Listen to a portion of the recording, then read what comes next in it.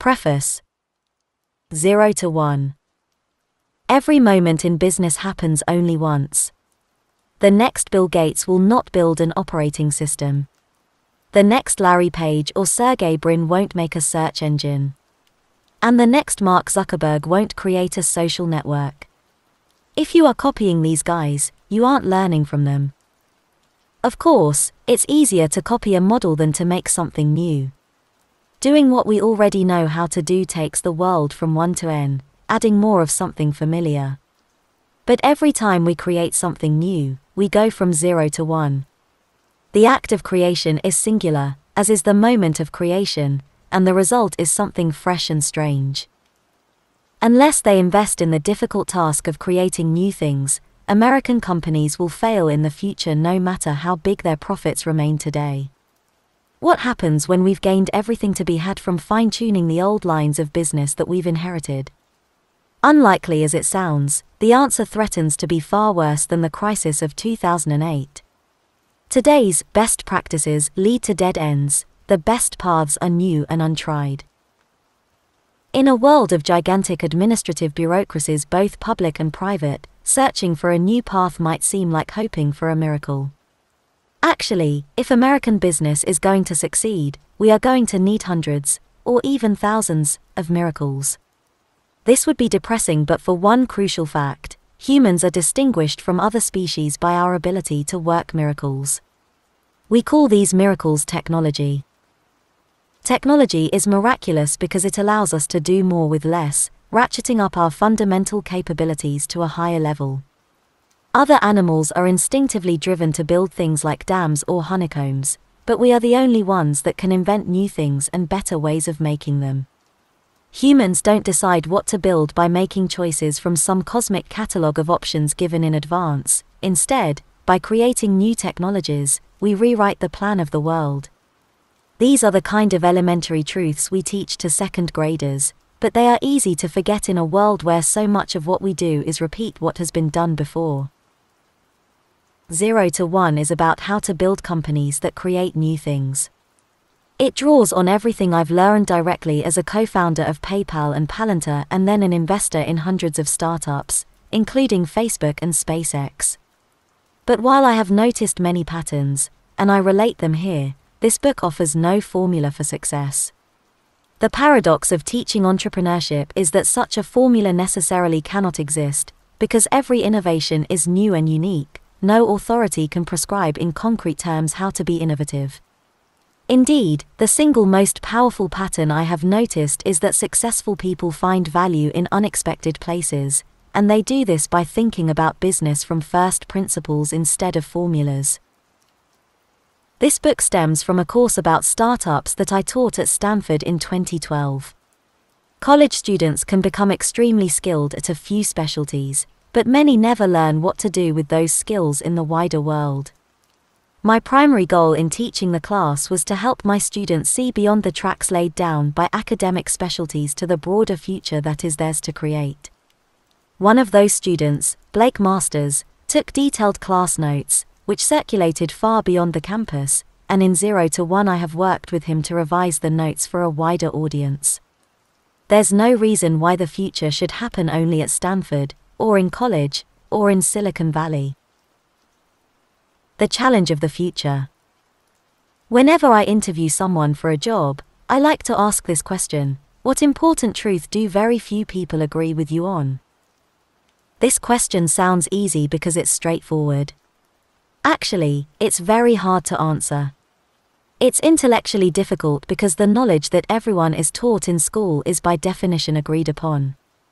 And it's psychologically difficult because anyone trying to answer must say something she knows to be unpopular.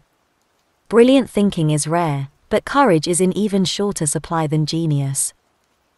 Most commonly, I hear answers like the following Our educational system is broken and urgently needs to be fixed. America is exceptional. There is no God. Those are bad answers. The first and the second statements might be true, but many people already agree with them. The third statement simply takes one side in a familiar debate. A good answer takes the following form most people believe in X, but the truth is the opposite of X. I'll give my own answer later in this chapter. What does this contrarian question have to do with the future? In the most minimal sense, the future is simply the set of all moments yet to come. But what makes the future distinctive and important isn't that it hasn't happened yet, but rather that it will be a time when the world looks different from today. In this sense, if nothing about our society changes for the next 100 years, then the future is over 100 years away. If things change radically in the next decade, then the future is nearly at hand. No one can predict the future exactly, but we know two things it's going to be different, and it must be rooted in today's world. Most answers to the contrarian question are different ways of seeing the present. Good answers are as close as we can come to looking into the future. 0 to 1, the future of progress. When we think about the future, we hope for a future of progress. That progress can take one of two forms. Horizontal or extensive progress means copying things that work, Going from 1 to n, horizontal progress is easy to imagine because we already know what it looks like.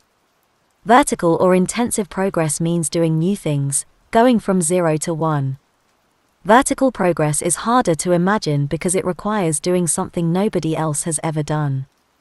If you take one typewriter and build 100, you have made horizontal progress.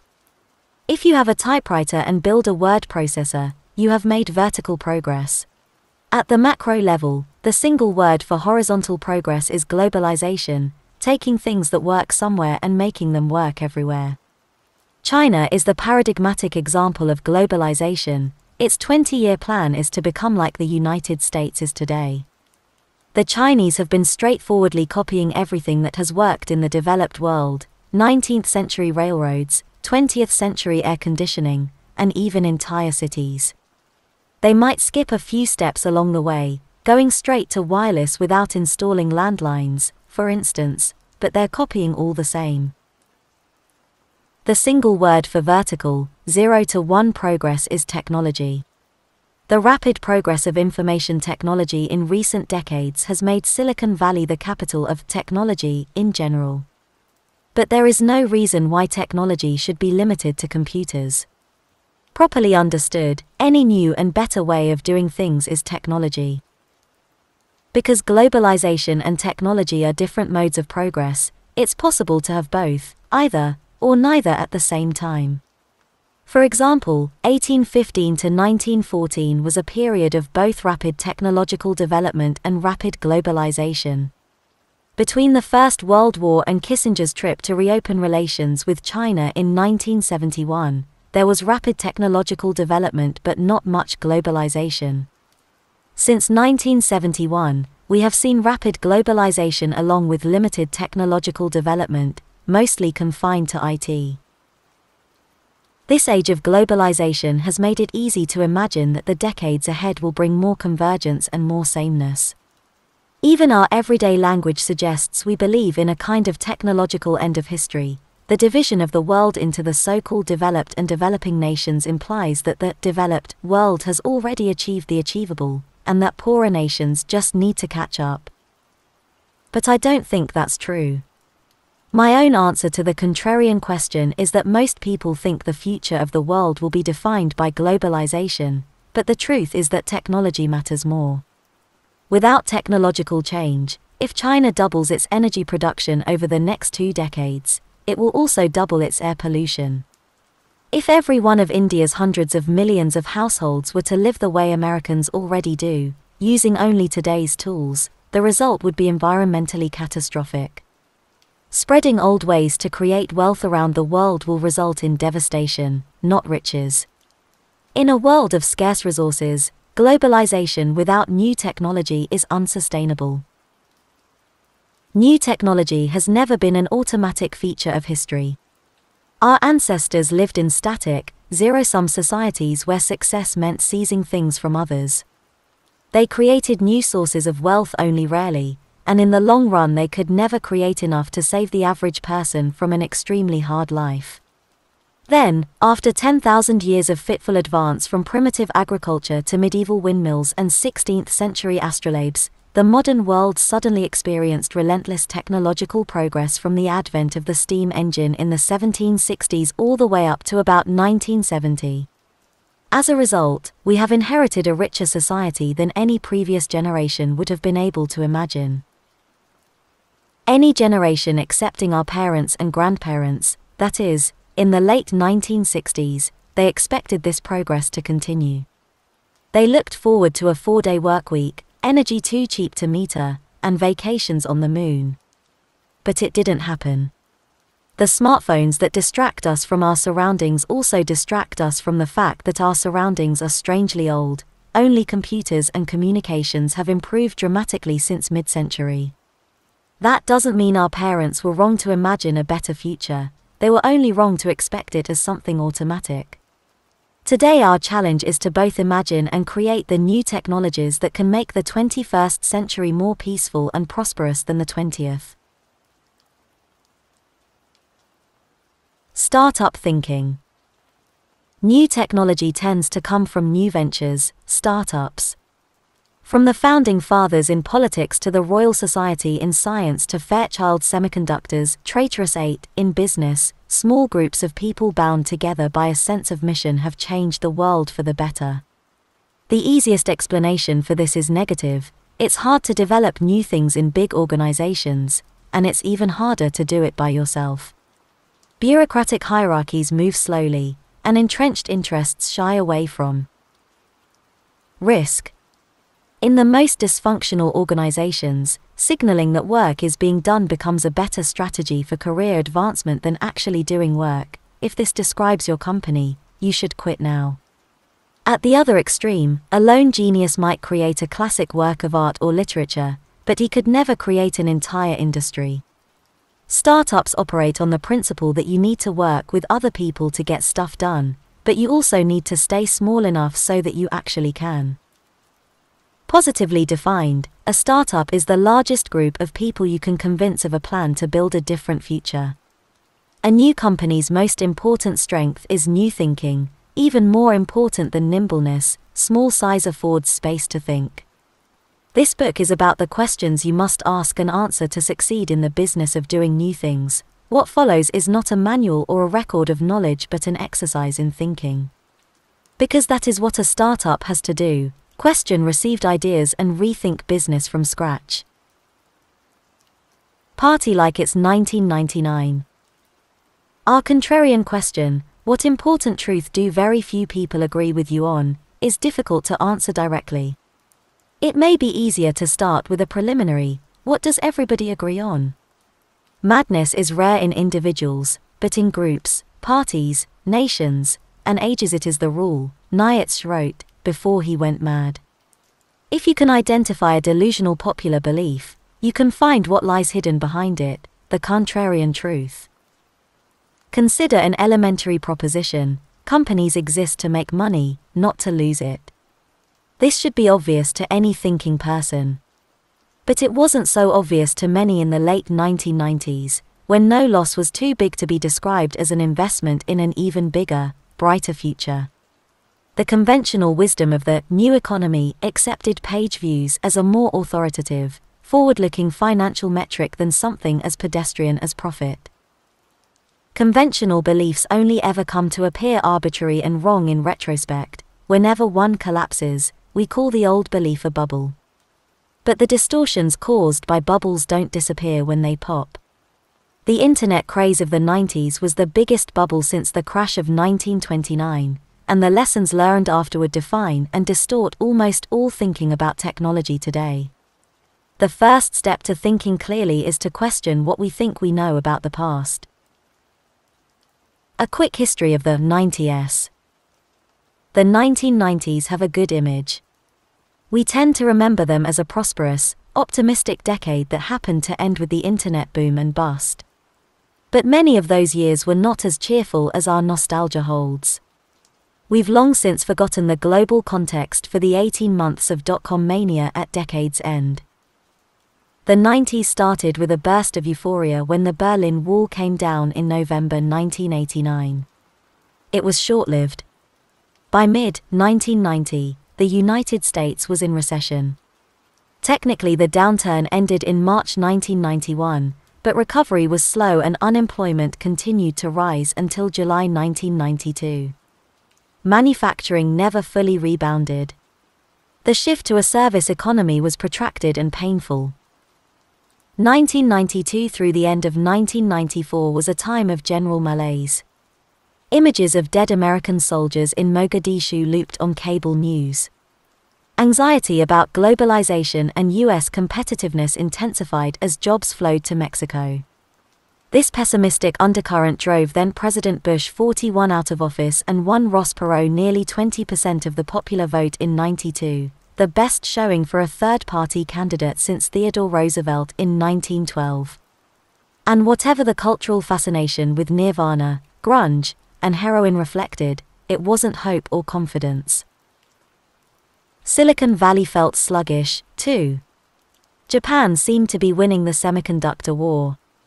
The internet had yet to take off, partly because its commercial use was restricted until late 1992 and partly due to the lack of user friendly web browsers. It's telling that when I arrived at Stanford in 1985, economics, not computer science, was the most popular major. To most people on campus, the tech sector seemed idiosyncratic or even provincial. The internet changed all this. The Mosaic browser was officially released in November 1993, giving regular people a way to get online. Mosaic became Netscape, which released its Navigator browser in late 1994. Navigator's adoption grew so quickly, from about 20% of the browser market in January 1995 to almost 80% less than 12 months later, that Netscape was able to IPO in August 1995 even though it wasn't yet profitable. Within five months, Netscape stock had shot up from $28 to $174 per share. Other tech companies were booming, too. Yahoo went public in April 1996 with an $848 million valuation. Amazon followed suit in May 1997 at $438 million. By spring of 98, each company's stock had more than quadrupled. Skeptics questioned earnings and revenue multiples higher than those for any non internet company. It was easy to conclude that the market had gone crazy. This conclusion was understandable but misplaced. In December 1996, more than three years before the bubble actually burst, Fed Chairman Alan Greenspan warned that irrational exuberance might have unduly escalated asset values. Tech investors were exuberant, but it's not clear that they were so irrational. It is too easy to forget that things weren't going very well in the rest of the world at the time. The East Asian financial crises hit in July 1997. Crony capitalism and massive foreign debt brought the Thai, Indonesian, and South Korean economies to their knees. The ruble crisis followed in August 1998 when Russia, hamstrung by chronic fiscal deficits, devalued its currency and defaulted on its debt. American investors grew nervous about a nation with 10,000 nukes and no money. The Dow Jones Industrial Average plunged more than 10% in a matter of days. People were right to worry. The ruble crisis set off a chain reaction that brought down long term capital management, a highly leveraged US hedge fund. LTCM managed to lose $4.6 billion in the latter half of 1998 and still had over $100 billion in liabilities when the Fed intervened with a massive bailout and slashed interest rates in order to prevent systemic disaster. Europe wasn't doing that much better. The euro launched in January 1999 to great skepticism and apathy. It rose to $1.19 on its first day of trading but sank to 83 cents within two years. In mid 2000, G7 central bankers had to prop it up with a multi billion dollar intervention. So the backdrop for the short lived dot com mania that started in September 1998 was a world in which nothing else seemed to be working. The old economy couldn't handle the challenges of globalization. Something needed to work, and work in a big way, if the future was going to be better at all. By indirect proof, the new economy of the internet was the only way forward. Mania, September 1998 to March 2000. Dot-com mania was intense but short, 18 months of insanity from September 1998 to March 2000. It was a Silicon Valley gold rush, there was money everywhere, and no shortage of exuberant, often sketchy people to chase it. Every week, dozens of new startups competed to throw the most lavish launch party. Landing parties were much more rare. Paper millionaires would rack up $1,000 dinner bills and try to pay with shares of their startup stock, sometimes it even worked. Legions of people decamped from their well paying jobs to found or join startups. One 40 something grad student that I knew was running six different companies in 1999. Usually, it's considered weird to be a 40 year old graduate student. Usually, it's considered insane to start a half dozen companies at once. But in the late 90s, people could believe that was a winning combination. Everybody should have known that the mania was unsustainable. The most successful companies seemed to embrace a sort of anti business model where they lost money as they grew. But it's hard to blame people for dancing when the music was playing. Irrationality was rational given that appending.com to your name could double your value overnight. PayPal Mania When I was running PayPal in late 1999, I was scared out of my wits, not because I didn't believe in our company, but because it seemed like everyone else in the valley was ready to believe anything at all. Everywhere I looked, people were starting and flipping companies with alarming casualness. One acquaintance told me how he had planned an IPO from his living room before he'd even incorporated his company, and he didn't think that was weird. In this kind of environment, acting sanely began to seem eccentric. At least PayPal had a suitably grand mission, the kind that post bubble skeptics would later describe as grandiose. We wanted to create a new internet currency to replace the US dollar. Our first product let people beam money from one Palm Pilot to another. However, nobody had any use for that product except the journalists who voted it one of the 10 worst business ideas of 1999. Palm Pilots were still too exotic then, but email was already commonplace, so we decided to create a way to send and receive payments over email. By the fall of 99, our email payment product worked well, anyone could log into our website and easily transfer money. But we didn't have enough customers, growth was slow, and expenses mounted. For PayPal to work, we needed to attract a critical mass of at least a million users. Advertising was too ineffective to justify the cost. Prospective deals with big banks kept falling through. So we decided to pay people to sign up. We gave new customers $10 for joining, and we gave them $10 more every time they referred a friend. This got us hundreds of thousands of new customers and an exponential growth rate. Of course, this customer acquisition strategy was unsustainable on its own. When you pay people to be your customers, exponential growth means an exponentially growing cost structure. Crazy costs were typical at that time in the valley. But we thought our huge costs were sane, given a large user base, PayPal had a clear path to profitability by taking a small fee on customers' transactions. We knew we'd need more funding to reach that goal. We also knew that the boom was going to end. Since we didn't expect investors' faith in our mission to survive the coming crash, we moved fast to raise funds while we could.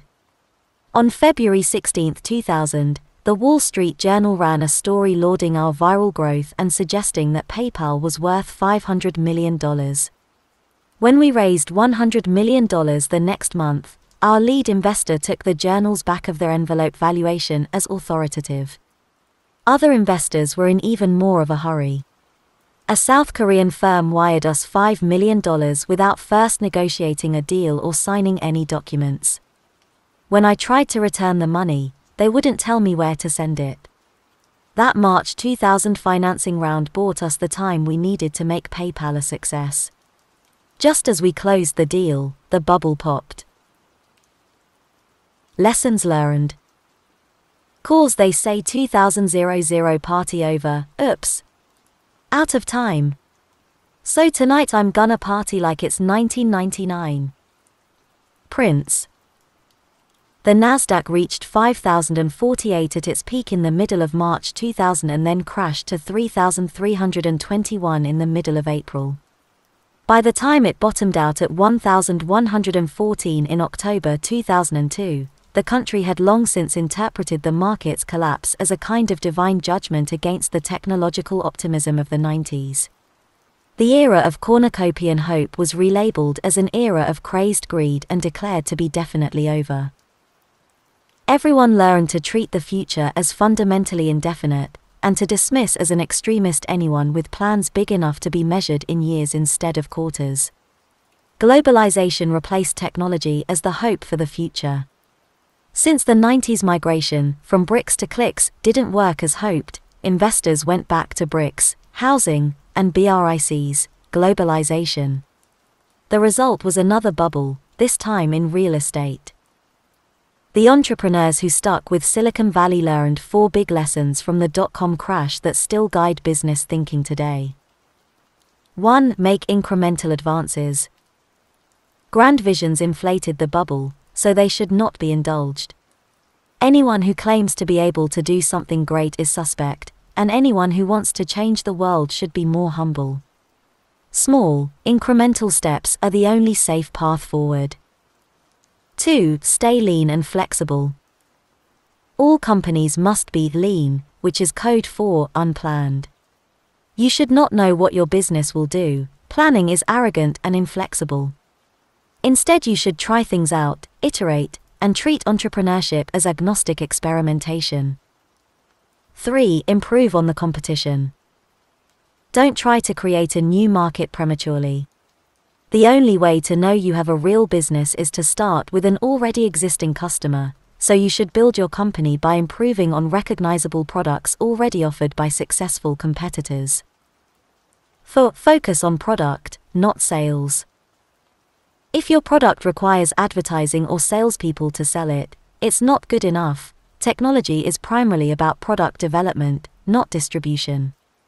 Bubble era advertising was obviously wasteful, so the only sustainable growth is viral growth. These lessons have become dogma in the startup world. Those who would ignore them are presumed to invite the justified doom visited upon technology in the great crash of 2000. And yet the opposite principles are probably more correct. 1. It is better to risk boldness than triviality. 2. A bad plan is better than no plan. 3. Competitive markets destroy profits. For sales matters just as much as product. It's true that there was a bubble in technology. The late 90s was a time of hubris, people believed in going from zero to one. Too few startups were actually getting there, and many never went beyond talking about it. But people understood that we had no choice but to find ways to do more with less.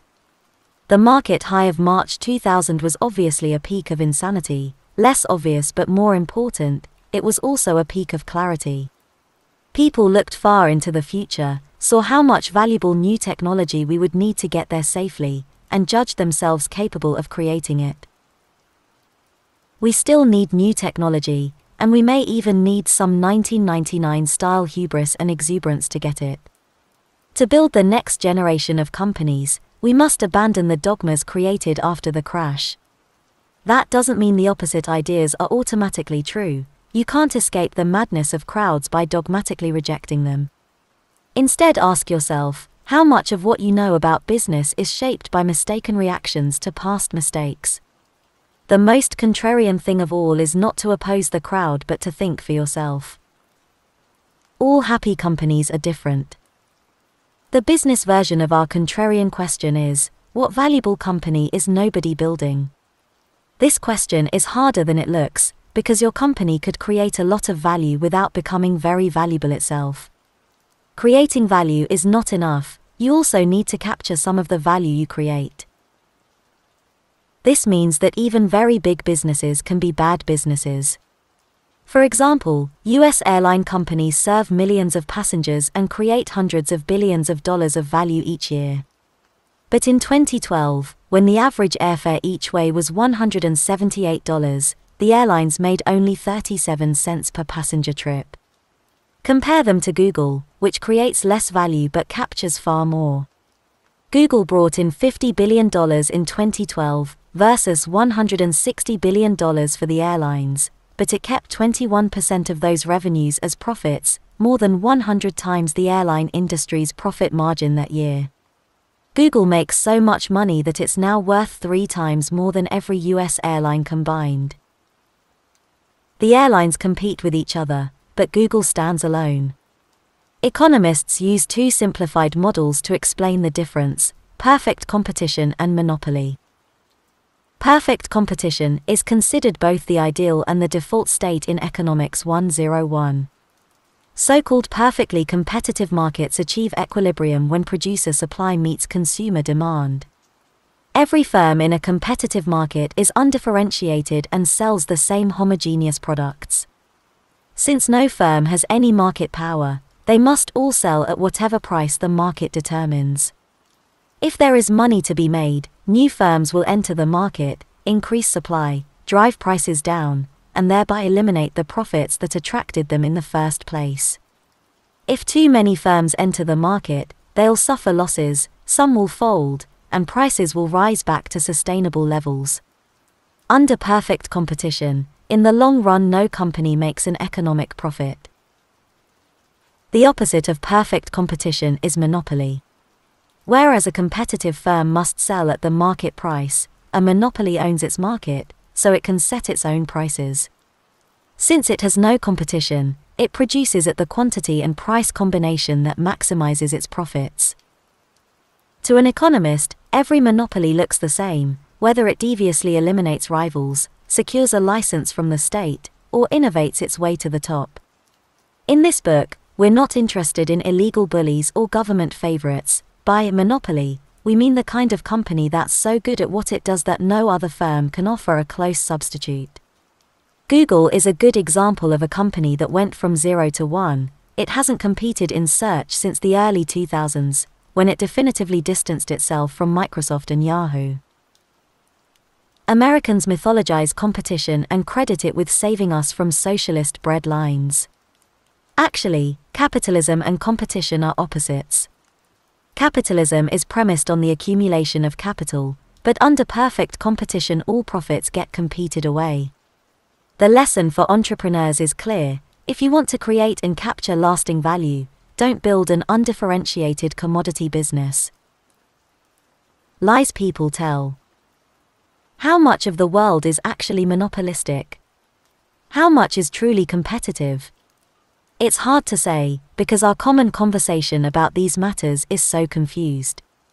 To the outside observer, all businesses can seem reasonably alike, so it's easy to perceive only small differences between them. But the reality is much more binary than that.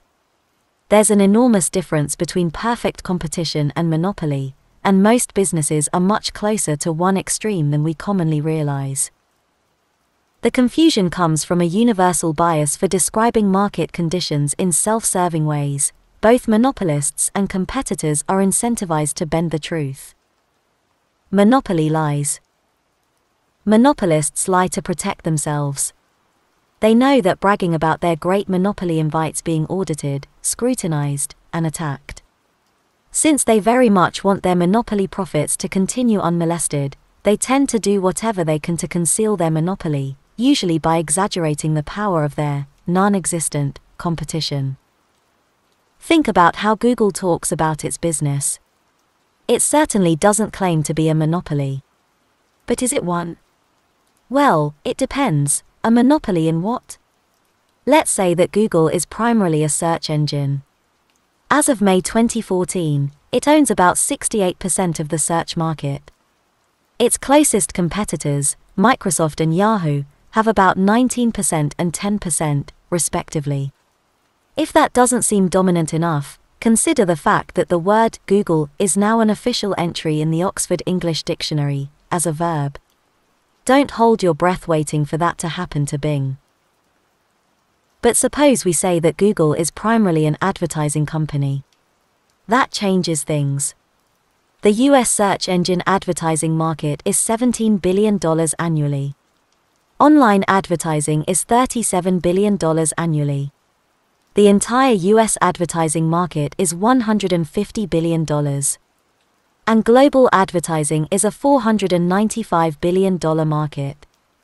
So even if Google completely monopolized US search engine advertising, it would own just 3.4% of the global advertising market.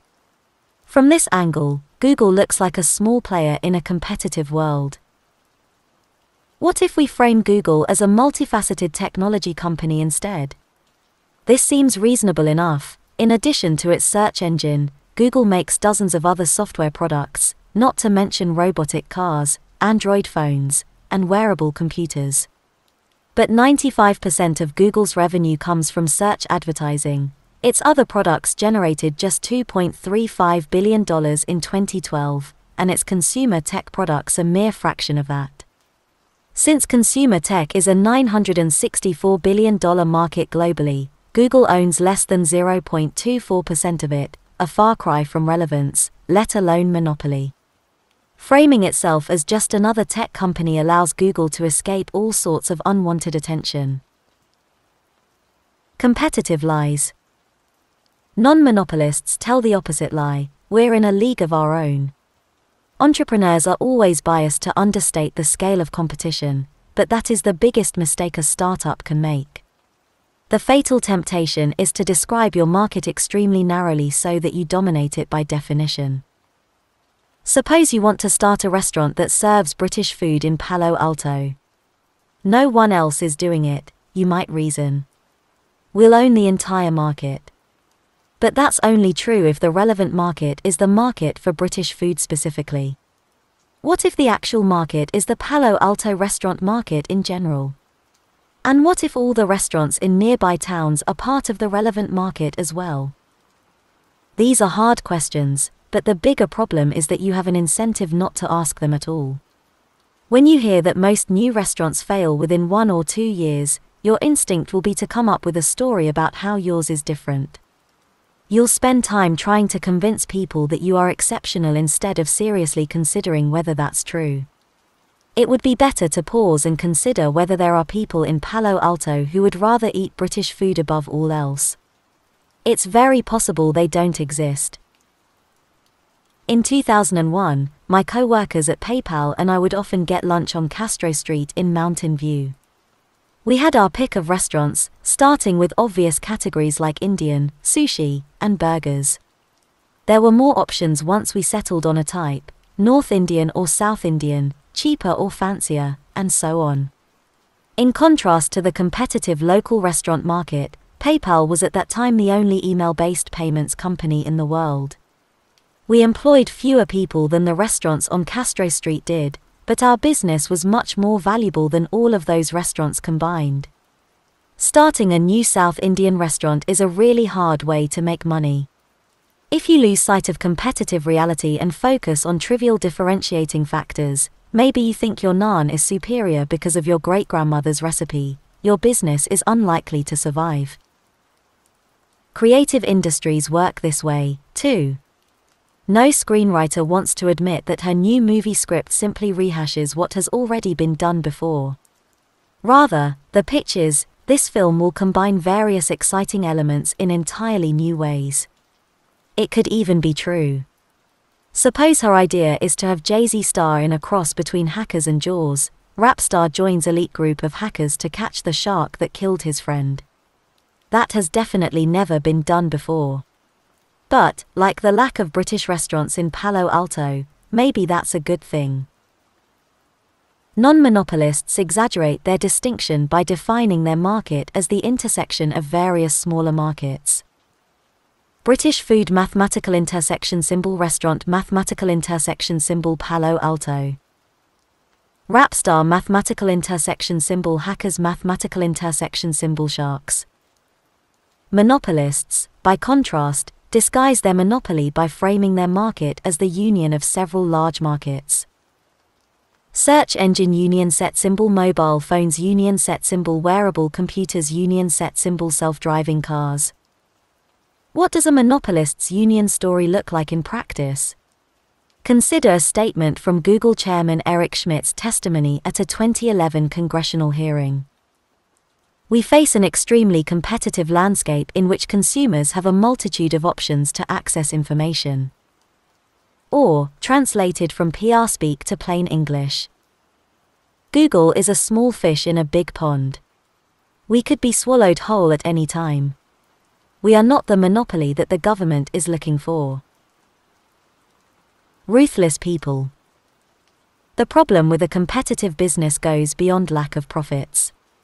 Imagine you're running one of those restaurants in Mountain View.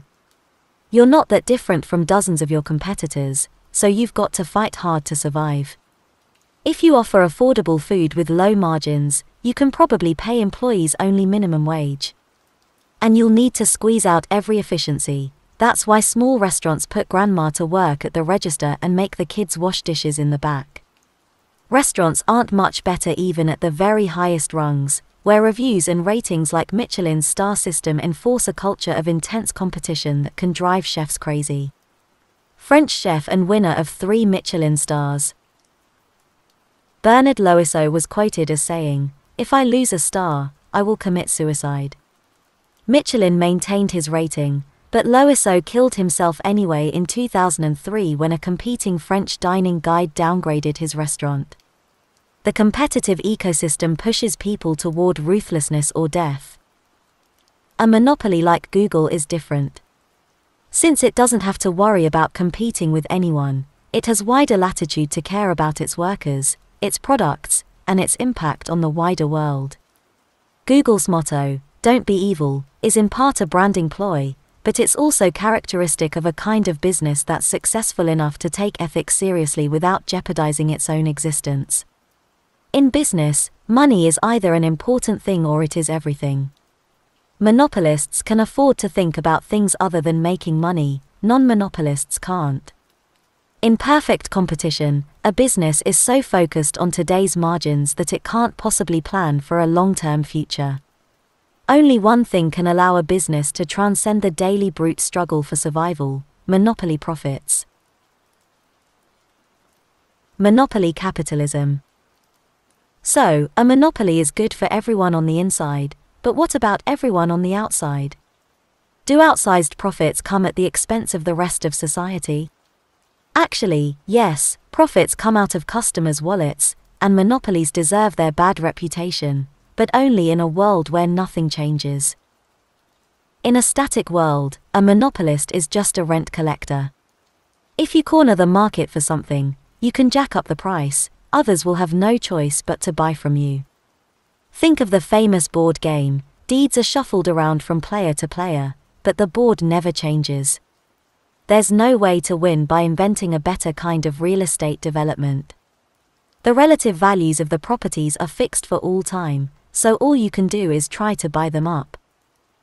But the world we live in is dynamic, it's possible to invent new and better things.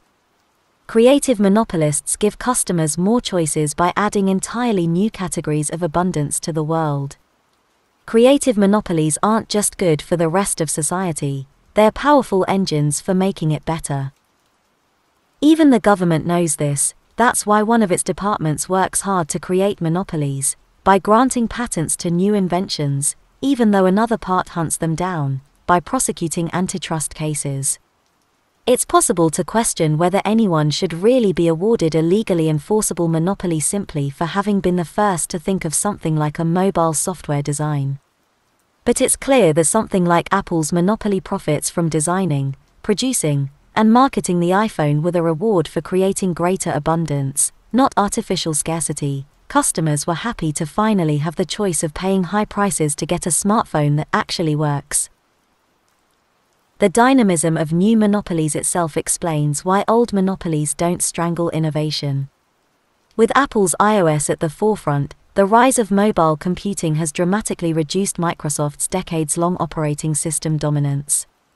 Before that, IBM's hardware monopoly of the 60s and 70s was overtaken by Microsoft's software monopoly.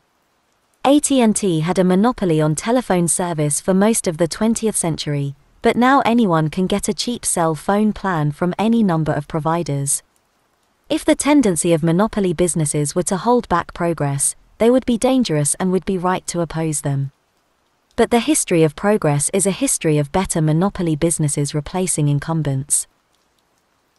Monopolies drive progress because the promise of years or even decades of monopoly profits provides a powerful incentive to innovate. Then monopolies can keep innovating because profits enable them to make the long term plans and to finance the ambitious research projects that firms locked in competition can't dream of. So, why are economists obsessed with competition as an ideal state? It's a relic of history. Economists copied their mathematics from the work of 19th century physicists. They see individuals and businesses as interchangeable atoms, not as unique creators. Their theories describe an equilibrium state of perfect competition because that's what's easy to model, not because it represents the best of business. But it's worth recalling that the long run equilibrium predicted by 19th century physics was a state in which all energy is evenly distributed and everything comes to rest, also known as the heat death of the universe. Whatever your views on thermodynamics, it's a powerful metaphor. In business, equilibrium means stasis, and stasis means death. If your industry is in a competitive equilibrium, the death of your business won't matter to the world, some other undifferentiated competitor will always be ready to take your place. Perfect equilibrium may describe the void that is most of the universe. It may even characterize many businesses. But every new creation takes place far from equilibrium. In the real world outside economic theory, Every business is successful exactly to the extent that it does something others cannot. Monopoly is therefore not a pathology or an exception. Monopoly is the condition of every successful business. Tolstoy opens Anna Karenina by observing, All happy families are alike, each unhappy family is unhappy in its own way. Business is the opposite. All happy companies are different, each one earns a monopoly by solving a unique problem. All failed companies are the same, they failed to escape competition. The ideology of competition. Creative monopoly means new products that benefit everybody and sustainable profits for the creator. Competition means no profits for anybody, no meaningful differentiation, and a struggle for survival. So, why do people believe that competition is healthy? The answer is that competition is not just an economic concept or a simple inconvenience that individuals and companies must deal with in the marketplace. More than anything else, competition is an ideology, the ideology that pervades our society and distorts our thinking. We preach competition, internalize its necessity, and enact its commandments, and as a result, we trap ourselves within it, even though the more we compete, the less we gain. This is a simple truth, but we've all been trained to ignore it. Our educational system both drives and reflects our obsession with competition.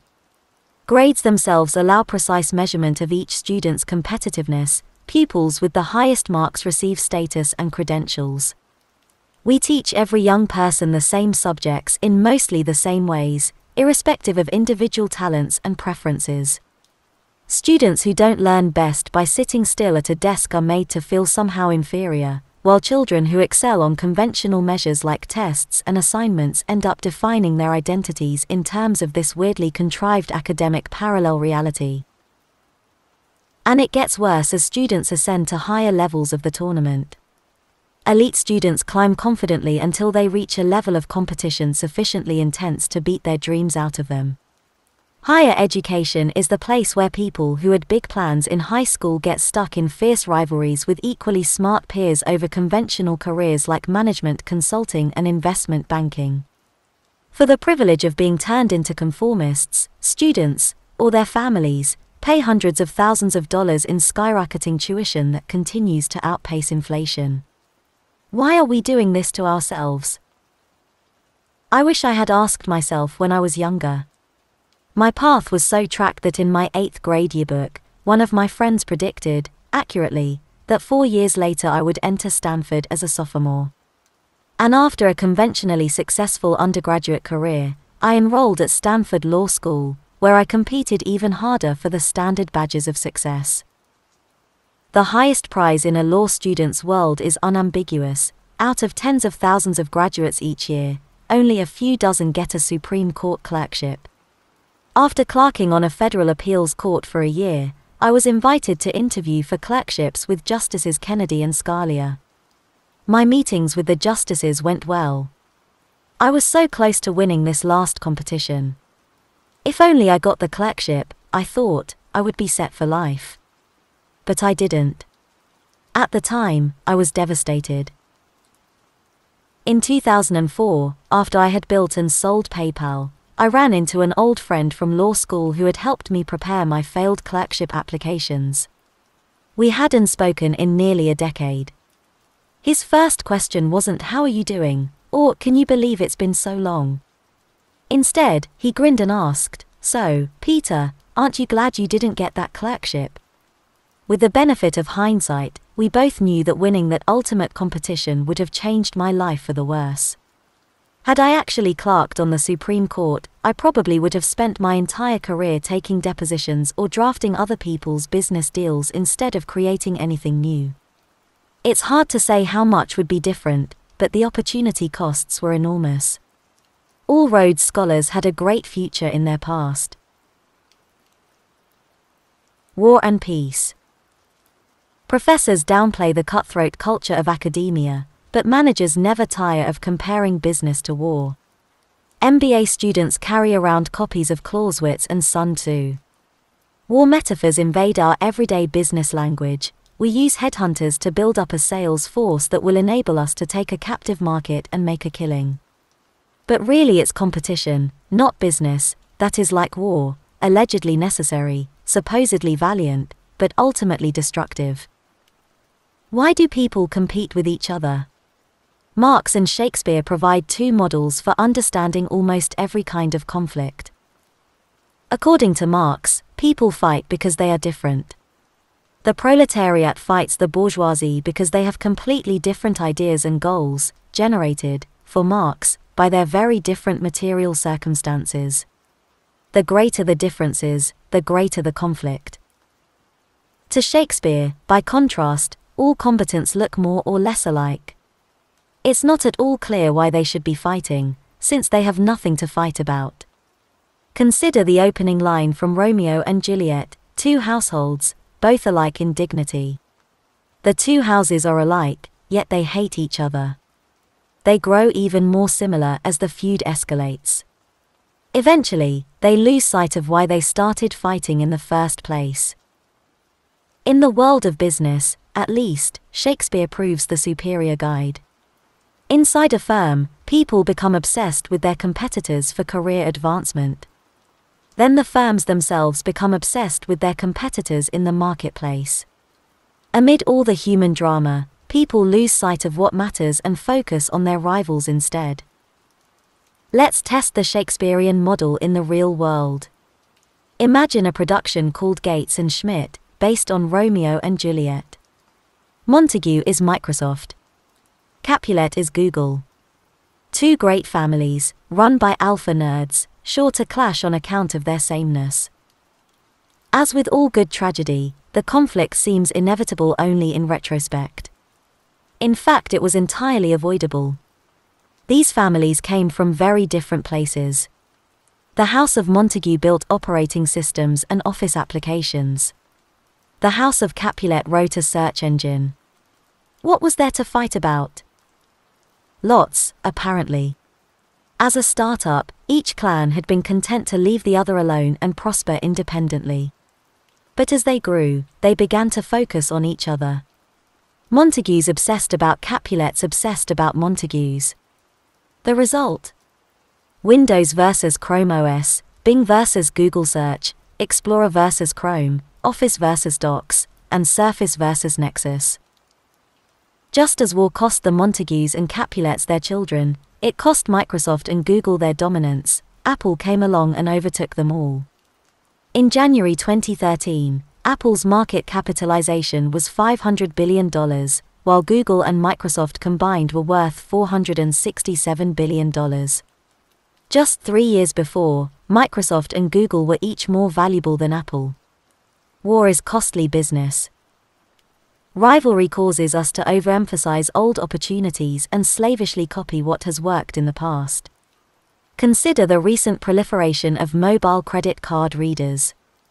In October 2010, a startup called Square released a small, white, square shaped product that let anyone with an iPhone swipe and accept credit cards.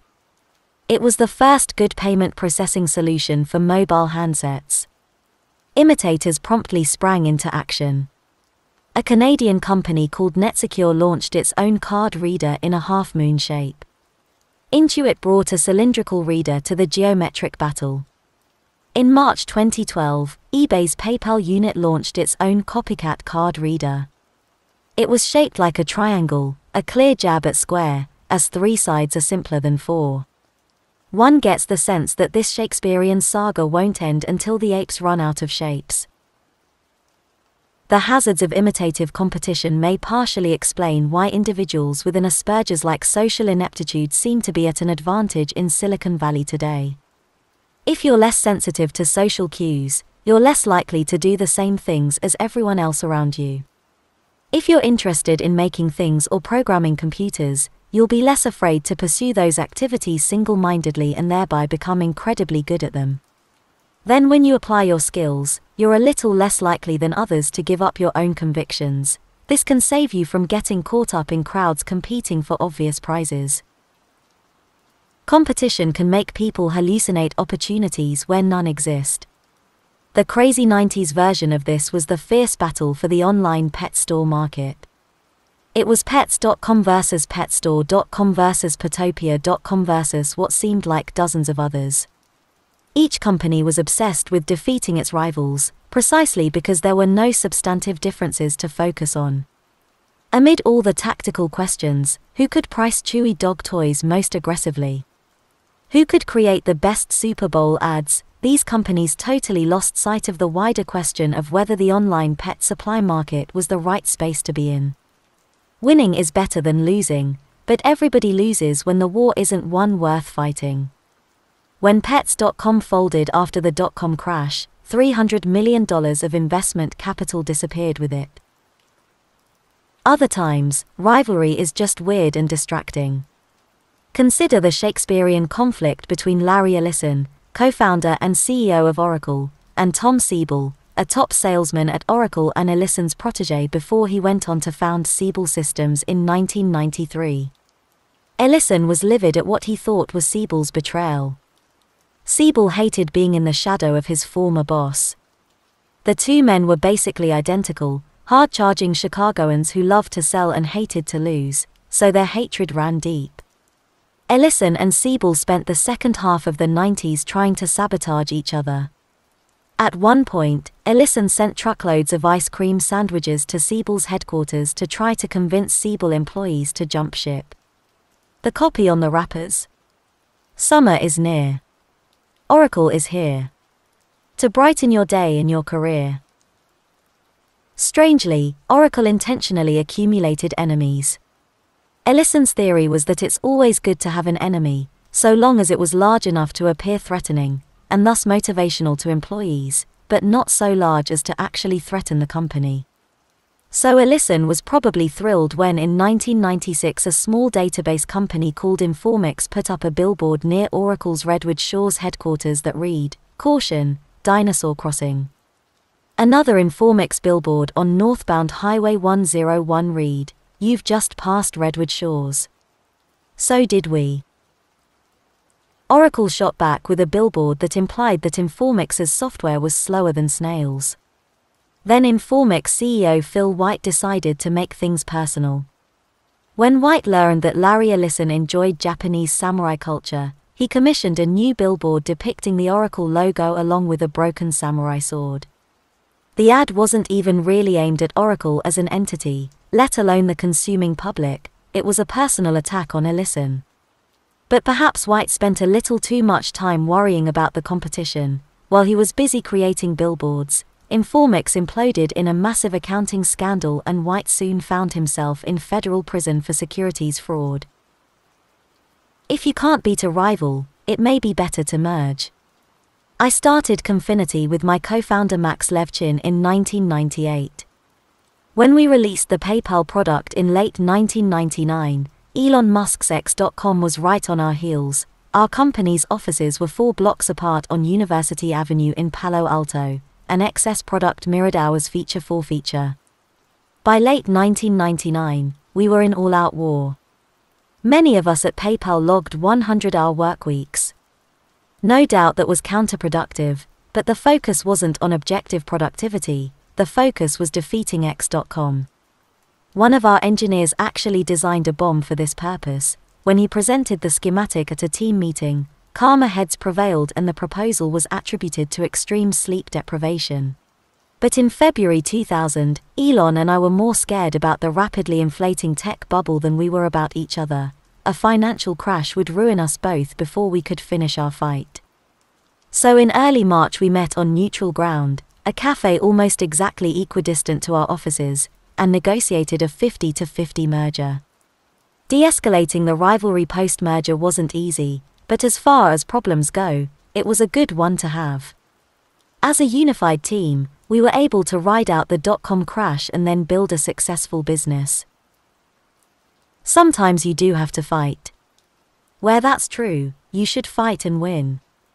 There is no middle ground, Either don't throw any punches, or strike hard and end it quickly.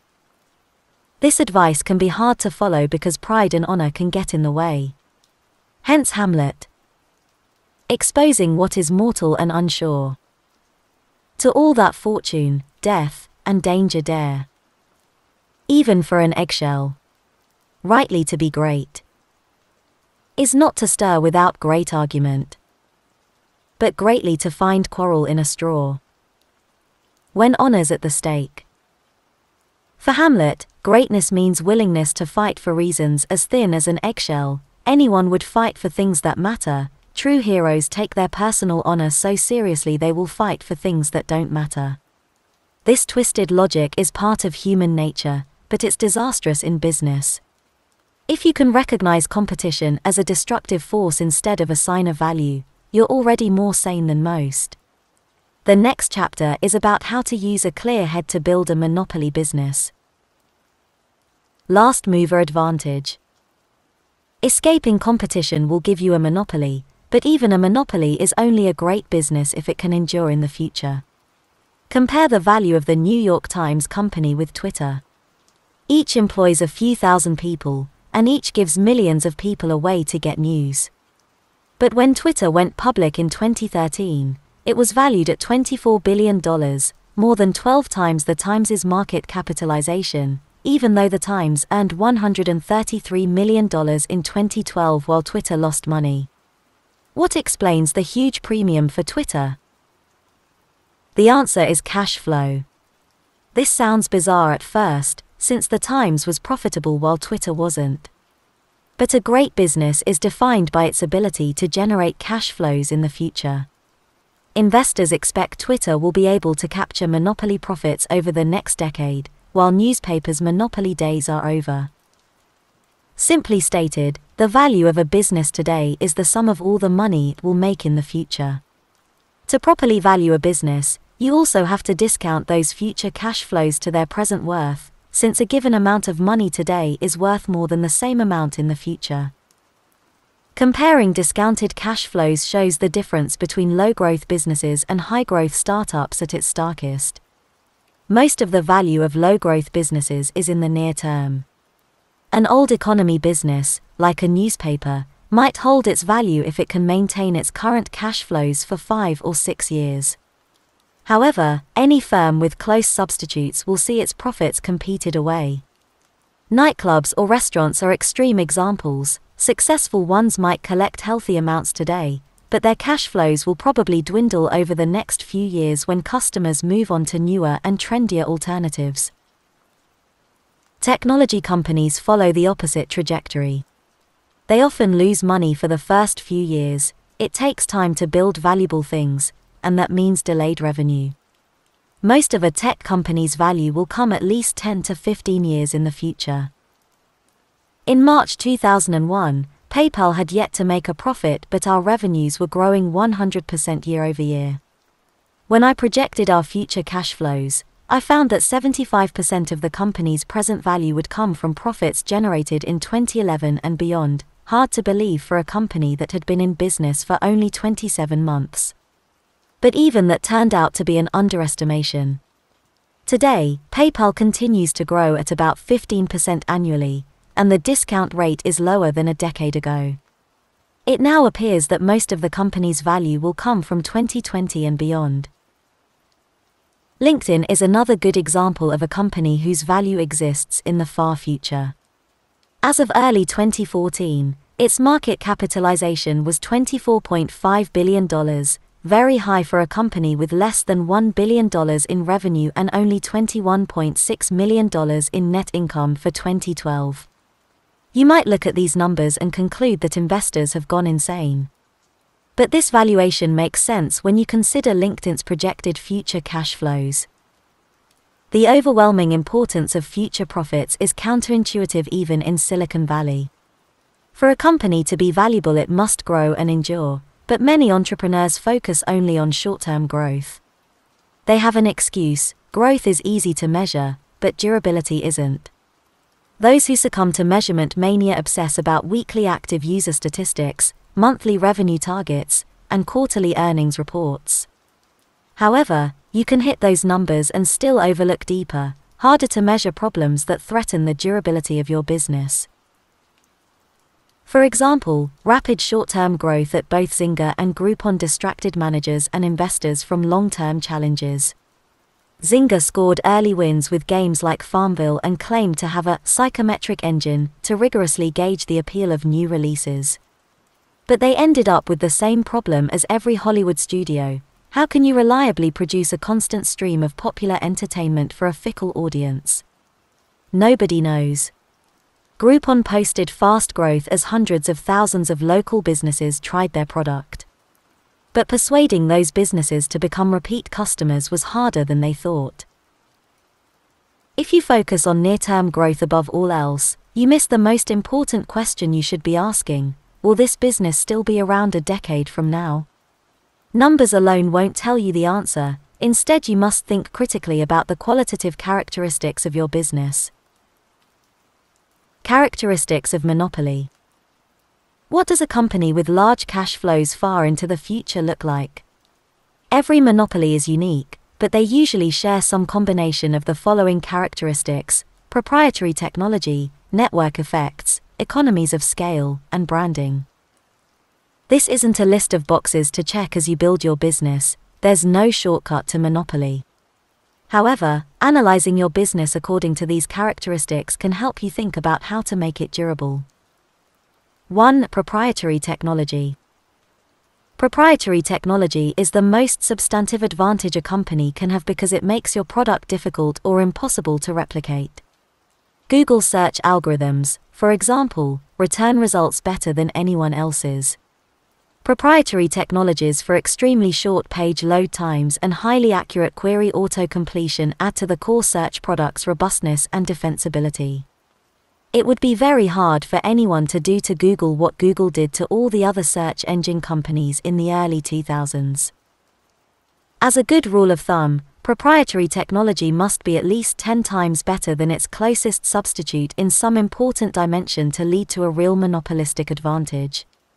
Anything less than an order of magnitude better will probably be perceived as a marginal improvement and will be hard to sell, especially in an already crowded market. The clearest way to make a 10x improvement is to invent something completely new.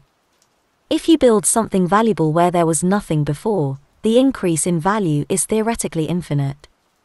A drug to safely eliminate the need for sleep, or a cure for baldness, for example, would certainly support a monopoly business. Or you can radically improve an existing solution. Once you're 10x better, you escape competition. PayPal, for instance, made buying and selling on eBay at least 10 times better. Instead of mailing a check that would take 7 to 10 days to arrive, PayPal let buyers pay as soon as an auction ended. Sellers received their proceeds right away, and unlike with a check, they knew the funds were good. Amazon made its first 10x improvement in a particularly visible way. they offered at least 10 times as many books as any other bookstore. When it launched in 1995, Amazon could claim to be Earth's largest bookstore because, unlike a retail bookstore that might stock 100,000 books, Amazon didn't need to physically store any inventory. It simply requested the title from its supplier whenever a customer made an order. This quantum improvement was so effective that a very unhappy Barnes and Noble filed a lawsuit three days before Amazon's IPO, claiming that Amazon was unfairly calling itself a bookstore when really it was a book broker. You can also make a 10x improvement through superior integrated design. Before 2010, tablet computing was so poor that for all practical purposes the market didn't even exist. Microsoft Windows XP Tablet PC Edition products first shipped in 2002, and Nokia released its own Internet tablet in 2005, but they were a pain to use. Then Apple released the iPad. Design improvements are hard to measure, but it seems clear that Apple improved on anything that had come before by at least an order of magnitude. Tablets went from unusable to useful. 2. Network effects. Network effects make a product more useful as more people use it. For example, if all your friends are on Facebook, it makes sense for you to join Facebook, too. Unilaterally choosing a different social network would only make you an eccentric. Network effects can be powerful, but you'll never reap them unless your product is valuable to its very first users when the network is necessarily small. For example, in 1960 a quixotic company called Xanadu set out to build a two-way communication network between all computers, a sort of early, synchronous version of the World Wide Web. After more than three decades of futile effort, Xanadu folded just as the web was becoming commonplace. Their technology probably would have worked at scale, but it could have worked only at scale. It required every computer to join the network at the same time, and that was never going to happen. Paradoxically, then, network effects businesses must start with especially small markets. Facebook started with just Harvard students. Mark Zuckerberg's first product was designed to get all his classmates signed up, not to attract all people of Earth.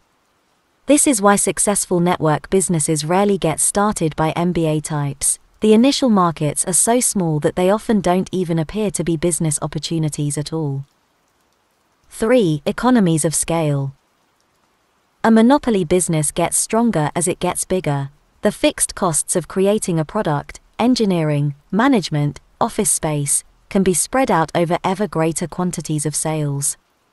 Software startups can enjoy especially dramatic economies of scale because the marginal cost of producing another copy of the product is close to zero. Many businesses gain only limited advantages as they grow to large scale. Service businesses, especially, are difficult to make monopolies. If you own a yoga studio, for example, you'll only be able to serve a certain number of customers. You can hire more instructors and expand to more locations, but your margins will remain fairly low and you'll never reach a point where a core group of talented people can provide something of value to millions of separate clients, as software engineers are able to do. A good startup should have the potential for great scale built into its first design. Twitter already has more than 250 million users today. It doesn't need to add too many customized features in order to acquire more and there's no inherent reason why it should ever stop growing. 4. Branding. A company has a monopoly on its own brand by definition, so creating a strong brand is a powerful way to claim a monopoly. Today's strongest tech brand is Apple. The attractive looks and carefully chosen materials of products like the iPhone and MacBook, the Apple Store's sleek minimalist design and close control over the consumer experience, the omnipresent advertising campaigns, the price positioning as a maker of premium goods, and the lingering nimbus of Steve Jobs' personal charisma all contribute to a perception that Apple offers products so good as to constitute a category of their own. Many have tried to learn from Apple's success paid advertising, branded stores, luxurious materials, playful keynote speeches, high prices, and even minimalist design are all susceptible to imitation. But these techniques for polishing the surface don't work without a strong underlying substance. Apple has a complex suite of proprietary technologies, both in hardware, like superior touchscreen materials, and software, like touchscreen interfaces purpose designed for specific materials. It manufactures products at a scale large enough to dominate pricing for the materials it buys. And it enjoys strong network effects from its content ecosystem, Thousands of developers write software for Apple devices because that's where hundreds of millions of users are, and those users stay on the platform because it's where the apps are. These other monopolistic advantages are less obvious than Apple's sparkling brand, but they are the fundamentals that let the branding effectively reinforce Apple's monopoly. Beginning with brand rather than substance is dangerous. Ever since Marissa Mayer became CEO of Yahoo in mid 2012, she has worked to revive the once popular internet giant by making it cool again. In a single tweet, Yahoo summarized Mayer's plan as a chain reaction of people then products then traffic then revenue. The people are supposed to come for the coolness. Yahoo demonstrated design awareness by overhauling its logo, it asserted youthful relevance by acquiring hot startups like Tumblr, and it has gained media attention for Mayer's own star power. But the big question is what products Yahoo will actually create.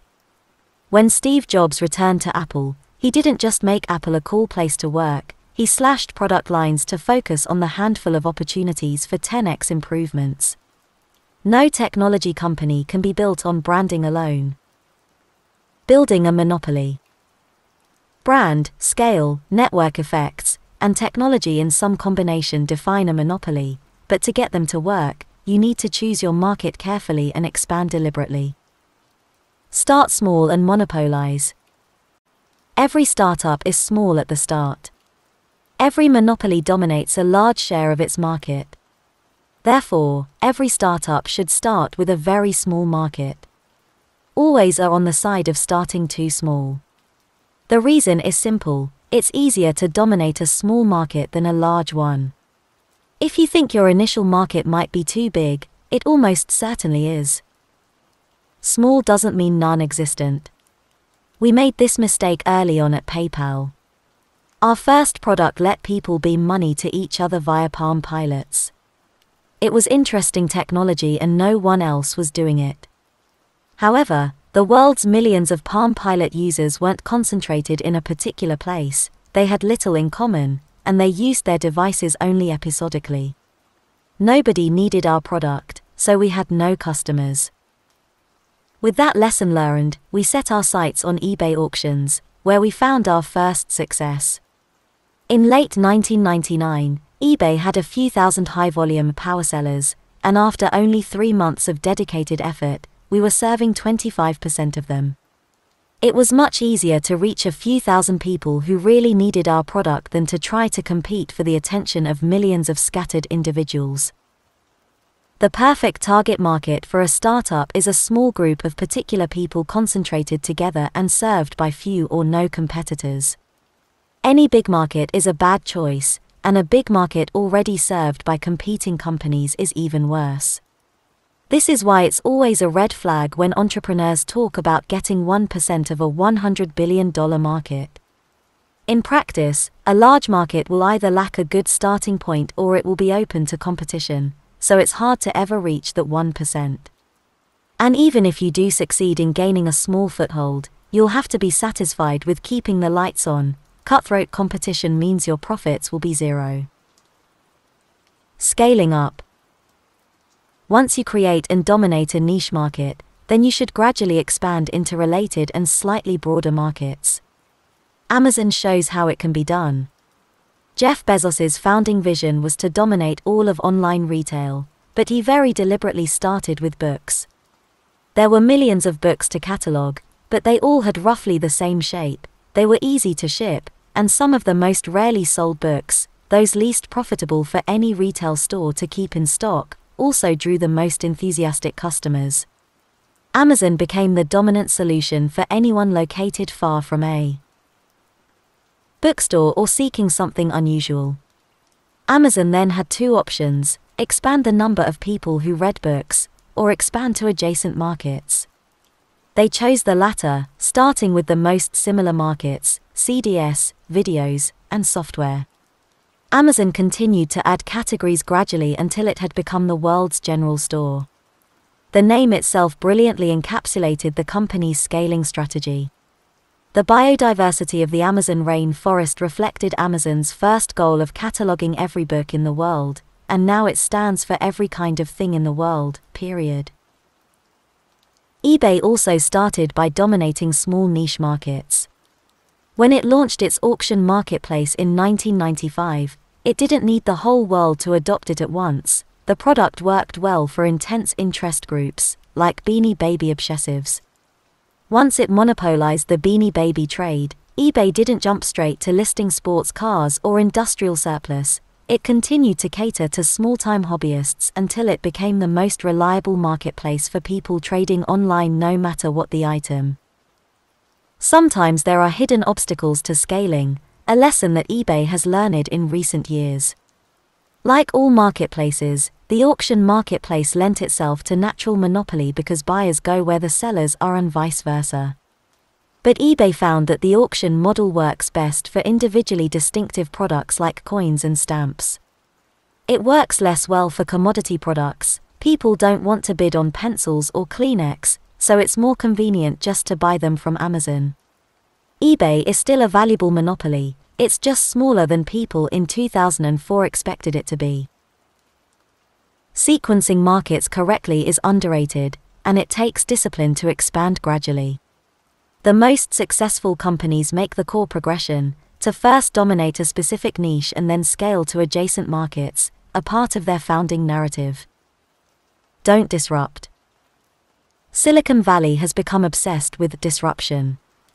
Originally, disruption was a term of art to describe how a firm can use new technology to introduce a low end product at low prices, improve the product over time, and eventually overtake even the premium products offered by incumbent companies using older technology.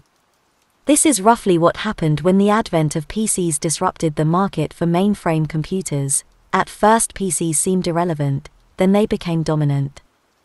Today, mobile devices may be doing the same thing to PCs.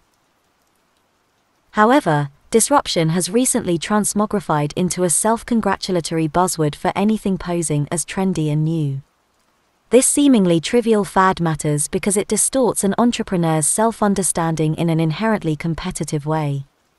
The concept was coined to describe threats to incumbent companies, so startups' obsession with disruption means they see themselves through older firms' eyes. If you think of yourself as an insurgent battling dark forces, it's easy to become unduly fixated on the obstacles in your path.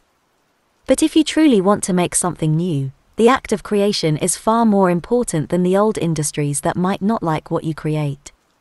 Indeed, if your company can be summed up by its opposition to already existing firms, it can't be completely new and it's probably not going to become a monopoly. Disruption also attracts attention. Disruptors are people who look for trouble and find it. Disruptive kids get sent to the principal's office. Disruptive companies often pick fights they can't win. Think of Napster, the name itself meant trouble. What kinds of things can one nap? Music. Kids, and perhaps not much else. Shawn Fanning and Sean Parker, Napster's then teenage founders, credibly threatened to disrupt the powerful music recording industry in 1999. The next year, they made the cover of Time magazine. A year and a half after that, they ended up in bankruptcy court. PayPal could be seen as disruptive, but we didn't try to directly challenge any large competitor. It's true that we took some business away from Visa when we popularized internet payments. You might use PayPal to buy something online instead of using your Visa card to buy it in a store. But since we expanded the market for payments overall, we gave Visa far more business than we took. The overall dynamic was net positive, unlike Napster's negative sum struggle with the US recording industry. As you craft a plan to expand to adjacent markets, don't disrupt, avoid competition as much as possible. The last will be first. You've probably heard about first mover advantage. If you're the first entrant into a market, you can capture significant market share while competitors scramble to get started. But moving first is a tactic, not a goal. What really matters is generating cash flows in the future, so being the first mover doesn't do you any good if someone else comes along and unseats you. It's much better to be the last mover, that is, to make the last great development in a specific market and enjoy years or even decades of monopoly profits. The way to do that is to dominate a small niche and scale up from there, toward your ambitious long term vision. In this one particular, at least, business is like chess. Grandmaster Jose Raul Capablanca put it well to succeed, you must study the endgame before everything else. You are not a lottery ticket. The most contentious question in business is whether success comes from luck or skill. What do successful people say? Malcolm Gladwell, a successful author who writes about successful people, declares in Outliers that success results from a patchwork of lucky breaks and arbitrary advantages. Warren Buffett famously considers himself a member of the Lucky Sperm Club and a winner of the ovarian lottery. Jeff Bezos attributes Amazon's success to an incredible planetary alignment and jokes that it was half luck, half good timing, and the rest brains. Bill Gates even goes so far as to claim that he was lucky to be born with certain skills, though it's not clear whether that's actually possible. Perhaps these guys are being strategically humble. However, the phenomenon of serial entrepreneurship would seem to call into question our tendency to explain success as the product of chance. Hundreds of people have started multiple multi million dollar businesses. A few, like Steve Jobs, Jack Dorsey, and Elon Musk, have created several multi-billion dollar companies. If success were mostly a matter of luck, these kinds of serial entrepreneurs probably wouldn't exist. In January 2013, Jack Dorsey, founder of Twitter and Square, tweeted to his 2 million followers Success is never accidental.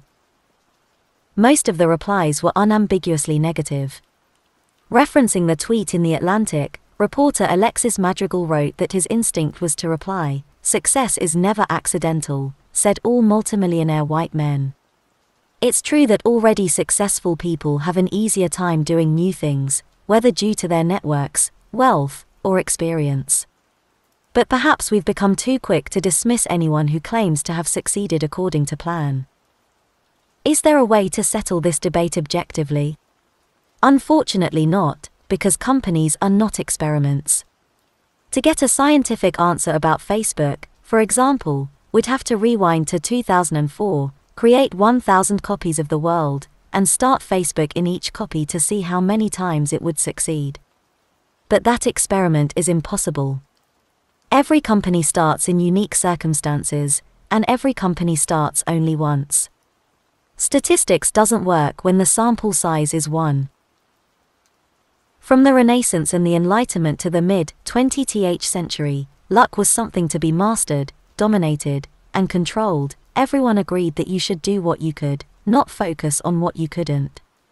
Ralph Waldo Emerson captured this ethos when he wrote Shallow men believe in luck, believe in circumstances.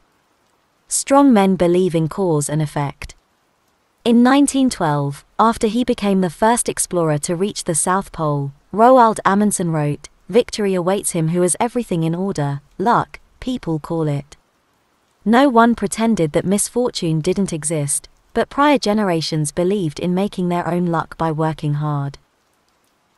If you believe your life is mainly a matter of chance, why read this book?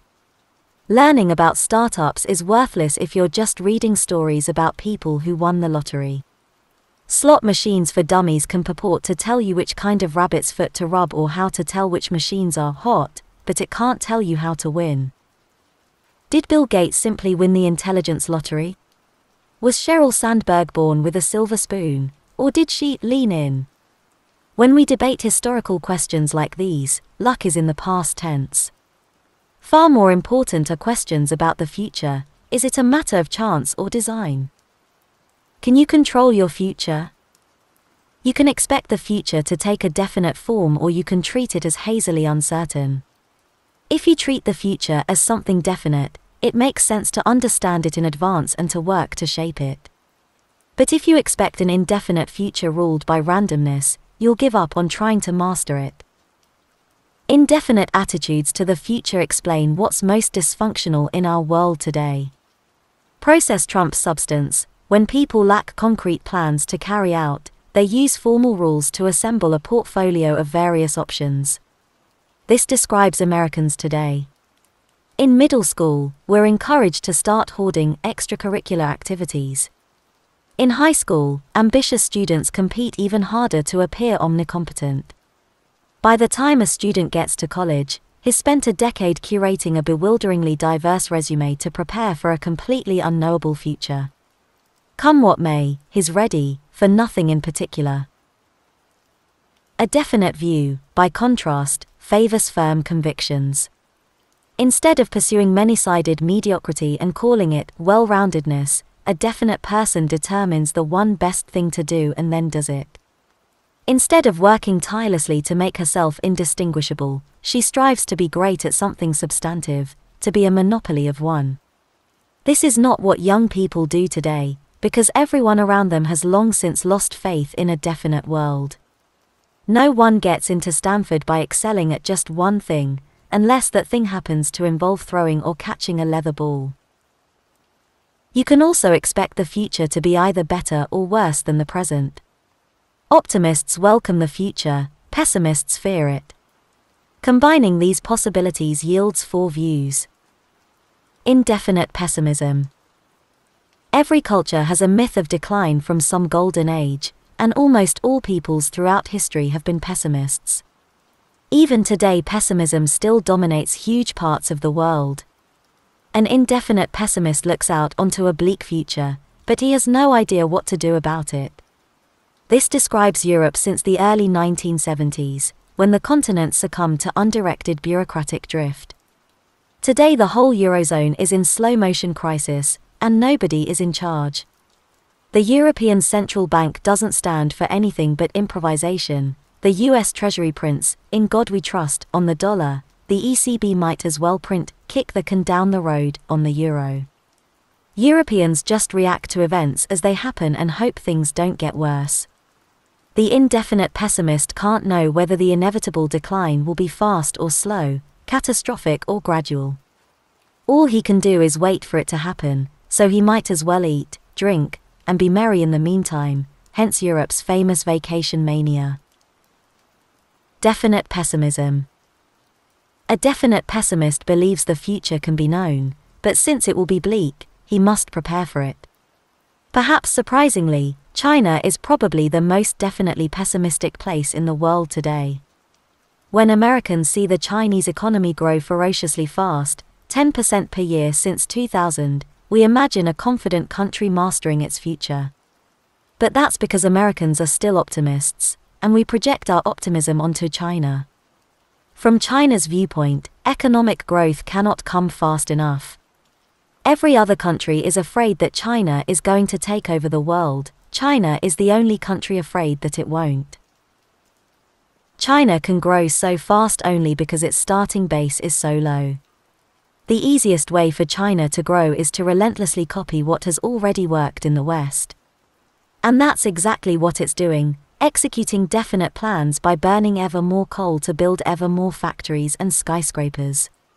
But with a huge population pushing resource prices higher, there's no way Chinese living standards can ever actually catch up to those of the richest countries, and the Chinese know it. This is why the Chinese leadership is obsessed with the way in which things threaten to get worse. Every senior Chinese leader experienced famine as a child, so when the Politburo looks to the future, disaster is not an abstraction. The Chinese public, too, knows that winter is coming. Outsiders are fascinated by the great fortunes being made inside China, but they pay less attention to the wealthy Chinese trying hard to get their money out of the country. Poorer Chinese just save everything they can and hope it will be enough. Every class of people in China takes the future deadly seriously. Definite optimism. To a definite optimist, the future will be better than the present if he plans and works to make it better. From the 17th century through the 1950s and 60s, definite optimists led the Western world. Scientists, engineers, doctors, and businessmen made the world richer, healthier, and more long lived than previously imaginable. As Karl Marx and Friedrich Engels saw clearly, the 19th century business class created more massive and more colossal productive forces than all preceding generations together. Subjection of nature's forces to man, machinery, application of chemistry to industry and agriculture, steam navigation, railways, electric telegraphs, clearing of whole continents for cultivation, canalization of rivers, whole populations conjured out of the ground. What earlier century had even a presentiment that such productive forces slumbered in the lap of social labor? Each generation's inventors and visionaries surpassed their predecessors. In 1843, the London public was invited to make its first crossing underneath the River Thames by a newly dug tunnel. In 1869, the Suez Canal saved Eurasian shipping traffic from rounding the Cape of Good Hope. In 1914, the Panama Canal cut short the route from Atlantic to Pacific. Even the Great Depression failed to impede relentless progress in the United States, which has always been home to the world's most far-seeing definite optimists. The Empire State Building was started in 1929 and finished in 1931. The Golden Gate Bridge was started in 1933 and completed in 1937. The Manhattan Project was started in 1941 and had already produced the world's first nuclear bomb by 1945. Americans continued to remake the face of the world in peacetime, the interstate highway system began construction in 1956, and the first 20,000 miles of road were open for driving by 1965. Definite planning even went beyond the surface of this planet. NASA's Apollo program began in 1961 and put 12 men on the moon before it finished in 1972.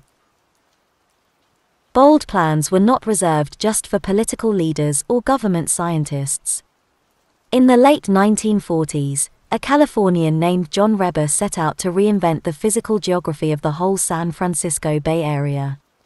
Reber was a schoolteacher, an amateur theater producer, and a self-taught engineer. Undaunted by his lack of credentials, he publicly proposed to build two huge dams in the bay, construct massive freshwater lakes for drinking water and irrigation, and reclaim 20,000 acres of land for development. Even though he had no personal authority, people took the Reber plan seriously. It was endorsed by newspaper editorial boards across California. The U.S. Congress held hearings on its feasibility. The Army Corps of Engineers even constructed a 1.5 acre scale model of the bay in a cavernous Sausalito warehouse to simulate it. These tests revealed technical shortcomings, so the plan wasn't executed. But would anybody today take such a vision seriously in the first place? In the 1950s, people welcomed big plans and asked whether they would work. Today, a grand plan coming from a schoolteacher would be dismissed as crankery, and a long range vision coming from anyone more powerful would be derided as hubris. You can still visit the Bay model in that Sausalito warehouse, but today it's just a tourist attraction. Big plans for the future have become archaic curiosities. In the 1950s, Americans thought big plans for the future were too important to be left to experts. Indefinite optimism. After a brief pessimistic phase in the 1970s, indefinite optimism has dominated American thinking ever since 1982, when a long bull market began and finance eclipsed engineering as the way to approach the future. To an indefinite optimist, the future will be better, but he doesn't know how exactly, so he won't make any specific plans. He expects to profit from the future but sees no reason to design it concretely. Instead of working for years to build a new product, indefinite optimists rearrange already invented ones. Bankers make money by rearranging the capital structures of already existing companies. Lawyers resolve disputes over old things or help other people structure their affairs. And private equity investors and management consultants don't start new businesses, they squeeze extra efficiency from old ones with incessant procedural optimizations. It's no surprise that these fields all attract disproportionate numbers of high achieving Ivy League optionality chasers. What could be a more appropriate reward for two decades of resume building than a seemingly elite, process oriented career that promises to keep options open? Recent graduates' parents often cheer them on the established path. The strange history of the baby boom produced a generation of indefinite optimists so used to effortless progress that they feel entitled to it. Whether you were born in 1945 or 1950 or 1955, things got better every year for the first 18 years of your life, and it had nothing to do with you. Technological advance seemed to accelerate automatically, so the boomers grew up with great expectations but few specific plans for how to fulfill them. Then, when technological progress stalled in the 1970s, increasing income inequality came to the rescue of the most elite boomers. Every year of adulthood continued to get automatically better and better for the rich and successful. The rest of their generation was left behind, but the wealthy boomers who shape public opinion today see little reason to question their naive optimism. Since tracked careers worked for them, they can't imagine that they won't work for their kids, too. Malcolm Gladwell says you can't understand Bill Gates' success without understanding his fortunate personal context. He grew up in a good family, went to a private school equipped with a computer lab, and counted Paul Allen as a childhood friend. But perhaps you can't understand Malcolm Gladwell without understanding his historical context as a boomer, born in 1963.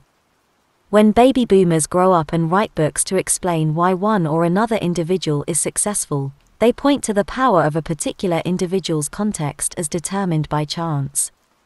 But they miss the even bigger social context for their own preferred explanations. A whole generation learned from childhood to overrate the power of chance and underrate the importance of planning. Gladwell at first appears to be making a contrarian critique of the myth of the self made businessman, but actually his own account encapsulates the conventional view of a generation. Our indefinitely optimistic world. Indefinite finance. While a definitely optimistic future would need engineers to design underwater cities and settlements in space, an indefinitely optimistic future calls for more bankers and lawyers. Finance epitomizes indefinite thinking because it's the only way to make money when you have no idea how to create wealth. If they don't go to law school, Bright college graduates head to Wall Street precisely because they have no real plan for their careers. And once they arrive at Goldman, they find that even inside finance, everything is indefinite. It's still optimistic, you wouldn't play in the markets if you expected to lose, but the fundamental tenet is that the market is random, you can't know anything specific or substantive, diversification becomes supremely important the indefiniteness of finance can be bizarre. Think about what happens when successful entrepreneurs sell their company. What do they do with the money? In a financialized world, it unfolds like this. The founders don't know what to do with it, so they give it to a large bank. The bankers don't know what to do with it, so they diversify by spreading it across a portfolio of institutional investors. Institutional investors don't know what to do with their managed capital, so they diversify by amassing a portfolio of stocks. Companies try to increase their share price by generating free cash flows. If they do, they issue dividends or buy back shares and the cycle repeats. At no point does anyone in the chain know what to do with money in the real economy. But in an indefinite world, people actually prefer unlimited optionality, money is more valuable than anything you could possibly do with it. Only in a definite future is money a means to an end, not the end itself. Indefinite politics. Politicians have always been officially accountable to the public at election time, but today they are attuned to what the public thinks at every moment. Modern polling enables politicians to tailor their image to match pre existing public opinion exactly, so for the most part, they do. Nate Silver's election predictions are remarkably accurate, but even more remarkable is how big a story they become every four years.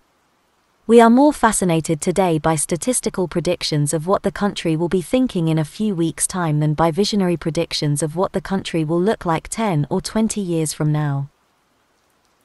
And it's not just the electoral process, the very character of government has become indefinite, too. The government used to be able to coordinate complex solutions to problems like atomic weaponry and lunar exploration. But today, after 40 years of indefinite creep, the government mainly just provides insurance. Our solutions to big problems are Medicare, Social Security, and a dizzying array of other transfer payment programs. It's no surprise that entitlement spending has eclipsed discretionary spending every year since 1975. To increase discretionary spending would need definite plans to solve specific problems. But according to the indefinite logic of entitlement spending, we can make things better just by sending out more checks.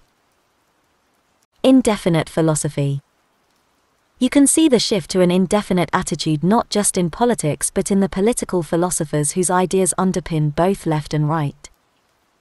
The philosophy of the ancient world was pessimistic. Plato, Aristotle, Epicurus, and Lucretius all accepted strict limits on human potential. The only question was how best to cope with our tragic fate. Modern philosophers have been mostly optimistic. From Herbert Spencer on the right and Hegel in the center to Marx on the left, the 19th century shared a belief in progress. Remember Marx and Engels's encomium to the technological triumphs of capitalism from this page. These thinkers expected material advances to fundamentally change human life for the better, they were definite optimists. In the late 20th century, indefinite philosophies came to the fore. The two dominant political thinkers, John Rawls and Robert Nozick, are usually seen as stark opposites. On the egalitarian left, Rawls was concerned with questions of fairness and distribution. On the libertarian right, Nozick focused on maximizing individual freedom. They both believed that people could get along with each other peacefully, so unlike the ancients, they were optimistic. But unlike Spencer or Marx, Rawls and Nozick were indefinite optimists, they didn't have any specific vision of the future. Their indefiniteness took different forms. Rawls begins a theory of justice with the famous veil of ignorance, Fair political reasoning is supposed to be impossible for anyone with knowledge of the world as it concretely exists. Instead of trying to change our actual world of unique people and real technologies, Rawls fantasized about an inherently stable society with lots of fairness but little dynamism. Nozick opposed Rawls's patterned concept of justice. To Nozick, any voluntary exchange must be allowed, and no social pattern could be noble enough to justify maintenance by coercion. He didn't have any more concrete ideas about the good society than Rawls, both of them focused on process. Today, we exaggerate the differences between left liberal egalitarianism and libertarian individualism because almost everyone shares their common indefinite attitude. In philosophy, politics, and Business, too, arguing over process has become a way to endlessly defer making concrete plans for a better future. Indefinite life. Our ancestors sought to understand and extend the human lifespan. In the 16th century, conquistadors searched the jungles of Florida for a fountain of youth. Francis Bacon wrote that the prolongation of life should be considered its own branch of medicine, and the noblest. In the 1660s, Robert Boyle placed life extension, along with the recovery of youth, atop his famous wish list for the future of science. Whether through geographic exploration or laboratory research, the best minds of the Renaissance thought of death as something to defeat. Some resisters were killed in action. Bacon caught pneumonia and died in 1626 while experimenting to see if he could extend a chicken's life by freezing it in the snow. We haven't yet uncovered the secrets of life, but insurers and statisticians in the 19th century successfully revealed a secret about death that still governs our thinking today. They discovered how to reduce it to a mathematical probability. Life tables tell us our chances of dying in any given year, something previous generations didn't know. However, in exchange for better insurance contracts, we seem to have given up the search for secrets about longevity. Systematic knowledge of the current range of human lifespans has made that range seem natural. Today, our society is permeated by the twin ideas that death is both inevitable and random. Meanwhile, probabilistic attitudes have come to shape the agenda of biology itself. In 1928, Scottish scientist Alexander Fleming found that a mysterious antibacterial fungus had grown on a petri dish he'd forgotten to cover in his laboratory. He discovered penicillin by accident. Scientists have sought to harness the power of chance ever since. Modern drug discovery aims to amplify Fleming's serendipitous circumstances a millionfold. Pharmaceutical companies search through combinations of molecular compounds at random, hoping to find a hit but it's not working as well as it used to. Despite dramatic advances over the past two centuries, in recent decades biotechnology hasn't met the expectations of investors or patients. Eroom's law, that's Moore's law backward, observes that the number of new drugs approved per billion dollars spent on R&D has halved every 9 years since 1950. Since information technology accelerated faster than ever during those same years, the big question for biotech today is whether it will ever see similar progress. Compare biotech startups to their counterparts in computer software. Biotech startups are an extreme example of indefinite thinking. Researchers experiment with things that just might work instead of refining definite theories about how the body's systems operate. Biologists say they need to work this way because the underlying biology is hard. According to them, IT startups work because we created computers ourselves and designed them to reliably obey our commands. Biotech is difficult because we didn't design our bodies, and the more we learn about them, the more complex they turn out to be. But today it's possible to wonder whether the genuine difficulty of biology has become an excuse for biotech startups' indefinite approach to business in general. Most of the people involved expect some things to work eventually, but few want to commit to a specific company with the level of intensity necessary for success. It starts with the professors who often become part time consultants instead of full time employees, even for the biotech startups that begin from their own research. Then everyone else imitates the professor's indefinite attitude.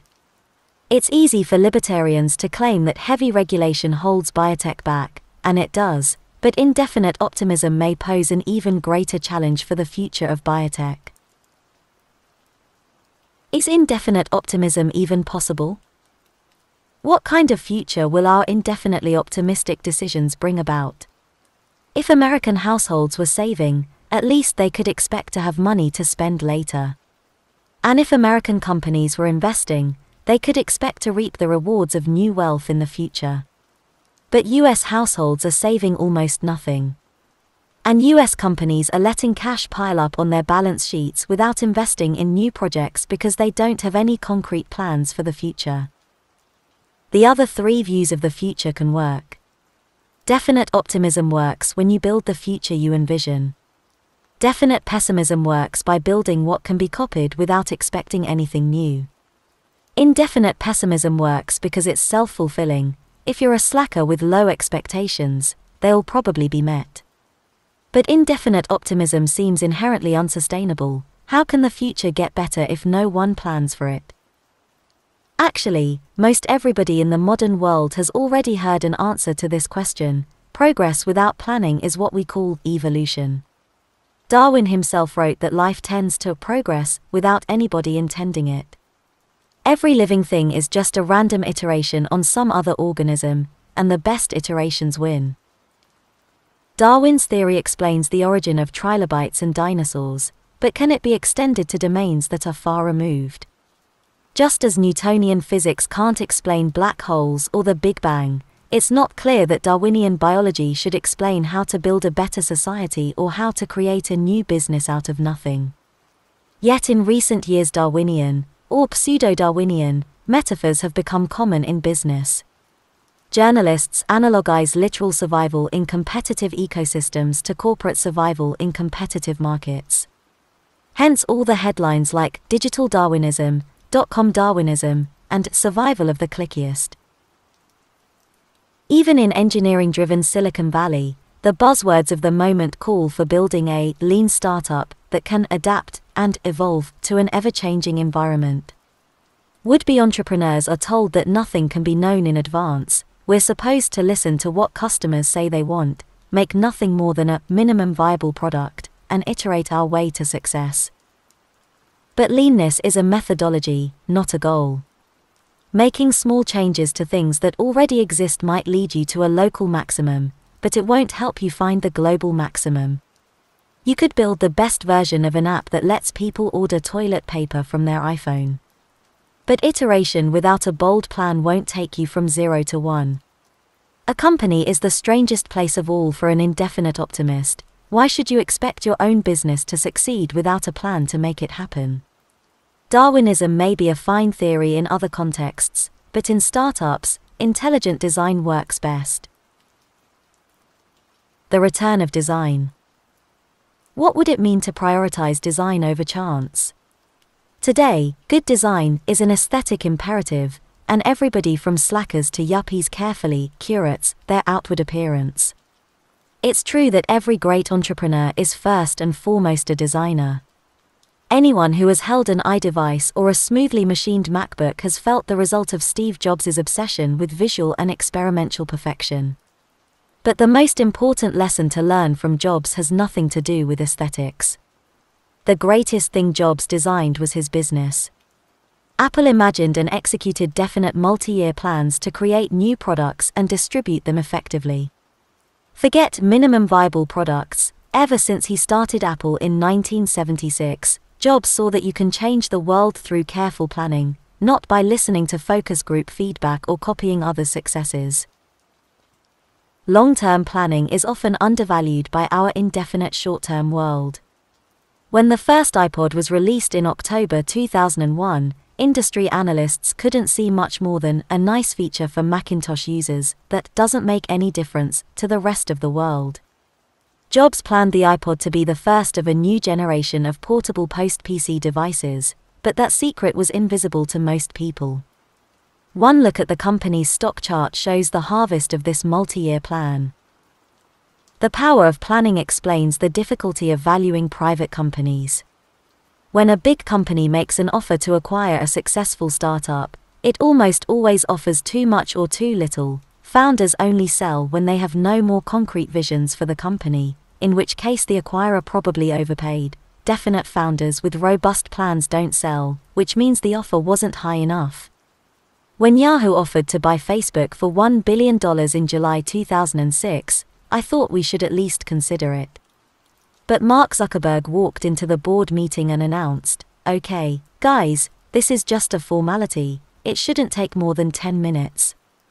We're obviously not going to sell here. Mark saw where he could take the company, and Yahoo didn't. A business with a good definite plan will always be underrated in a world where people see the future as random. You are not a lottery ticket. We have to find our way back to a definite future, and the Western world needs nothing short of a cultural revolution to do it. Where to start? John Rawls will need to be displaced in philosophy departments. Malcolm Gladwell must be persuaded to change his theories. And pollsters have to be driven from politics. But the philosophy professors and the Gladwells of the world are set in their ways, to say nothing of our politicians. It's extremely hard to make changes in those crowded fields, even with brains and good intentions. Startup is the largest endeavor over which you can have definite mastery. You can have agency not just over your own life, but over a small and important part of the world. It begins by rejecting the unjust tyranny of chance. You are not a lottery ticket. Follow the money. Money makes money. For whoever has will be given more, and they will have an abundance. Whoever does not have, even what they have will be taken from them. Matthew 25:29. Albert Einstein made the same observation when he stated that compound interest was the eighth wonder of the world, the greatest mathematical discovery of all time, or even the most powerful force in the universe. Whichever version you prefer, you can't miss his message never underestimate exponential growth. Actually, there's no evidence that Einstein ever said any of those things, the quotations are all apocryphal. But this very misattribution reinforces the message having invested the principal of a lifetime's brilliance, Einstein continues to earn interest on it from beyond the grave by receiving credit for things he never said. Most sayings are forgotten. At the other extreme, a select few people like Einstein and Shakespeare are constantly quoted and ventriloquized. We shouldn't be surprised, since small minorities often achieve disproportionate results. In 1906, economist Vilfredo Pareto discovered what became the Pareto Principle, or the 80 to 20 rule, when he noticed that 20% of the people owned 80% of the land in Italy, a phenomenon that he found just as natural as the fact that 20% of the pea pods in his garden produced 80% of the peas. This extraordinarily stark pattern, in which a small few radically outstrip all rivals, surrounds us everywhere in the natural and social world. The most destructive earthquakes are many times more powerful than all smaller earthquakes combined. The biggest cities dwarf all mere towns put together. And monopoly businesses capture more value than millions of undifferentiated competitors. Whatever Einstein did or didn't say, the Power law, so named because exponential equations describe severely unequal distributions, is the law of the universe. It defines our surroundings so completely that we usually don't even see it. This chapter shows how the power law becomes visible when you follow the money, in venture capital, where investors try to profit from exponential growth in early stage companies. A few companies attain exponentially greater value than all others. Most businesses never need to deal with venture capital, but everyone needs to know exactly one thing that even venture capitalists struggle to understand we don't live in a normal world, we live under a power law. The power law of venture capital. Venture capitalists aim to identify, fund, and profit from promising early stage companies. They raise money from institutions and wealthy people, pool it into a fund, and invest in technology companies that they believe will become more valuable. If they turn out to be right, they take a cut of the returns, usually 20%. A venture fund makes money when the companies in its portfolio become more valuable and either go public or get bought by larger companies. Venture funds usually have a 10 year lifespan since it takes time for successful companies to grow and exit. But most venture backed companies don't IPO or get acquired, most fail, usually soon after they start. Due to these early failures, a venture fund typically loses money at first. VCs hope the value of the fund will increase dramatically in a few years' time, to break even and beyond, when the successful portfolio companies hit their exponential growth spurts and start to scale. The big question is when this takeoff will happen. For most funds, the answer is never. Most startups fail, and most funds fail with them. Every VC knows that his task is to find the companies that will succeed. However, even seasoned investors understand this phenomenon only superficially. They know companies are different, but they underestimate the degree of difference. The error lies in expecting that venture returns will be normally distributed, that is, Bad companies will fail, mediocre ones will stay flat, and good ones will return 2x or even 4x. Assuming this bland pattern, investors assemble a diversified portfolio and hope that winners counterbalance losers. But this spray and pray approach usually produces an entire portfolio of flops, with no hits at all. This is because venture returns don't follow a normal distribution overall. Rather, they follow a power law, a small handful of companies radically outperform all others. If you focus on diversification instead of single minded pursuit of the very few companies that can become overwhelmingly valuable, you'll miss those rare companies in the first place. This graph shows the stark reality versus the perceived relative homogeneity. Our results at Founders Fund illustrate this skewed pattern. Facebook, the best investment in our 2005 fund, returned more than all the others combined. Palantir, the second best investment, is set to return more than the sum of every other investment aside from Facebook.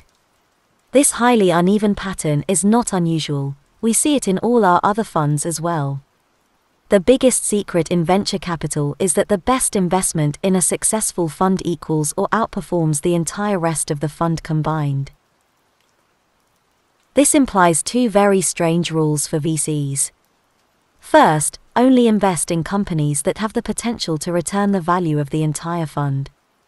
This is a scary rule, because it eliminates the vast majority of possible investments. Even quite successful companies usually succeed on a more humble scale. This leads to rule number two, because rule number one is so restrictive, there can't be any other rules. Consider what happens when you break the first rule. Andreessen Horowitz invested $250,000 in Instagram in 2010. When Facebook bought Instagram just two years later for $1 billion, Andreessen netted $78 million, a 312x return in less than two years. That's a phenomenal return, befitting the firm's reputation as one of the Valley's best. But in a weird way, it's not nearly enough, because Andreessen Horowitz has a $1.5 billion fund. If they only wrote $250,000 checks, they would need to find 19 Instagrams just to break even. This is why investors typically put a lot more money into any company worth funding. And to be fair, Andreessen would have invested more in Instagram's later rounds had it not been conflicted out by a previous investment. VCs must find the handful of companies that will successfully go from zero to one and then back them with every resource. Of course, no one can know with certainty ex ante which companies will succeed, so even the best VC firms have a portfolio. However, every single company in a good venture portfolio must have the potential to succeed at vast scale. At Founders Fund, we focus on 5 to 7 companies in a fund, each of which we think could become a multi-billion dollar business based on its unique fundamentals. Whenever you shift from the substance of a business to the financial question of whether or not it fits into a diversified hedging strategy, venture investing starts to look a lot like buying lottery tickets. And once you think that you're playing the lottery, you've already psychologically prepared yourself to lose. Why people don't see the power law. Why would professional VCs, of all people, fail to see the power law?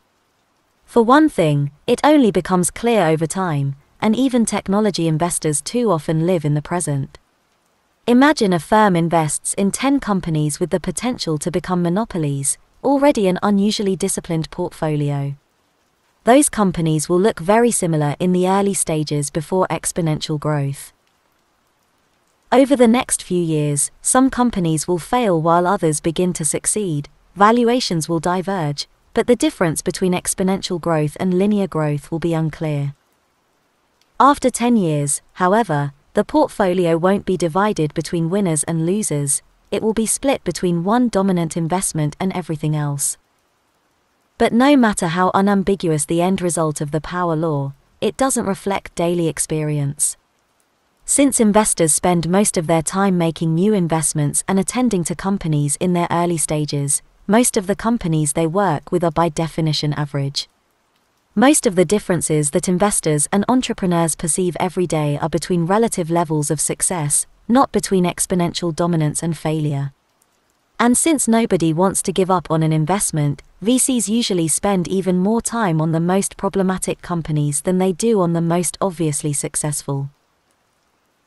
If even investors specializing in exponentially growing startups miss the power law, it's not surprising that most everyone else misses it, too. Power law distributions are so big that they hide in plain sight.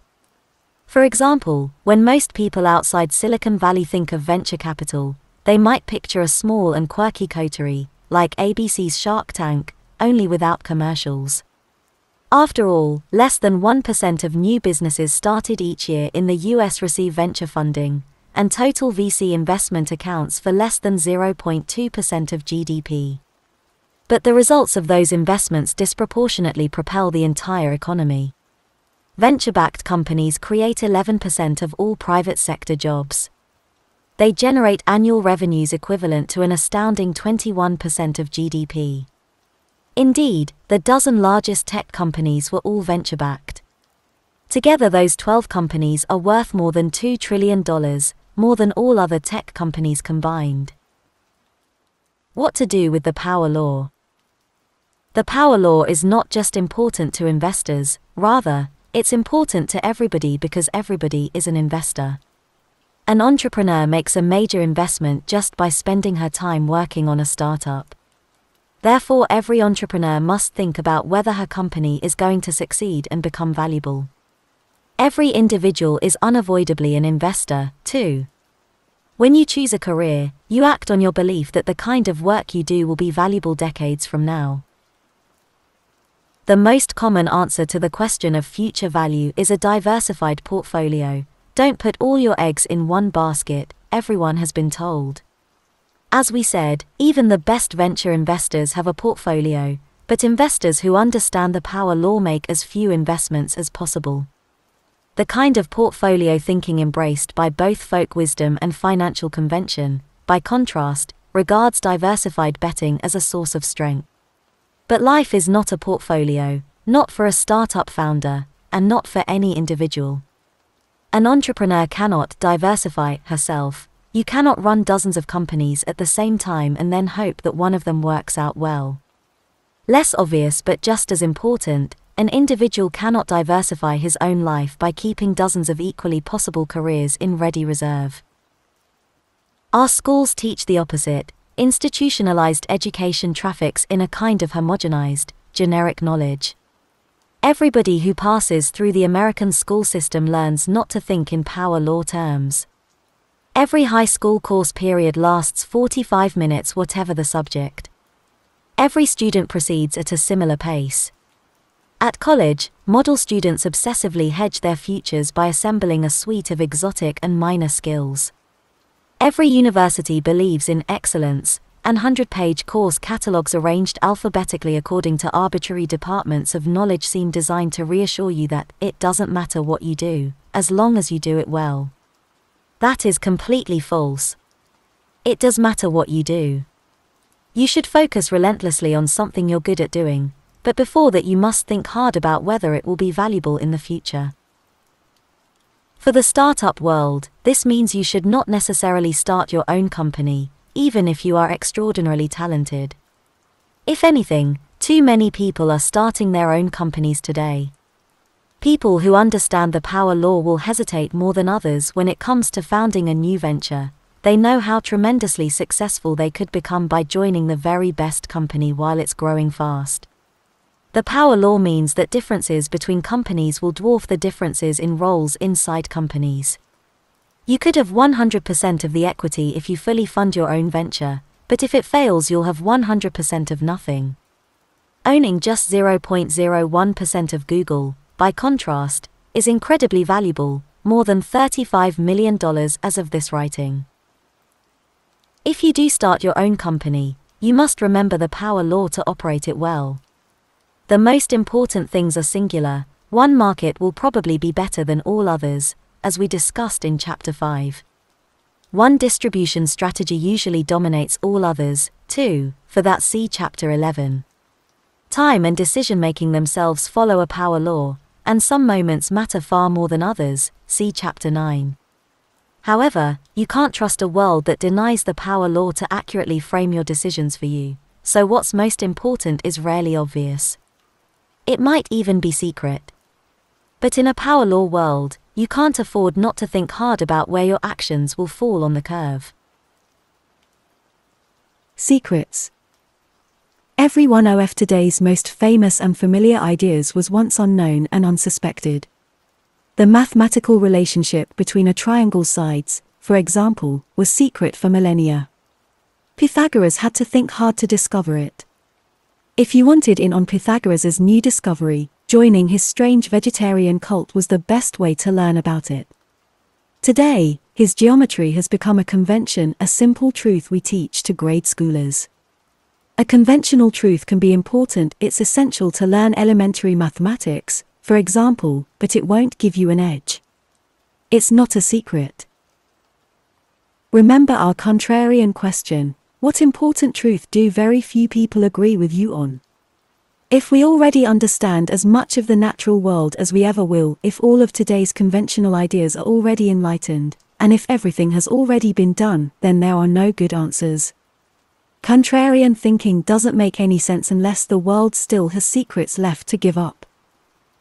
Of course, there are many things we don't yet understand, but some of those things may be impossible to figure out, mysteries rather than secrets.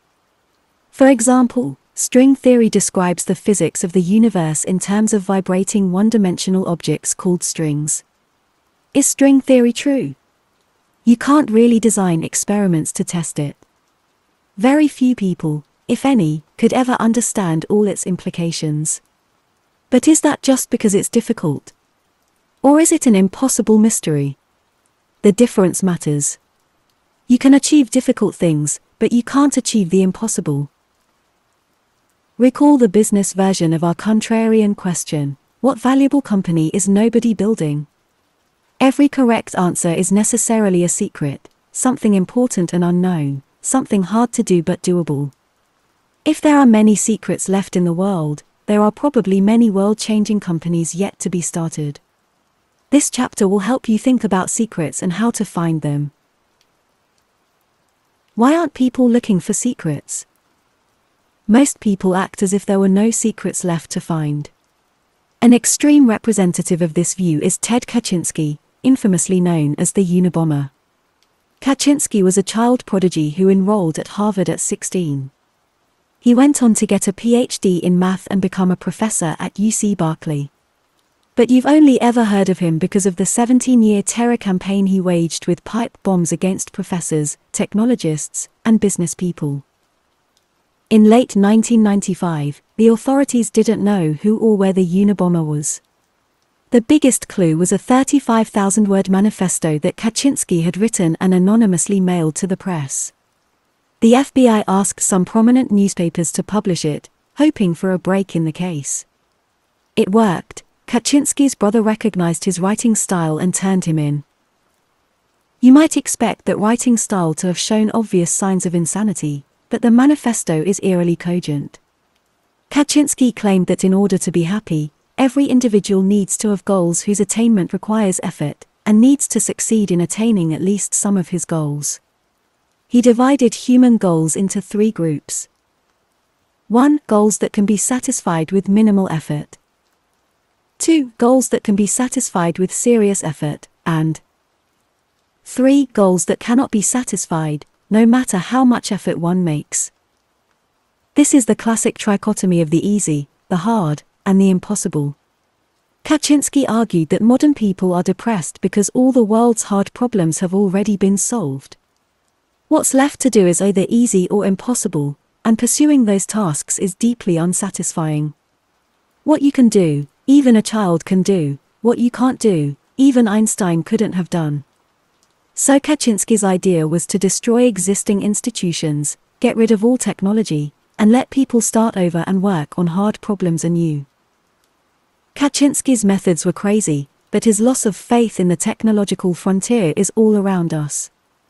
Consider the trivial but revealing hallmarks of urban hipsterdom, faux vintage photography, the handlebar mustache, and vinyl record players all hark back to an earlier time when people were still optimistic about the future. If everything worth doing has already been done, you may as well feign an allergy to achievement and become a barista. Hipster or Unabomber?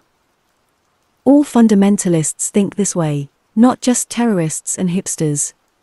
Religious fundamentalism, for example, allows no middle ground for hard questions. There are easy truths that children are expected to rattle off, and then there are the mysteries of God, which can't be explained. In between the zone of hard truths lies heresy. In the modern religion of environmentalism, the easy truth is that we must protect the environment. Beyond that, Mother Nature knows best, and she cannot be questioned. Free marketeers worship a similar logic. The value of things is set by the market. Even a child can look up stock quotes. But whether those prices make sense is not to be second guessed, the market knows far more than you ever could.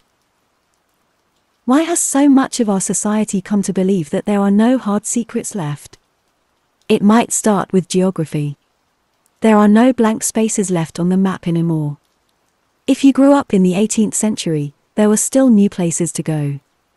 After hearing tales of foreign adventure, you could become an explorer yourself. This was probably true up through the 19th and early 20th centuries. After that point, photography from National Geographic showed every Westerner what even the most exotic, underexplored places on Earth look like. Today, explorers are found mostly in history books and children's tales. Parents don't expect their kids to become explorers any more than they expect them to become pirates or sultans. Perhaps there are a few dozen uncontacted tribes somewhere deep in the Amazon, and we know there remains one last earthly frontier in the depths of the oceans. But the unknown seems less accessible than ever. Along with the natural fact that physical frontiers have receded, four social trends have conspired to root out belief in secrets. First is incrementalism. From an early age, we are taught that the right way to do things is to proceed one very small step at a time, day by day, grade by grade. If you overachieve and end up learning something that's not on the test, you won't receive credit for it. But in exchange for doing exactly what's asked of you, and for doing it just a bit better than your peers, you'll get an A. This process extends all the way up through the tenure track, which is why academics usually chase large numbers of trivial publications instead of new frontiers. Second is risk aversion. People are scared of secrets because they are scared of being wrong. By definition, a secret hasn't been vetted by the mainstream. If your goal is to never make a mistake in your life, you shouldn't look for secrets. The prospect of being lonely but right, dedicating your life to something that no one else believes in, is already hard. The prospect of being lonely and wrong can be unbearable. Third is complacency. Social elites have the most freedom and ability to explore new thinking, but they seem to believe in secrets the least. Why search for a new secret if you can comfortably collect rents on everything that has already been done? Every fall, the deans at top law schools and business schools welcome the incoming class with the same implicit message you got into this elite institution. Your worries are over. You're set for life. But that's probably the kind of thing that's true only if you don't believe it. Fourth is flatness. As globalization advances, people perceive the world as one homogeneous, highly competitive marketplace. The world is flat. Given that assumption, anyone who might have had the ambition to look for a secret will first ask himself if it were possible to discover something new, wouldn't someone from the faceless global talent pool of smarter and more creative people have found it already? This voice of doubt can dissuade people from even starting to look for secrets in a world that seems too big a place for any individual to contribute something unique. There's an optimistic way to describe the result of these trends. Today, you can't start a cult. Forty years ago, people were more open to the idea that not all knowledge was widely known. From the Communist Party to the Hare Krishnas, large numbers of people thought they could join some enlightened vanguard that would show them the way. Very few people take unorthodox ideas seriously today, and the mainstream sees that as a sign of progress. We can be glad that there are fewer crazy cults now, yet that gain has come at great cost, we have given up our sense of wonder at secrets left to be discovered. The world according to convention. How must you see the world if you don't believe in secrets? You'd have to believe we've already solved all great questions. If today's conventions are correct, we can afford to be smug and complacent, God's in his heaven, all's right with the world. For example, a world without secrets would enjoy a perfect understanding of justice. Every injustice necessarily involves a moral truth that very few people recognize early on. In a democratic society, a wrongful practice persists only when most people don't perceive it to be unjust. At first, only a small minority of abolitionists knew that slavery was evil. That view has rightly become conventional, but it was still a secret in the early 19th century. To say that there are no secrets left today would mean that we live in a society with no hidden injustices. In economics, disbelief in secrets leads to faith in efficient markets. But the existence of financial bubbles shows that markets can have extraordinary inefficiencies. And the more people believe in efficiency, the bigger the bubbles get. In 1999, nobody wanted to believe that the internet was irrationally overvalued. The same was true of housing in 2005. Fed Chairman Alan Greenspan had to acknowledge some signs of froth in local markets but stated that a bubble in home prices for the nation as a whole does not appear likely. The market reflected all knowable information and couldn't be questioned. Then home prices fell across the country, and the financial crisis of 2008 wiped out trillions. The future turned out to hold many secrets that economists could not make vanish simply by ignoring them. What happens when a company stops believing in secrets? The sad decline of Hewlett Packard provides a cautionary tale. In 1990, the company was worth $9 billion. Then came a decade of invention. In 1991, HP released the DeskJet 500C, the world's first affordable color printer. In 1993, it launched the Omnibook, one of the first super portable laptops. The next year, HP released the OfficeJet, the world's first all-in-one printer fax copier. This relentless product expansion paid off. By mid-2000, HP was worth $135 billion. But starting in late 1999, when HP introduced a new branding campaign around the imperative to invent, it stopped inventing things. In 2001, the company launched HP Services, a glorified consulting and support shop. In 2002, HP merged with Compaq, presumably because it didn't know what else to do. By 2005, the company's market cap had plunged to $70 billion, roughly half of what it had been just five years earlier. HP's board was a microcosm of the dysfunction, it split into two factions, only one of which cared about new technology. That faction was led by Tom Perkins, an engineer who first came to HP in 1963 to run the company's research division at the personal request of Bill Hewlett and Dave Packard. At 73 years old in 2005, Perkins may as well have been a time traveling visitor from a bygone age of optimism. He thought the board should identify the most promising new technologies and then have HP build them. But Perkins's faction lost out to its rival, led by chairwoman Patricia Dunn. A banker by trade, Dunn argued that charting a plan for future technology was beyond the board's competence. She thought the board should restrict itself to a night watchman's role. Was everything proper in the accounting department? Were people following all the rules? Amid this infighting, someone on the board started leaking information to the press. When it was exposed that Dunn arranged a series of illegal wiretaps to identify the source, the backlash was worse than the original dissension, and the board was disgraced. Having abandoned the search for technological secrets, HP obsessed over gossip. As a result, by late 2012 HP was worth just $23 billion, not much more than it was worth in 1990, adjusting for inflation. The case for secrets. You can't find secrets without looking for them. Andrew Wiles demonstrated this when he proved Fermat's last theorem after 358 years of fruitless inquiry by other mathematicians, the kind of sustained failure that might have suggested an inherently impossible task. Pierre de Fermat had conjectured in 1637 that no integers a, b, and c could satisfy the equation n plus bn equals cn for any integer n greater than 2. He claimed to have a proof, but he died without writing it down so his conjecture long remained a major unsolved problem in mathematics.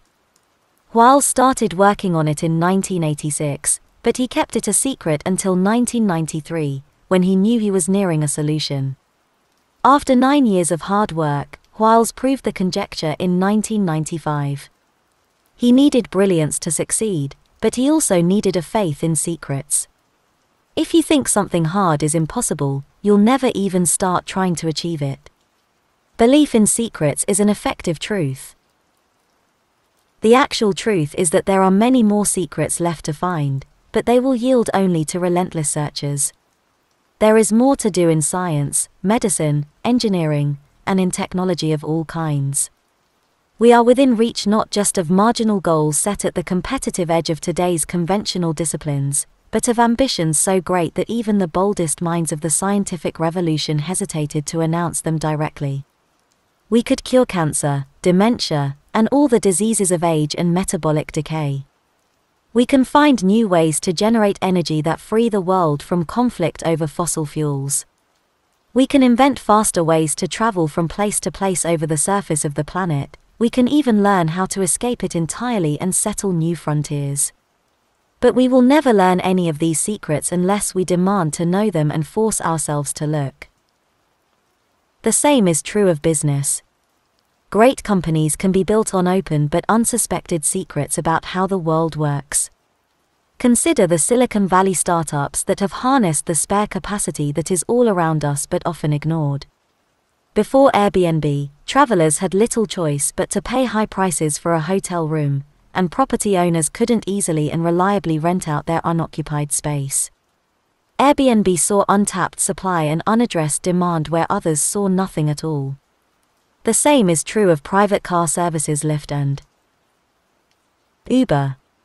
Few people imagined that it was possible to build a billion dollar business by simply connecting people who want to go places with people willing to drive them there.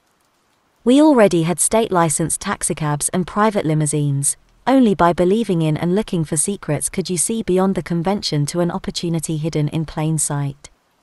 The same reason that so many internet companies, including Facebook, are often underestimated, their very simplicity is itself an argument for secrets.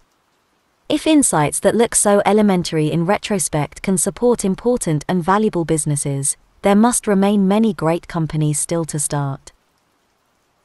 How to find secrets. There are two kinds of secrets secrets of nature and secrets about people. Natural secrets exist all around us. To find them, one must study some undiscovered aspect of the physical world. Secrets about people are different, they are things that people don't know about themselves or things they hide because they don't want others to know. So, when thinking about what kind of company to build, there are two distinct questions to ask What secrets is nature not telling you? What secrets are people not telling you? It's easy to assume that natural secrets are the most important, the people who look for them can sound intimidatingly authoritative. This is why physics PhDs are notoriously difficult to work with, because they know the most fundamental truths, they think they know all truths. But does understanding electromagnetic theory automatically make you a great marriage counselor? Does a gravity theorist know more about your business than you do? At PayPal, I once interviewed a physics PhD for an engineering job. Halfway through my first question, he shouted, Stop. I already know what you're going to ask. But he was wrong. It was the easiest no hire decision I've ever made. Secrets about people are relatively underappreciated. Maybe that's because you don't need a dozen years of higher education to ask the questions that uncover them. What are people not allowed to talk about? What is forbidden or taboo? Sometimes looking for natural secrets and looking for human secrets lead to the same truth. Consider the monopoly secret again competition and capitalism are opposites. If you didn't already know it, you could discover it the natural, empirical way, do a quantitative study of corporate profits and you'll see they're eliminated by competition. But you could also take the human approach and ask what are people running companies not allowed to say? You would notice that monopolists downplay their monopoly status to avoid scrutiny, while competitive firms strategically exaggerate their uniqueness. The differences between firms only seem small on the surface, in fact, they are enormous. The best place to look for secrets is where no one else is looking. Most people think only in terms of what they've been taught, schooling itself aims to impart conventional wisdom. So you might ask, are there any fields that matter but haven't been standardized and institutionalized? Physics, for example, is a real major at all major universities, and it's set in its ways. The opposite of physics might be astrology, but astrology doesn't matter. What about something like nutrition? Nutrition matters for everybody, but you can't major in it at Harvard. Most top scientists go into other fields. Most of the big studies were done 30 or 40 years ago, and most are seriously flawed. The food pyramid that told us to eat low fat and enormous amounts of grains was probably more a product of lobbying by big food than real science. Its chief impact has been to aggravate our obesity epidemic. There's plenty more to learn, we know more about the physics of faraway stars than we know about human nutrition. It won't be easy, but it's not obviously impossible, exactly the kind of field that could yield secrets. What to do with secrets? If you find a secret, you face a choice do you tell anyone? Or do you keep it to yourself? It depends on the secret, some are more dangerous than others. As Faust tells Wagner, the few who knew what might be learned, foolish enough to put their whole heart on show, and reveal their feelings to the crowd below. Mankind has always crucified and burned. Unless you have perfectly conventional beliefs, it's rarely a good idea to tell everybody everything that you know. So who do you tell? Whoever you need to, and no more. In practice, there's always a golden mean between telling nobody and telling everybody, and that's a company. The best entrepreneurs know this, every great business is built around a secret that's hidden from the outside. A great company is a conspiracy to change the world, when you share your secret, the recipient becomes a fellow conspirator. As Tolkien wrote in The Lord of the Rings, the road goes ever on and on. Down from the door where it began. Life is a long journey, the road marked out by the steps of previous travelers has no end in sight. But later on in the tale, another verse appears. Still round the corner there may wait. A new road or a secret gate. And though we pass them by today, tomorrow we may come this way and take the hidden paths that run towards the moon or to the sun. The road doesn't have to be infinite after all. Take the hidden paths. Foundations. Every great company is unique, but there are a few things that every business must get right at the beginning. I stress this so often that friends have teasingly nicknamed it Thiel's Law. A startup messed up at its foundation cannot be fixed. Beginnings are special. They are qualitatively different from all that comes afterward.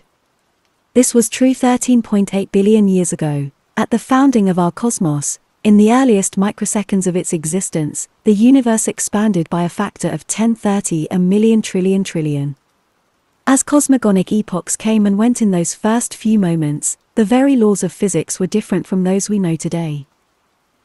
It was also true 227 years ago at the founding of our country. Fundamental questions were open for debate by the framers during the few months they spent together at the Constitutional Convention. How much power should the central government have? How should representation in Congress be apportioned? Whatever your views on the compromises reached that summer in Philadelphia, they've been hard to change ever since. After ratifying the Bill of Rights in 1791, we've amended the Constitution only 17 times. Today, California has the same representation in the Senate as Alaska, even though it has more than 50 times as many people. Maybe that's a feature, not a bug. But we're probably stuck with it as long as the United States exists. Another constitutional convention is unlikely, today we debate only smaller questions. Companies are like countries in this way. Bad decisions made early on, if you choose the wrong partners or hire the wrong people, for example, are very hard to correct after they are made. It may take a crisis on the order of bankruptcy before anybody will even try to correct them. As a founder, your first job is to get the first things right, because you cannot build a great company on a flawed foundation. Founding matrimony. When you start something, the first and most crucial decision you make is whom to start it with. Choosing a co founder is like getting married, and founder conflict is just as ugly as divorce. Optimism abounds at the start of every relationship. It's unromantic to think soberly about what could go wrong, so people don't. But if the founders develop irreconcilable differences, the company becomes the victim. In 1999, Luke Nosek was one of my co founders at PayPal, and I still work with him today at Founders Fund. But a year before PayPal, I invested in a company Luke started with someone else. It was his first startup, it was one of my first investments.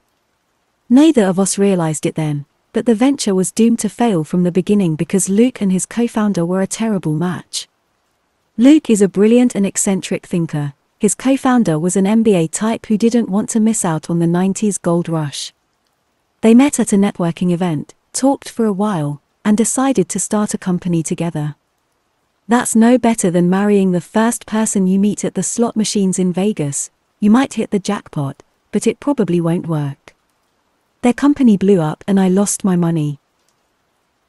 Now, when I consider investing in a startup, I study the founding teams. Technical abilities and complementary skill sets matter, but how well the founders know each other and how well they work together matter just as much. Founders should share a prehistory before they start a company together, otherwise, they're just rolling dice. Ownership, possession, and control. It's not just founders who need to get along. Everyone in your company needs to work well together. A Silicon Valley libertarian might say you could solve this problem by restricting yourself to a sole proprietorship. Freud, Jung, and every other psychologist has a theory about how every individual mind is divided against itself, but in business at least, working for yourself guarantees alignment. Unfortunately, it also limits what kind of company you can build. It's very hard to go from zero to one without a team. A Silicon Valley anarchist might say you could achieve perfect alignment as long as you hire just the right people, who will flourish peacefully without any guiding structure. Serendipity and even free-form chaos at the workplace are supposed to help disrupt all the old rules made and obeyed by the rest of the world. And indeed, if men were angels, no government would be necessary. But anarchic companies miss what James Madison saw men aren't angels. That's why executives who manage companies and directors who govern them have separate roles to play. It's also why founders and investors' claims on a company are formally defined. You need good people who get along, but you also need a structure to help keep everyone aligned for the long term. To anticipate likely sources of misalignment in any company, it's useful to distinguish between three concepts. Ownership, who legally owns a company's equity. Possession, who actually runs the company on a day to day basis. Control, who formally governs the company's affairs. A typical startup allocates ownership among founders, employees, and investors. The managers and employees who operate the company enjoy possession. And a board of directors, usually comprising founders and investors, exercises control. In theory, this division works smoothly. Financial upside from part ownership attracts and rewards investors and workers. Effective possession motivates and empowers founders and employees, it means they can get stuff done. Oversight from the board places managers' plans in a broader perspective. In practice, distributing these functions among different people makes sense, but it also multiplies opportunities for misalignment. To see misalignment at its most extreme, just visit the DMV. Suppose you need a new driver's license. Theoretically, it should be easy to get one. The DMV is a government agency, and we live in a democratic republic. All power resides in the people, who elect representatives to serve them in government. If you're a citizen, you're a part owner of the DMV and your representatives control it, so you should be able to walk in and get what you need. Of course, it doesn't work like that. We the people may own the DMV's resources, but that ownership is merely fictional. The clerks and petty tyrants who operate the DMV, however, enjoy very real possession of their small time powers. Even the governor and the legislature charged with nominal control over the DMV can't change anything. The bureaucracy lurches ever sideways of its own inertia no matter what actions elected officials take.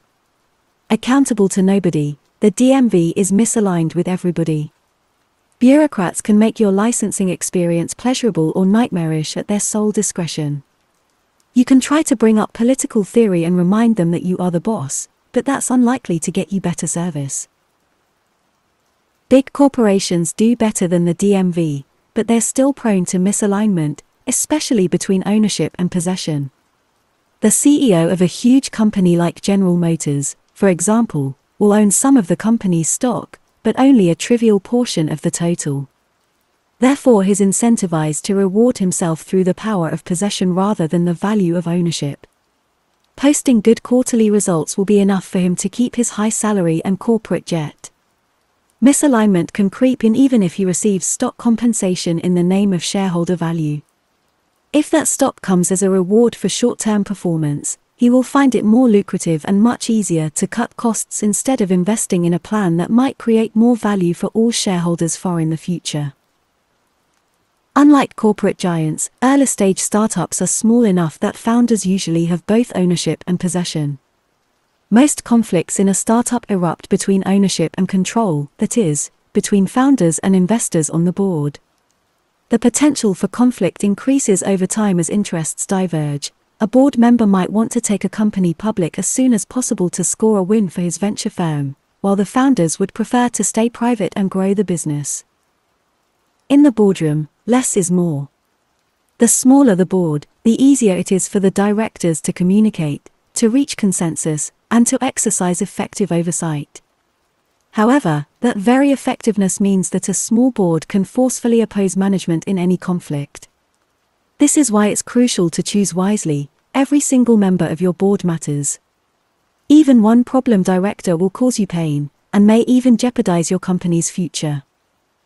A board of three is ideal. Your board should never exceed five people, unless your company is publicly held. Government regulations effectively mandate that public companies have larger boards, the average is nine members. By far the worst you can do is to make your board extra large. When unsavvy observers see a non-profit organization with dozens of people on its board, they think, look how many great people are committed to this organization. It must be extremely well run. Actually, a huge board will exercise no effective oversight at all, it merely provides cover for whatever microdictator actually runs the organization. If you want that kind of free rein from your board, blow it up to giant size. If you want an effective board, keep it small. On the bus or off the bus. As a general rule, everyone you involve with your company should be involved full time. Sometimes you'll have to break this rule, it usually makes sense to hire outside lawyers and accountants, for example. However, anyone who doesn't own stock options or draw a regular salary from your company is fundamentally misaligned. At the margin, they'll be biased to claim value in the near term, not help you create more in the future. That's why hiring consultants doesn't work. Part time employees don't work. Even working remotely should be avoided, because misalignment can creep in whenever colleagues aren't together full time, in the same place, every day. If you're deciding whether to bring someone on board, the decision is binary. Ken Kesey was right, you're either on the bus or off the bus. Cash is not king. For people to be fully committed, they should be properly compensated. Whenever an entrepreneur asks me to invest in his company, I ask him how much he intends to pay himself. A company does better the less it pays the CEO. That's one of the single clearest patterns I've noticed from investing in hundreds of startups. In no case should a CEO of an early stage, venture backed startup receive more than $150,000 per year in salary. It doesn't matter if he got used to making much more than that at Google or if he has a large mortgage and hefty private school tuition bills. If a CEO collects $300,000 per year, he risks becoming more like a politician than a founder. High pay incentivizes him to defend the status quo along with his salary, not to work with everyone else to surface problems and fix them aggressively. A cash poor executive, by contrast, will focus on increasing the value of the company as a whole. Low CEO pay also sets the standard for everyone else. Aaron Levie, the CEO of Box, was always careful to pay himself less than everyone else in the company. Four years after he started Box, he was still living two blocks away from HQ in a one bedroom apartment with no furniture except a mattress. Every employee noticed his obvious commitment to the company's mission and emulated it. If a CEO doesn't set an example by taking the lowest salary in the company, he can do the same thing by drawing the highest salary. So long as that figure is still modest, it sets an effective ceiling on cash compensation. Cash is attractive. It offers pure optionality. Once you get your paycheck, you can do anything you want with it. However, high cash compensation teaches workers to claim value from the company as it already exists instead of investing their time to create new value in the future. A cash bonus is slightly better than a cash salary, at least it's contingent on a job well done. But even so called incentive pay encourages short term thinking and value grabbing. Any kind of cash is more about the present than the future. Vested interests. Startups don't need to pay high salaries because they can offer something better part ownership of the company itself. Equity is the one form of compensation that can effectively orient people toward creating value in the future. However, for equity to create commitment rather than conflict, you must allocate it very carefully. Giving everyone equal shares is usually a mistake. Every individual has different talents and responsibilities as well as different opportunity costs so equal amounts will seem arbitrary and unfair from the start. On the other hand, granting different amounts up front is just as sure to seem unfair. Resentment at this stage can kill a company, but there's no ownership formula to perfectly avoid it. This problem becomes even more acute over time as more people join the company. Early employees usually get the most equity because they take more risk, but some later employees might be even more crucial to a venture's success. A secretary who joined eBay in 1996 might have made 200 times more than her industry veteran boss who joined in 1999. The graffiti artist who painted Facebook's office walls in 2005 got stock that turned out to be worth $200 million, while a talented engineer who joined in 2010 might have made only $2 million. Since it's impossible to achieve perfect fairness when distributing ownership, founders would do well to keep the details secret. Sending out a company wide email that lists everyone's ownership stake would be like dropping a nuclear bomb on your office. Most people don't want equity at all. At PayPal, we once hired a consultant who promised to help us negotiate lucrative business development deals. The only thing he ever successfully negotiated was a $5,000 daily cash salary. He refused to accept stock options as payment. Stories of startup chefs becoming millionaires notwithstanding, people often find equity unattractive. It's not liquid like cash. It's tied to one specific company.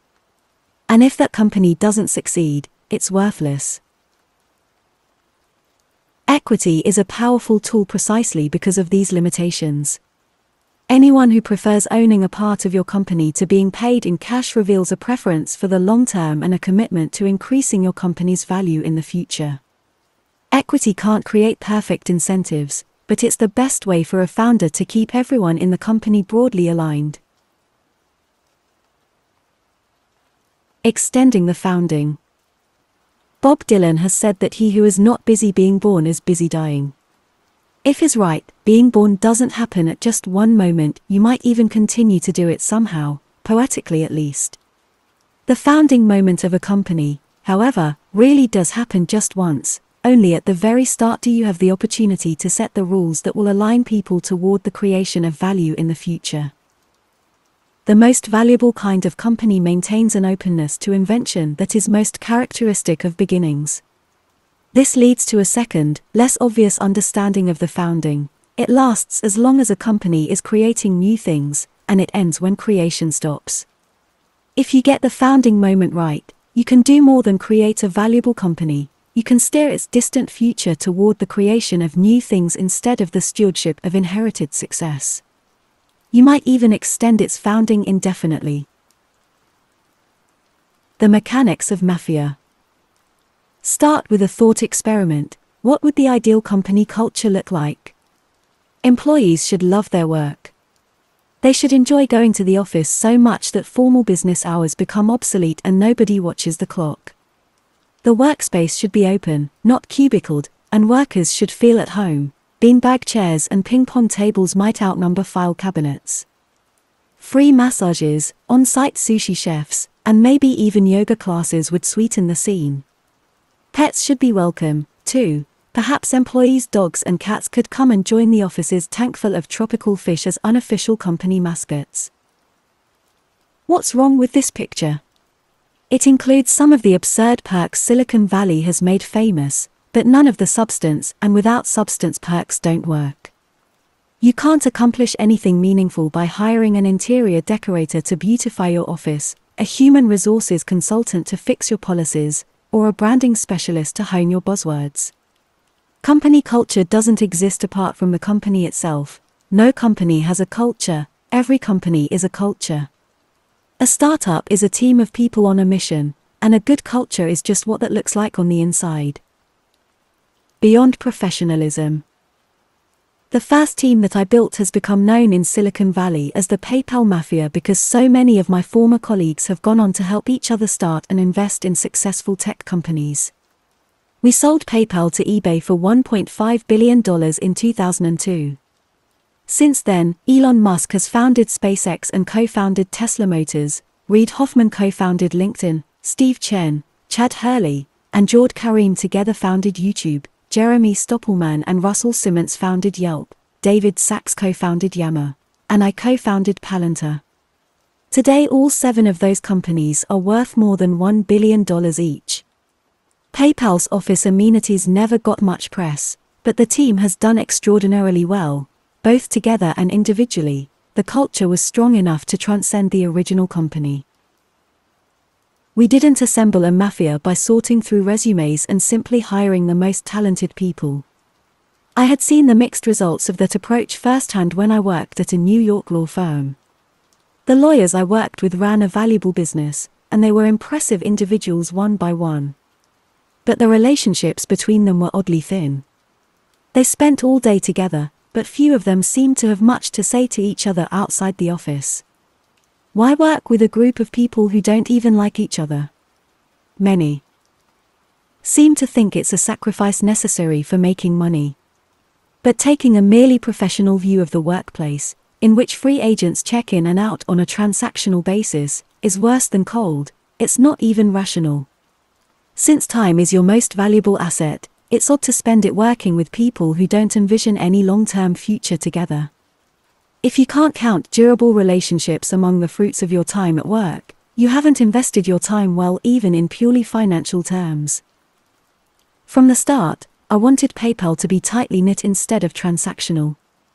I thought stronger relationships would make us not just happier and better at work but also more successful in our careers even beyond PayPal. So we set out to hire people who would actually enjoy working together.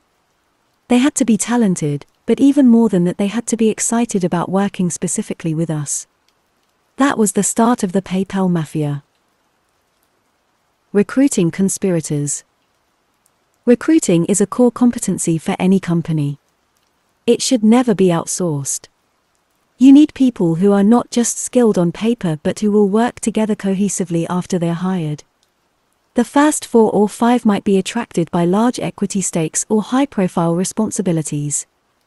More important than those obvious offerings is your answer to this question why should the 20th employee join your company?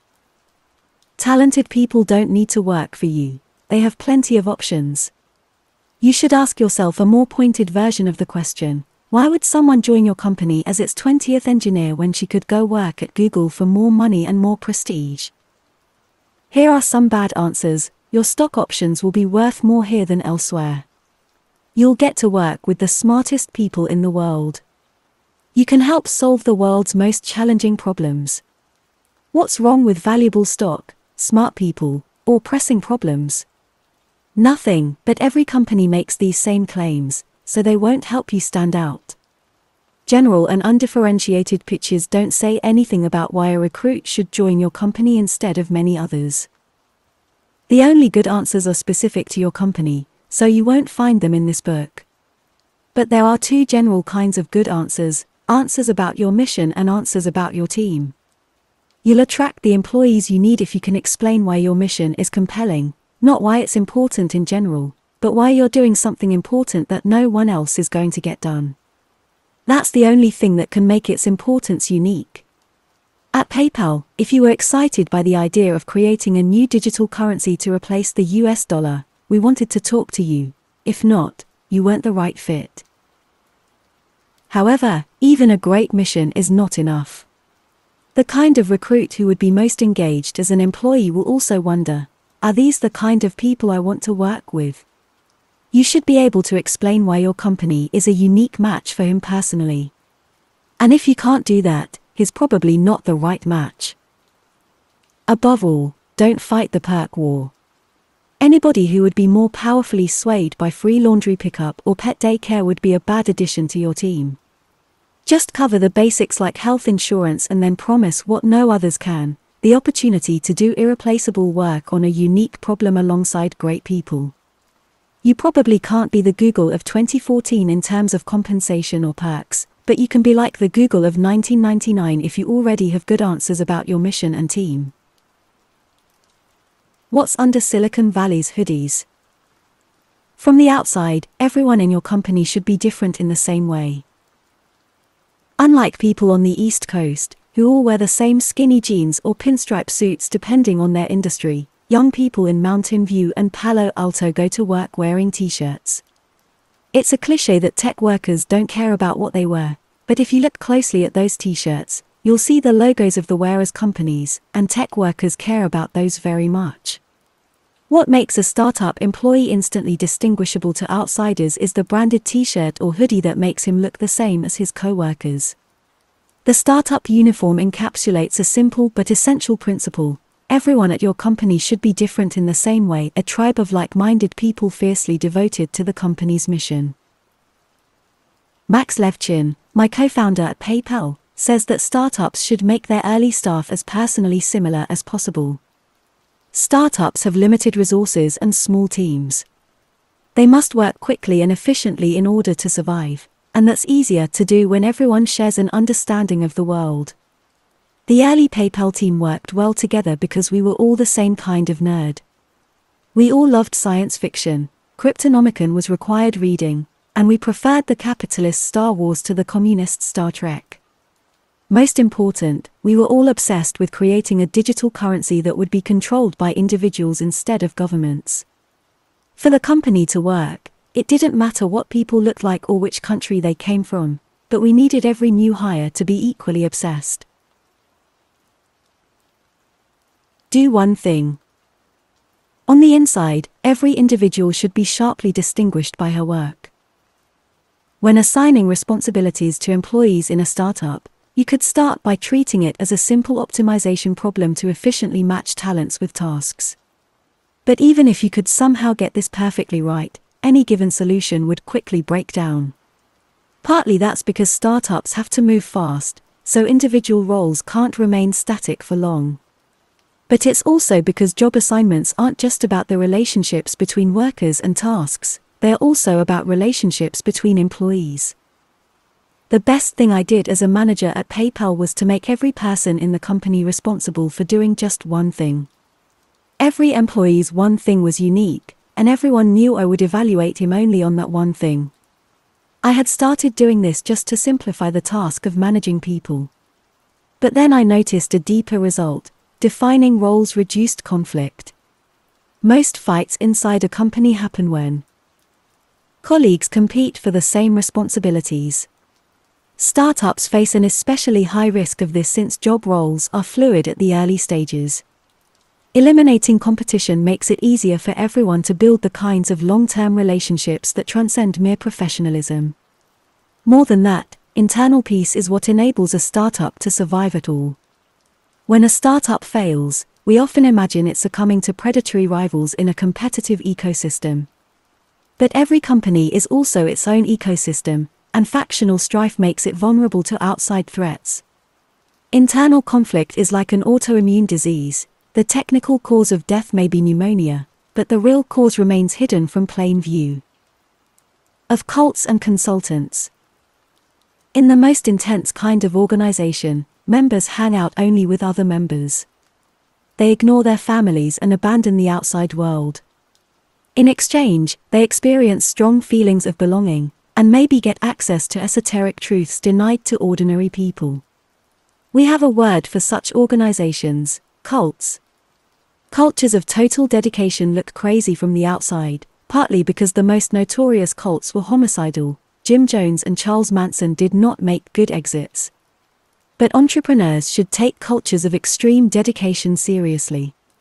Is a lukewarm attitude to one's work a sign of mental health? Is a merely professional attitude the only sane approach? The extreme opposite of a cult is a consulting firm like Accenture. Not only does it lack a distinctive mission of its own, but individual consultants are regularly dropping in and out of companies to which they have no long term connection whatsoever. Every company culture can be plotted on a linear spectrum. The best startups might be considered slightly less extreme kinds of cults. The biggest difference is that cults tend to be fanatically wrong about something important. People at a successful startup are fanatically right about something those outside it have missed. You're not going to learn those kinds of secrets from consultants, and you don't need to worry if your company doesn't make sense to conventional professionals. Better to be called a cult or even a mafia. If you build it, will they come? Even though sales is everywhere, most people underrate its importance. Silicon Valley underrates it more than most. The geek classic The Hitchhiker's Guide to the Galaxy even explains the founding of our planet as a reaction against salesmen. When an imminent catastrophe requires the evacuation of humanity's original home, the population escapes on three giant ships. The thinkers, leaders, and achievers take the A ship, the salespeople and consultants get the B ship, and the workers and artisans take the C ship. The B ship leaves first, and all its passengers rejoice vainly. But the salespeople don't realize they are caught in a ruse. The A ship and C ship people had always thought that the B ship people were useless, so they conspired to get rid of them. And it was the B ship that landed on Earth. Distribution may not matter in fictional worlds, but it matters in ours. We underestimate the importance of distribution, a catch all term for everything it takes to sell a product, because we share the same bias the A ship and C ship people had salespeople and other middlemen supposedly get in the way, and distribution should flow magically from the creation of a good product. The field of dreams conceit is especially popular in Silicon Valley, where engineers are biased toward building cool stuff rather than selling it. But customers will not come just because you build it. You have to make that happen, and it's harder than it looks.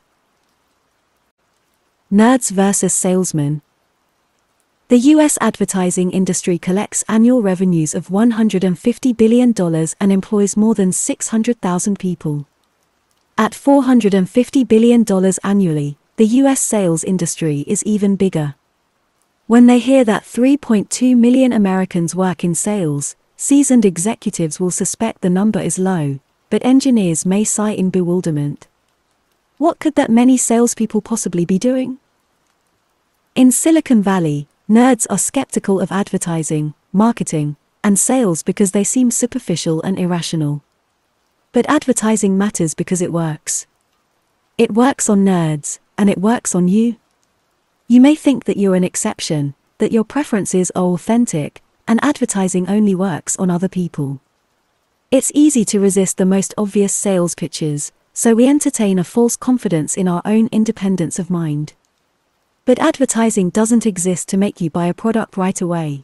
It exists to embed subtle impressions that will drive sales later. Anyone who can't acknowledge its likely effect on himself is doubly deceived.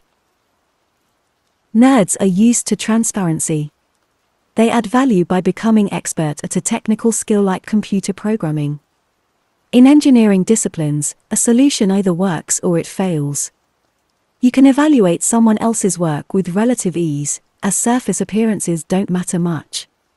Sales is the opposite, an orchestrated campaign to change surface appearances without changing the underlying reality. This strikes engineers as trivial if not fundamentally dishonest.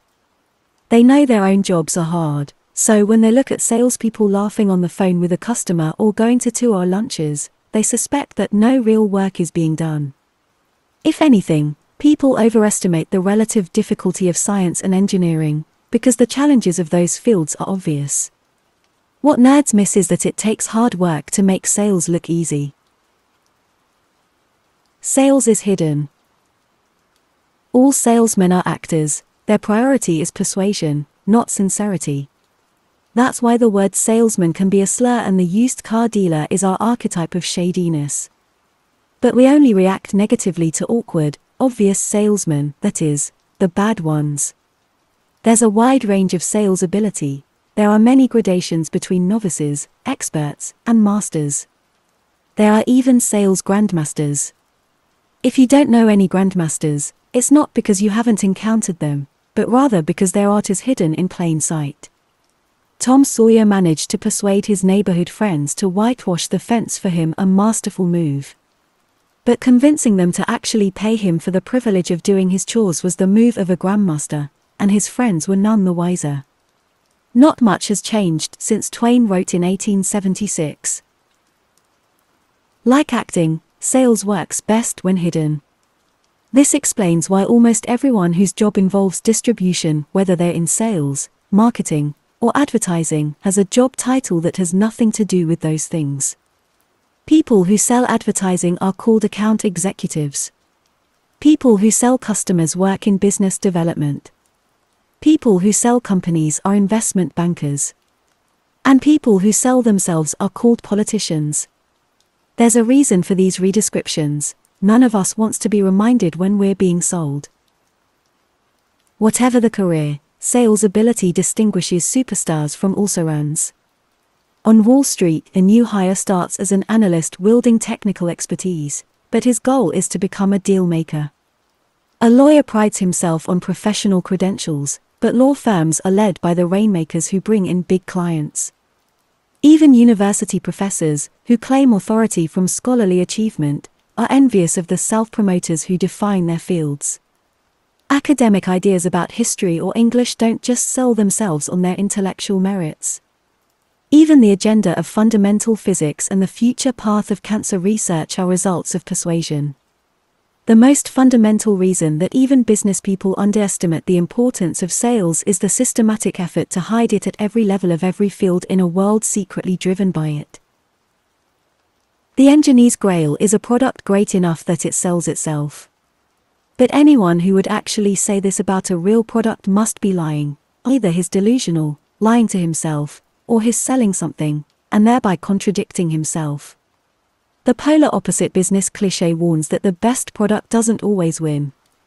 Economists attribute this to path dependence. Specific historical circumstances independent of objective quality can determine which products enjoy widespread adoption.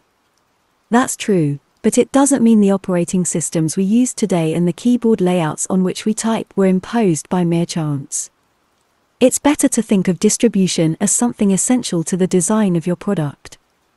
If you've invented something new but you haven't invented an effective way to sell it, you have a bad business, no matter how good the product.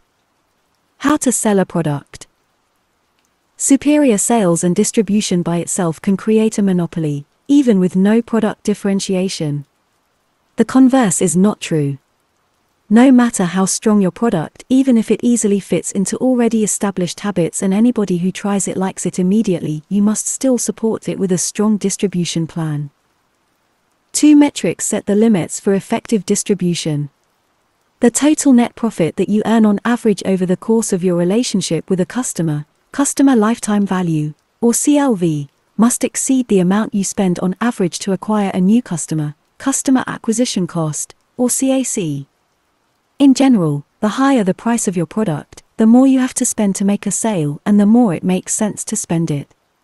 Distribution methods can be plotted on a continuum. Complex sales. If your average sale is seven figures or more, every detail of every deal requires close personal attention. It might take months to develop the right relationships. You might make a sale only once every year or two then you'll usually have to follow up during installation and service the product long after the deal is done. It's hard to do, but this kind of complex sales is the only way to sell some of the most valuable products. SpaceX shows that it can be done. Within just a few years of launching his rocket startup, Elon Musk persuaded NASA to sign billion dollar contracts to replace the decommissioned Space Shuttle with a newly designed vessel from SpaceX. Politics matters in big deals just as much as technological ingenuity, so this wasn't easy. SpaceX employs more than 3,000 people, mostly in California. The traditional U.S. aerospace industry employs more than 500,000 people, spread throughout all 50 states. Unsurprisingly, members of Congress don't want to give up federal funds going to their home districts. But since complex sales requires making just a few deals each year, a sales grandmaster like Elon Musk can use that time to focus on the most crucial people and even to overcome political inertia. Complex sales works best when you don't have salesmen at all. Palantir, the data analytics company I co founded with my law school classmate Alex Karp, doesn't employ anyone separately tasked with selling its product. Instead, Alex, who is Palantir's CEO, spends 25 days a month on the road, meeting with clients and potential clients. Our deal sizes range from $1 million to $100 million. At that price point, buyers want to talk to the CEO, not the VP of sales. Businesses with complex sales models succeed if they achieve 50% to 100% year over year growth over the course of a decade. This will seem slow to any entrepreneur dreaming of viral growth. You might expect revenue to increase 10x as soon as customers learn about an obviously superior product, but that almost never happens. Good enterprise sales strategy starts small, as it must. A new customer might agree to become your biggest customer, but they'll rarely be comfortable signing a deal completely out of scale with what you've sold before. Once you have a pool of reference customers who are successfully using your product, then you can begin the long and methodical work of hustling toward ever bigger deals. Personal sales. Most sales are not particularly complex. Average deal sizes might range between $10,000 and $100,000, and usually the CEO won't have to do all the selling himself. The challenge here isn't about how to make any particular sale, but how to establish a process by which a sales team of modest size can move the product to a wide audience. In 2008, Box had a good way for companies to store their data safely and accessibly in the cloud. But people didn't know they needed such a thing, cloud computing hadn't caught on yet. That summer, Blake was hired as Box's third salesperson to help change that. Starting with small groups of users who had the most acute file sharing problems, Box's sales representatives built relationships with more and more users in each client company.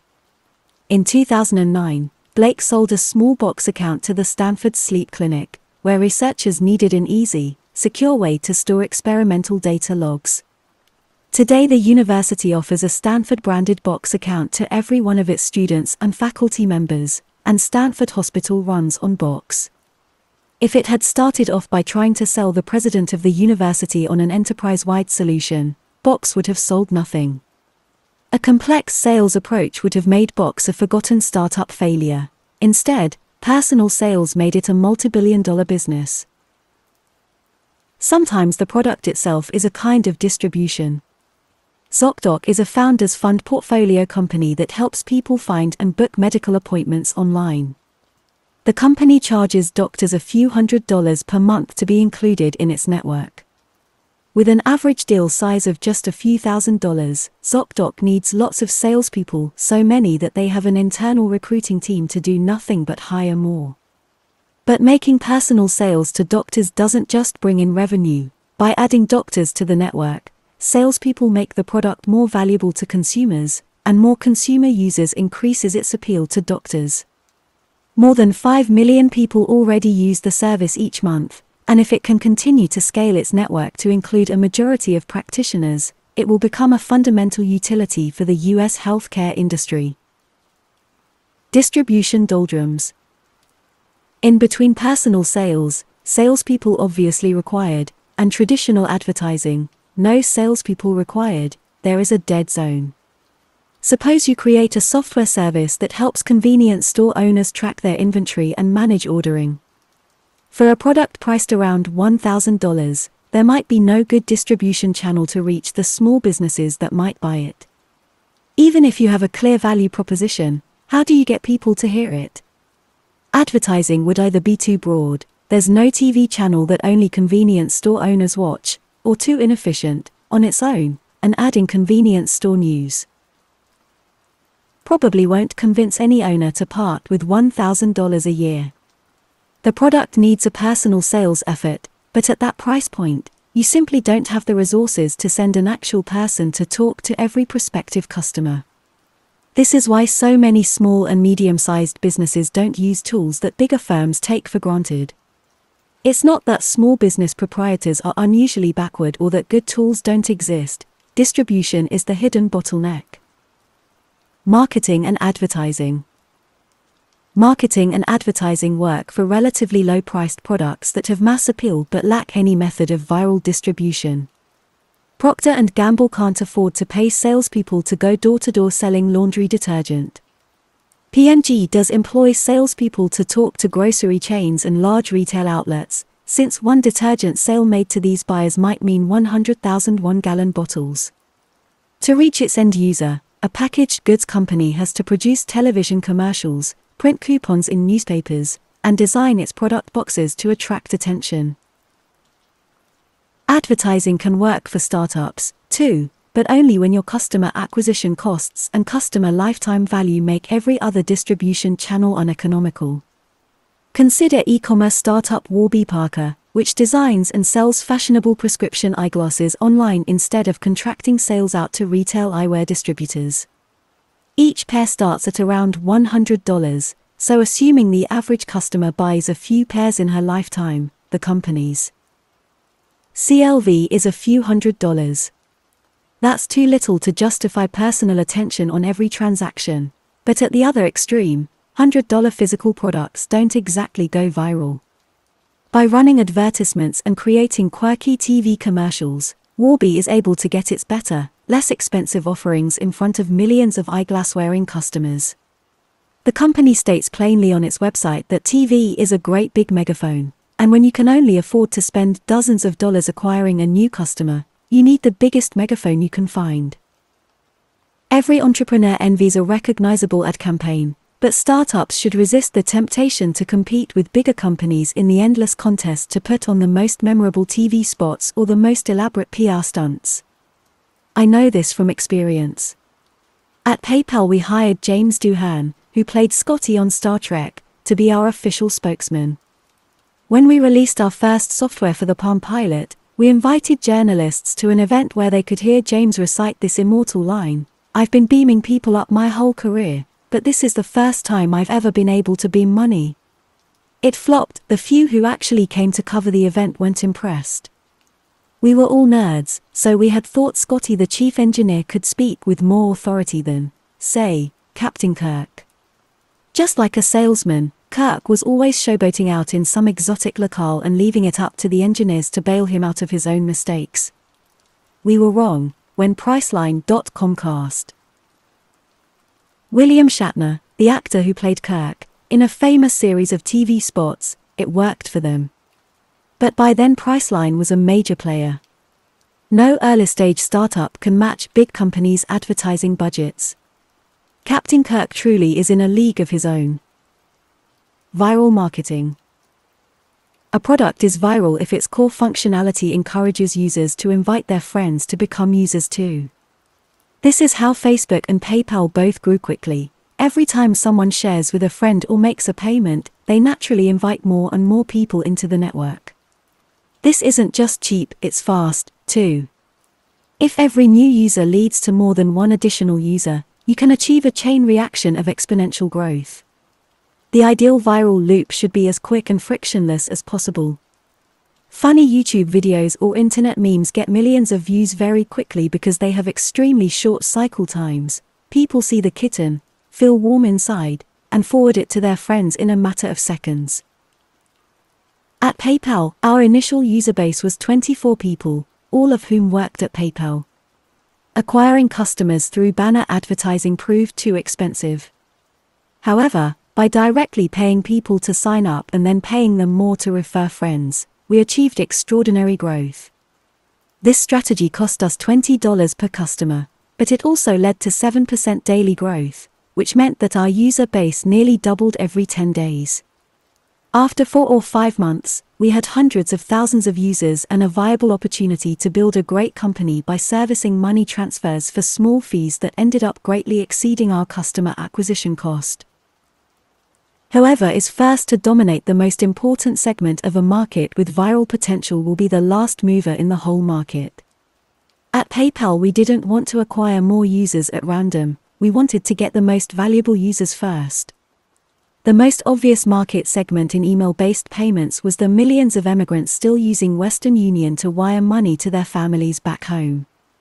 Our product made that effortless, but the transactions were too infrequent. We needed a smaller niche market segment with a higher velocity of money, a segment we found in eBay. Power sellers, the professional vendors who sold goods online through eBay's auction marketplace. There were 20,000 of them, most had multiple auctions ending each day, and they bought almost as much as they sold, which meant a constant stream of payments. And because eBay's own solution to the payment problem was terrible, these merchants were extremely enthusiastic early adopters. Once PayPal dominated this segment and became the payments platform for eBay, there was no catching up on eBay or anywhere else. The power law of distribution. One of these methods is likely to be far more powerful than every other for any given business. Distribution follows a power law of its own. This is counterintuitive for most entrepreneurs, who assume that more is more. But the kitchen sink approach employ a few salespeople, place some magazine ads, and try to add some kind of viral functionality to the product as an afterthought doesn't work. Most businesses get zero distribution channels to work, Poor sales rather than bad product is the most common cause of failure. If you can get just one distribution channel to work, you have a great business. If you try for several but don't nail one, you're finished. Selling to non customers. Your company needs to sell more than its product. You must also sell your company to employees and investors. There is a human resources version of the lie that great products sell themselves, this company is so good that people will be clamoring to join it. And there's a fundraising version too. This company is so great that investors will be banging down our door to invest. Clamor and frenzy are very real, but they rarely happen without calculated recruiting and pitching beneath the surface. Selling your company to the media is a necessary part of selling it to everyone else. Nerds who instinctively mistrust the media often make the mistake of trying to ignore it. But just as you can never expect people to buy a superior product merely on its obvious merits without any distribution strategy, you should never assume that people will admire your company without a public relations strategy. Even if your particular product doesn't need media exposure to acquire customers because you have a viral distribution strategy, the press can help attract investors and employees. Any prospective employee worth hiring will do his own diligence, what he finds or doesn't find when he Googles you will be critical to the success of your company. Everybody sells. Nerds might wish that distribution could be ignored and salesmen banished to another planet. All of us want to believe that we make up our own minds, that sales doesn't work on us. But it's not true. Everybody has a product to sell, no matter whether you're an employee, a founder, or an investor. It's true even if your company consists of just you and your computer. Look around. If you don't see any salespeople, you're the salesperson. Man and machine. As mature industries stagnate, information technology has advanced so rapidly that it has now become synonymous with technology itself. Today, more than 1.5 billion people enjoy instant access to the world's knowledge using pocket sized devices. Every one of today's smartphones has thousands of times more processing power than the computers that guided astronauts to the moon. And if Moore's law continues apace, tomorrow's computers will be even more powerful. Computers already have enough power to outperform people in activities we used to think of as distinctively human. In 1997, IBM's Deep Blue defeated world chess champion Garry Kasparov. Jeopardy's best ever contestant, Ken Jennings, succumbed to IBM's Watson in 2011. And Google's self driving cars are already on California roads today. Dale Earnhardt Jr. needn't feel threatened by them, but The Guardian worries, on behalf of the millions of chauffeurs and cabbies in the world, that self driving cars could drive the next wave of unemployment. Everyone expects computers to do more in the future, so much more that some wonder 30 years from now, will there be anything left for people to do? Software is eating the world, venture capitalist Marc Andreessen has announced with a tone of inevitability. VC Andy Kessler sounds almost gleeful when he explains that the best way to create productivity is to get rid of people. Forbes captured a more anxious attitude when it asked readers, Will a machine replace you? Futurists can seem like they hope the answer is yes. Luddites are so worried about being replaced that they would rather we stop building new technology altogether. Neither side questions the premise that better computers will necessarily replace human workers. But that premise is wrong. Computers are complements for humans, not substitutes. The most valuable businesses of coming decades will be built by entrepreneurs who seek to empower people rather than try to make them obsolete. Substitution versus complementarity. 15 years ago, American workers were worried about competition from cheaper Mexican substitutes. And that made sense, because humans really can substitute for each other. Today people think they can hear Ross Perot's giant sucking sound once more, but they trace it back to server farm somewhere in Texas instead of cut-rate factories in Tijuana. Americans fear technology in the near future because they see it as a replay of the globalization of the near past. But the situations are very different. People compete for jobs and for resources, computers compete for neither. Globalization means substitution. When Perot warned about foreign competition, both George H. W. Bush and Bill Clinton preached the gospel of free trade. Since every person has a relative strength at some particular job, in theory the economy maximizes wealth when people specialize according to their advantages and then trade with each other. In practice, it's not unambiguously clear how well free trade has worked, for many workers at least. Gains from trade are greatest when there's a big discrepancy in comparative advantage, but the global supply of workers willing to do repetitive tasks for an extremely small wage is extremely large. People don't just compete to supply labor, they also demand the same resources. While American consumers have benefited from access to cheap toys and textiles from China, they've had to pay higher prices for the gasoline newly desired by millions of Chinese motorists. Whether people eat shark fins in Shanghai or fish tacos in San Diego, they all need food and they all need shelter. And desire doesn't stop at subsistence, people will demand ever more as globalization continues. Now that millions of Chinese peasants can finally enjoy a secure supply of basic calories, they want more of them to come from pork instead of just grain. The convergence of desire is even more obvious at the top. All oligarchs have the same taste in crystal, from Petersburg to Pyongyang. Technology means complementarity. Now think about the prospect of competition from computers instead of competition from human workers. On the supply side, computers are far more different from people than any two people are different from each other. Men and machines are good at fundamentally different things. People have intentionality, we form plans and make decisions in complicated situations. We're less good at making sense of enormous amounts of data. Computers are exactly the opposite. They excel at efficient data processing, but they struggle to make basic judgments that would be simple for any human. To understand the scale of this variance, consider another of Google's Computer for Human substitution projects.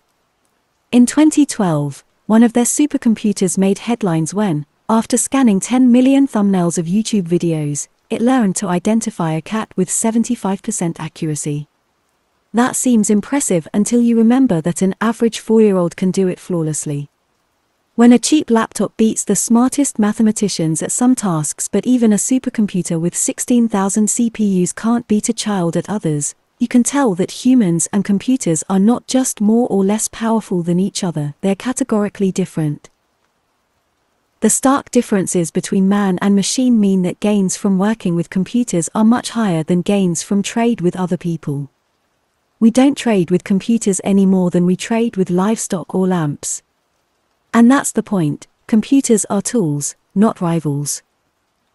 The differences are even deeper on the demand side. Unlike people in industrializing countries, computers don't yearn for more luxurious foods or beachfront villas in Cap Ferrat. All they require is a nominal amount of electricity, which they're not even smart enough to want. When we design new computer technology to help solve problems, we get all the efficiency gains of a hyper-specialized trading partner without having to compete with it for resources. Properly understood, technology is the one way for us to escape competition in a globalizing world. As computers become more and more powerful, they won't be substitutes for humans, they'll be complements. Complementary businesses. Complementarity between computers and humans isn't just a macro scale fact. It's also the path to building a great business. I came to understand this from my experience at PayPal. In mid 2000, we had survived the dot com crash and we were growing fast, but we faced one huge problem we were losing upwards of $10 million to credit card fraud every month. Since we were processing hundreds or even thousands of transactions per minute, we couldn't possibly review each one, no human quality control team could work that fast. So we did what any group of engineers would do we tried to automate a solution. First, Max Levchin assembled an elite team of mathematicians to study the fraudulent transfers in detail. Then we took what we learned and wrote software to automatically identify and cancel bogus transactions in real time. But it quickly became clear that this approach wouldn't work either. After an hour or two, the thieves would catch on and change their tactics. We were dealing with an adaptive enemy, and our software couldn't adapt in response. The fraudsters' adaptive evasions fooled our automatic detection algorithms, but we found that they didn't fool our human analysts as easily. So Max and his engineers rewrote the software to take a hybrid approach. The computer would flag the most suspicious transactions on a well-designed user interface, and human operators would make the final judgment as to their legitimacy. Thanks to this hybrid system, we named it Igor. After the Russian fraudster who bragged that we'd never be able to stop him, we turned our first quarterly profit in the first quarter of 2002, as opposed to a quarterly loss of $29.3 million one year before. The FBI asked us if we'd let them use Igor to help detect financial crime. And Max was able to boast, grandiosely but truthfully, that he was the Sherlock Holmes of the Internet Underground. This kind of man machine symbiosis enabled PayPal to stay in business, which in turn enabled hundreds of thousands of small businesses to accept the payments they needed to thrive on the Internet. None of it would have been possible without the man machine solution, even though most people would never see it or even hear about it. I continued to think about this after we sold PayPal in 2002. If humans and computers together could achieve dramatically better results than either could attain alone, what other valuable businesses could be built on this core principle? The next year, I pitched Alex Karp, an old Stanford classmate, and Stephen Cohen, a software engineer, on a new startup idea we would use the human computer hybrid approach from PayPal's security system to identify terrorist networks and financial fraud. We already knew the FBI was interested, and in 2004 we founded Palantir, a software company that helps people extract insight from divergent sources of information. The company is on track to book sales of $1 billion in 2014, and Forbes has called Palantir's software the killer app for its rumored role in helping the government locate Osama bin Laden. We have no details to share from that operation, but we can say that neither human intelligence by itself nor computers alone will be able to make us safe. America's two biggest spy agencies take opposite approaches. The Central Intelligence Agency is run by spies who privilege humans. The National Security Agency is run by generals who prioritize computers. CIA analysts have to wade through so much noise that it's very difficult to identify the most serious threats. NSA computers can process huge quantities of data, but machines alone cannot authoritatively determine whether someone is plotting a terrorist act. Palantir aims to transcend these opposing biases. Its software analyzes the data the government feeds it phone records of radical clerics in Yemen or bank accounts linked to terror cell activity, for instance, and flags suspicious activities for a trained analyst to review. In addition to helping find terrorists, analysts using Palantir's software have been able to predict where insurgents plant IEDs in Afghanistan. prosecute high profile insider trading cases, take down the largest child pornography ring in the world, support the Centers for Disease Control and Prevention in fighting foodborne disease outbreaks, and save both commercial banks and the government hundreds of millions of dollars annually through advanced fraud detection. Advanced software made this possible, but even more important were the human analysts, prosecutors, scientists, and financial professionals without whose active engagement the software would have been useless. Think of what professionals do in their jobs today. Lawyers must be able to articulate solutions to thorny problems in several different ways. The pitch changes depending on whether you're talking to a client, opposing counsel, or a judge. Doctors need to marry clinical understanding with an ability to communicate it to non expert patients. And good teachers aren't just experts in their disciplines, they must also understand how to tailor their instruction to different individuals' interests and learning styles. Computers might be able to do some of these tasks, but they can't combine them effectively. Better technology in law, medicine, and education won't replace professionals, it will allow them to do even more. LinkedIn has done exactly this for recruiters. When LinkedIn was founded in 2003, they didn't poll recruiters to find discrete pain points in need of relief. And they didn't try to write software that would replace recruiters outright. Recruiting is part detective work and part sales. You have to scrutinize applicants' history, assess their motives and compatibility, and persuade the most promising ones to join you. Effectively replacing all those functions with a computer would be impossible. Instead, LinkedIn set out to transform how recruiters did their jobs. Today, more than 97% of recruiters use LinkedIn and its powerful search and filtering functionality to source job candidates, and the network also creates value for the hundreds of millions of professionals who use it to manage their personal brands. If LinkedIn had tried to simply replace recruiters with technology, they wouldn't have a business today. The ideology of computer science. Why do so many people miss the power of complementarity? It starts in school. Software engineers tend to work on projects that replace human efforts because that's what they're trained to do. Academics make their reputations through specialized research. Their primary goal is to publish papers, and publication means respecting the limits of a particular discipline. For computer scientists, that means reducing human capabilities into specialized tasks that computers can be trained to conquer one by one. Just look at the trendiest fields in computer science today. The very term machine learning evokes imagery of replacement, and its boosters seem to believe that computers can be taught to perform almost any task, so long as we feed them enough training data. Any user of Netflix or Amazon has experienced the results of machine learning firsthand. Both companies use algorithms to recommend products based on your viewing and purchase history. Feed them more data and the recommendations get ever better. Google Translate works the same way, providing rough but serviceable translations into any of the 80 languages it supports, not because the software understands human language, but because it has extracted patterns through statistical analysis of a huge corpus of text. The other buzzword that epitomizes a bias toward substitution is big data. Today's companies have an insatiable appetite for data, mistakenly believing that more data always creates more value.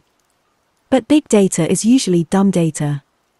Computers can find patterns that elude humans, but they don't know how to compare patterns from different sources or how to interpret complex behaviors. Actionable insights can only come from a human analyst, or the kind of generalized artificial intelligence that exists only in science fiction. We have let ourselves become enchanted by big data only because we exoticize technology.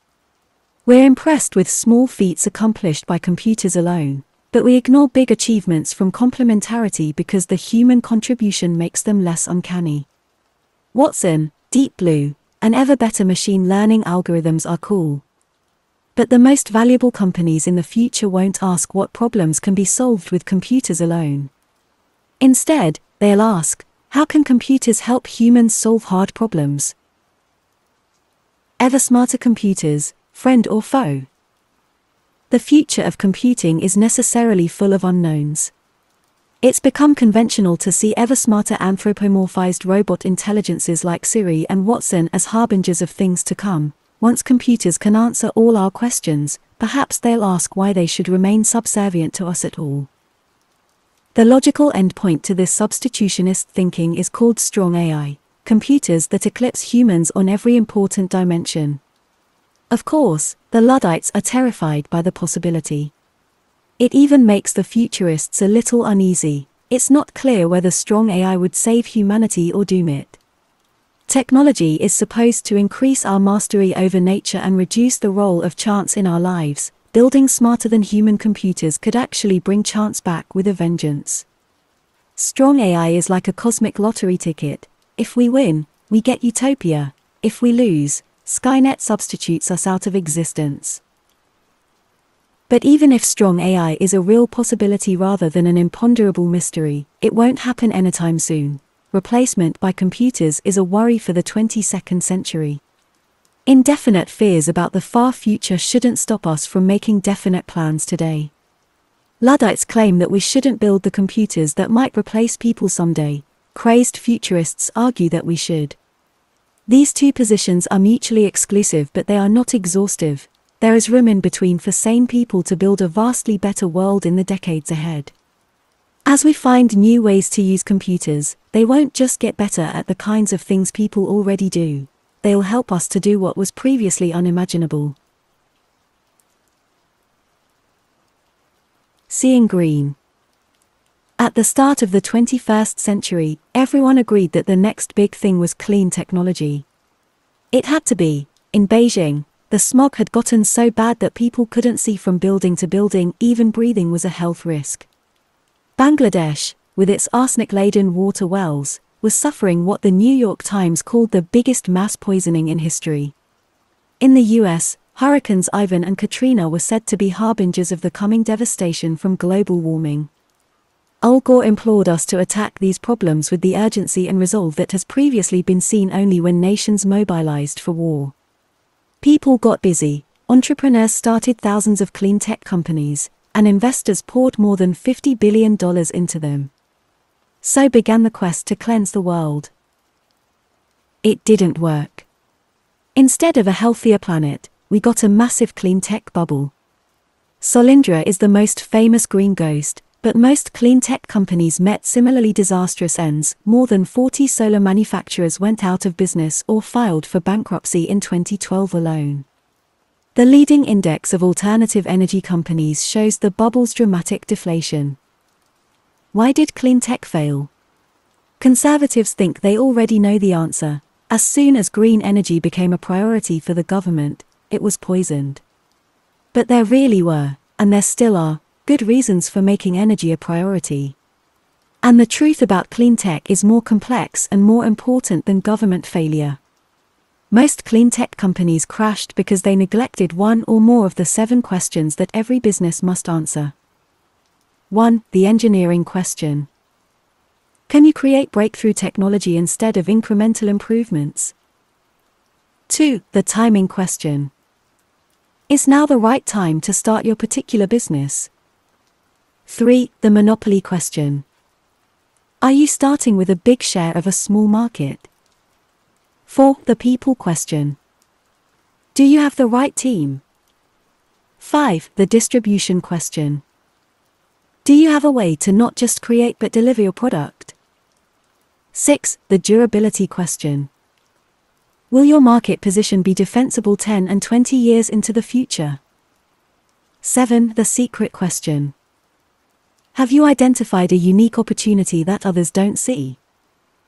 We've discussed these elements before. Whatever your industry, any great business plan must address every one of them. If you don't have good answers to these questions, you'll run into lots of bad luck and your business will fail. If you nail all seven, you'll master fortune and succeed. Even getting five or six correct might work.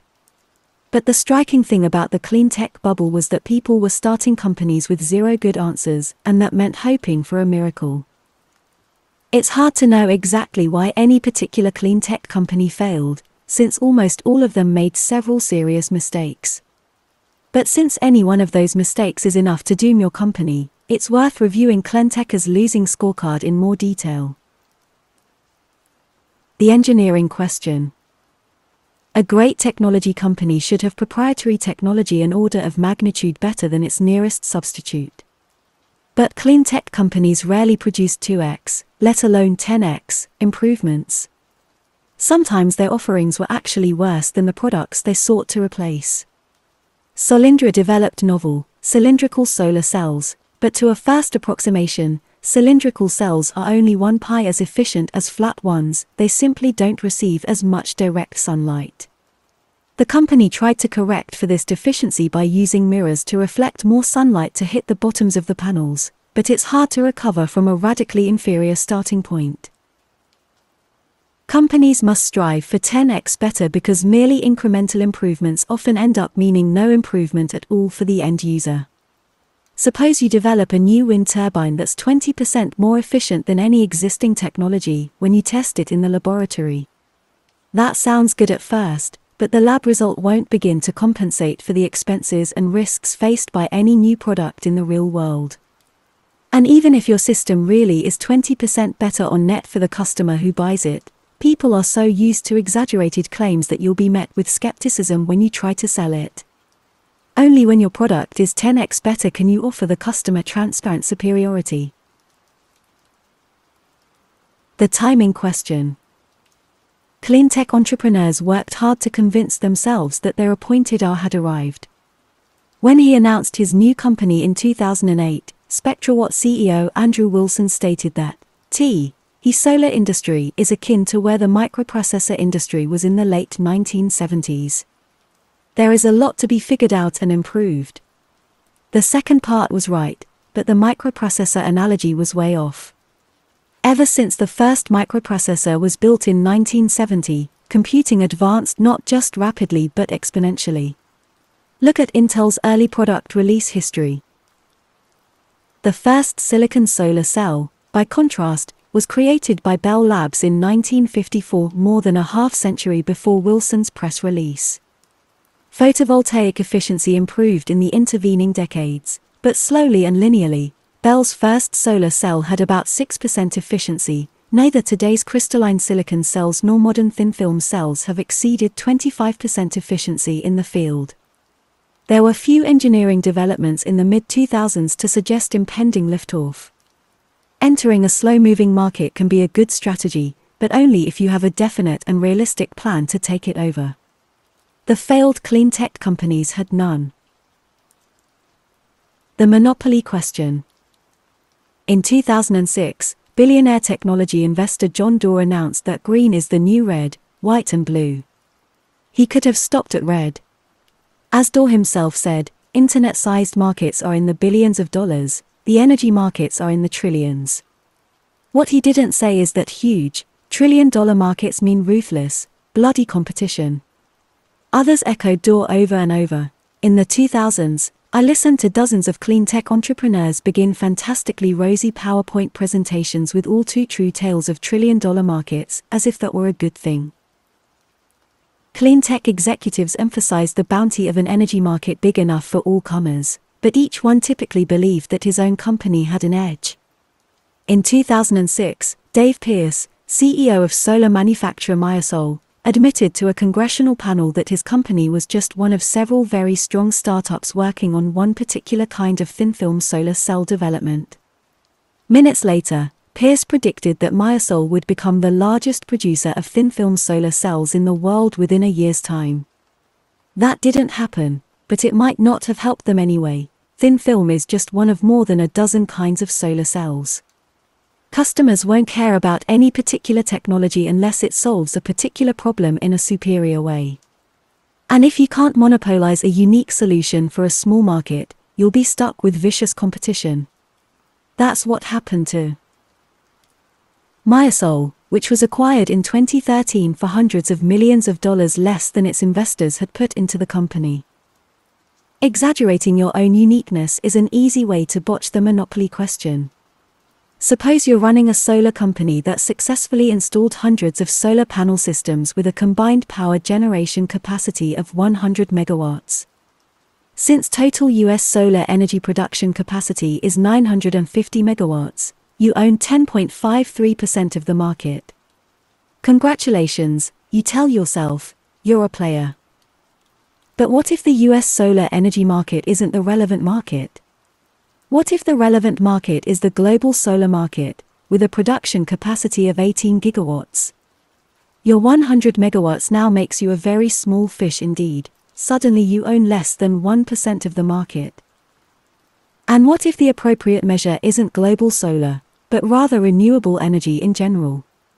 Annual production capacity from renewables is 420 gigawatts globally, you just shrank to 0.02% of the market. And compared to the total global power generation capacity of 15,000 gigawatts, your 100 megawatts is just a drop in the ocean. Clean tech entrepreneurs thinking about markets was hopelessly confused. They would rhetorically shrink their market in order to seem differentiated, only to turn around and ask to be valued based on huge, supposedly lucrative markets. But you can't dominate a submarket if it's fictional, and huge markets are highly competitive, not highly attainable. Most clean tech founders would have been better off opening a new British restaurant in downtown Palo Alto. The people question.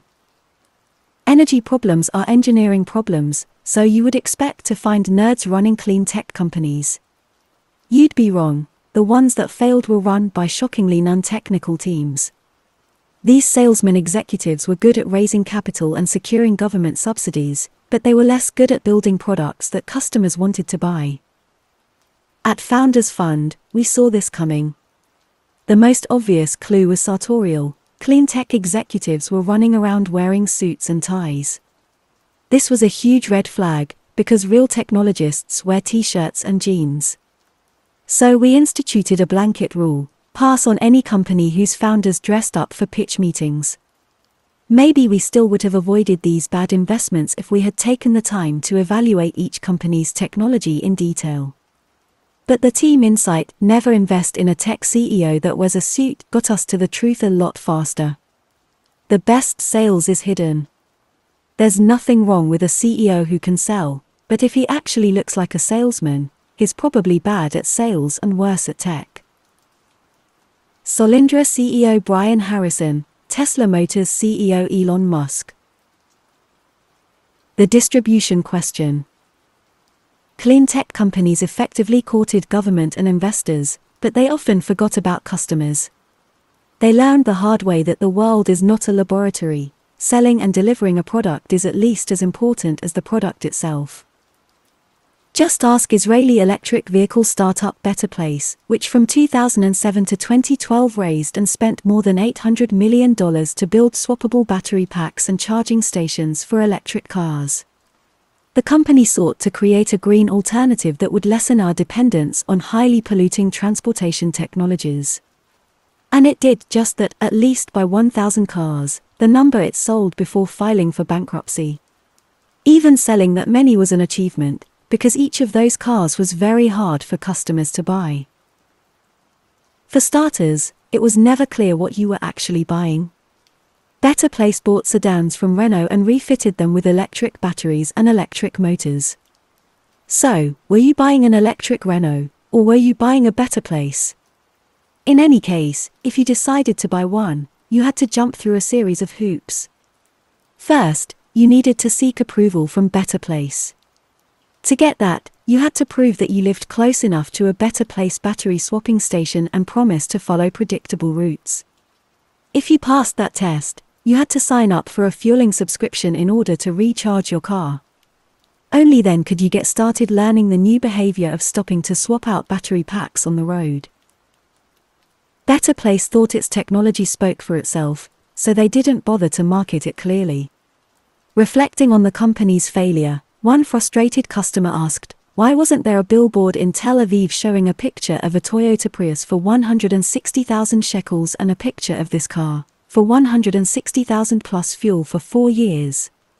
He still bought one of the cars, but unlike most people, he was a hobbyist who would do anything to keep driving it. Unfortunately, he can't, As the Better Place Board of Directors stated upon selling the company's assets for a meager $12 million in 2013, the technical challenges we overcame successfully, but the other obstacles we were not able to overcome. The durability question.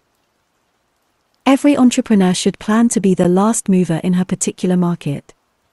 That starts with asking yourself, what will the world look like 10 and 20 years from now, and how will my business fit in? Few clean tech companies had a good answer. As a result, all their obituaries resemble each other. A few months before it filed for bankruptcy in 2011, Evergreen Solar explained its decision to close one of its U.S. factories. Solar manufacturers in China have received considerable government and financial support. Although, our production costs are now below originally planned levels and lower than most Western manufacturers, they are still much higher than those of our low cost competitors in China.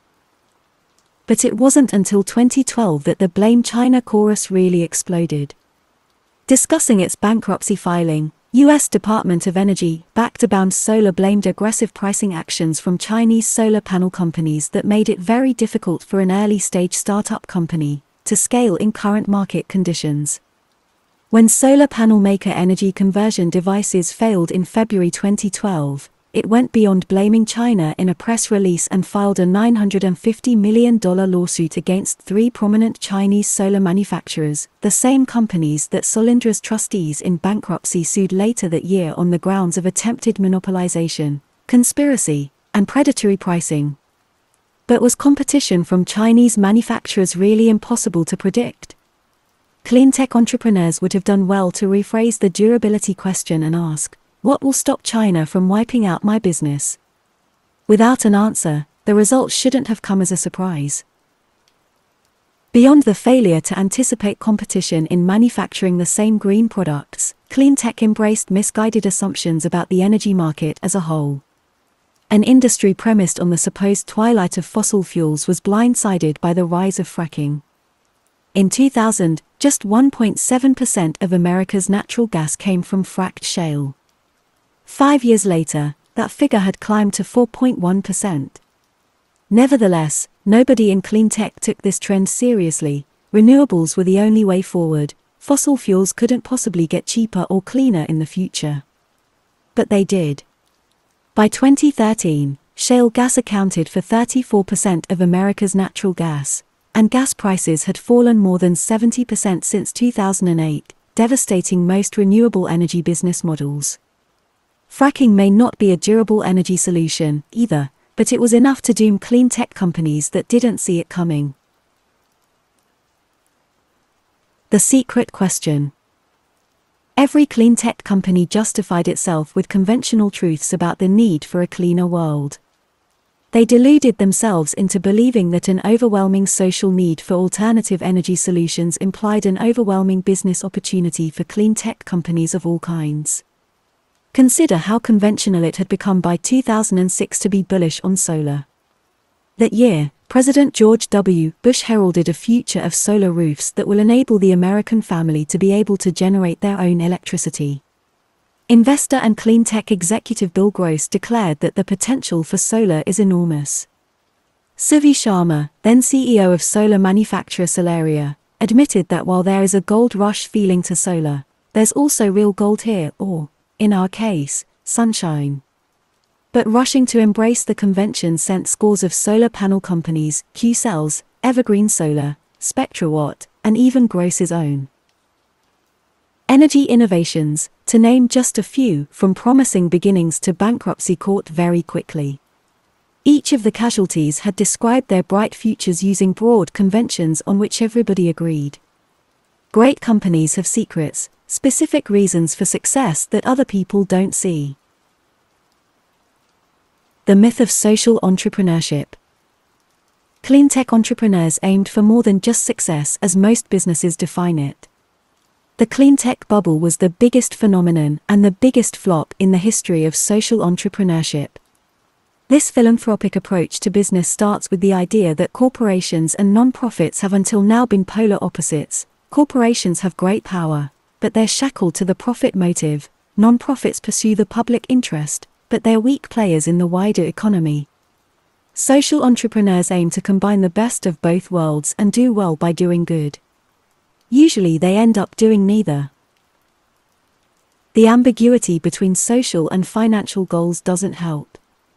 But the ambiguity in the word social is even more of a problem. If something is socially good, is it good for society, or merely seen as good by society? Whatever is good enough to receive applause from all audiences can only be conventional, like the general idea of green energy.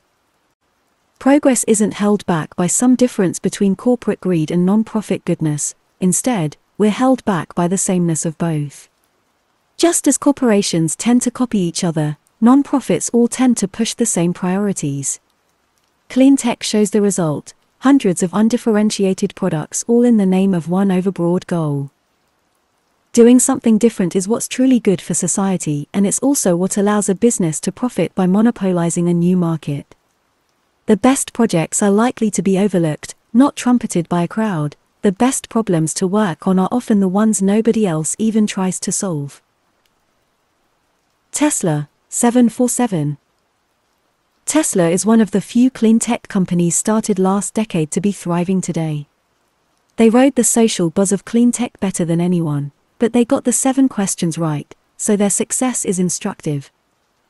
Technology Tesla's technology is so good that other car companies rely on it. Daimler uses Tesla's battery packs, Mercedes Benz uses a Tesla powertrain, Toyota uses a Tesla motor. General Motors has even created a task force to track Tesla's next moves. But Tesla's greatest technological achievement isn't any single part or component but rather its ability to integrate many components into one superior product. The Tesla Model S sedan, elegantly designed from end to end, is more than the sum of its parts. Consumer Reports rated it higher than any other car ever reviewed, and both Motor Trend and Automobile magazines named it their 2013 Car of the Year. Timing In 2009, it was easy to think that the government would continue to support clean tech, Green jobs were a political priority, federal funds were already earmarked, and Congress even seemed likely to pass cap and trade legislation. But where others saw generous subsidies that could flow indefinitely, Tesla CEO Elon Musk rightly saw a one time only opportunity. In January 2010, about a year and a half before Solyndra imploded under the Obama administration and politicized the subsidy question, Tesla secured a $465 million loan from the U.S. Department of Energy. A half billion dollar subsidy was unthinkable in the mid 2000s. It's unthinkable today. There was only one moment where that was possible, and Tesla played it perfectly. Monopoly. Tesla started with a tiny submarket that it could dominate the market for high end electric sports cars.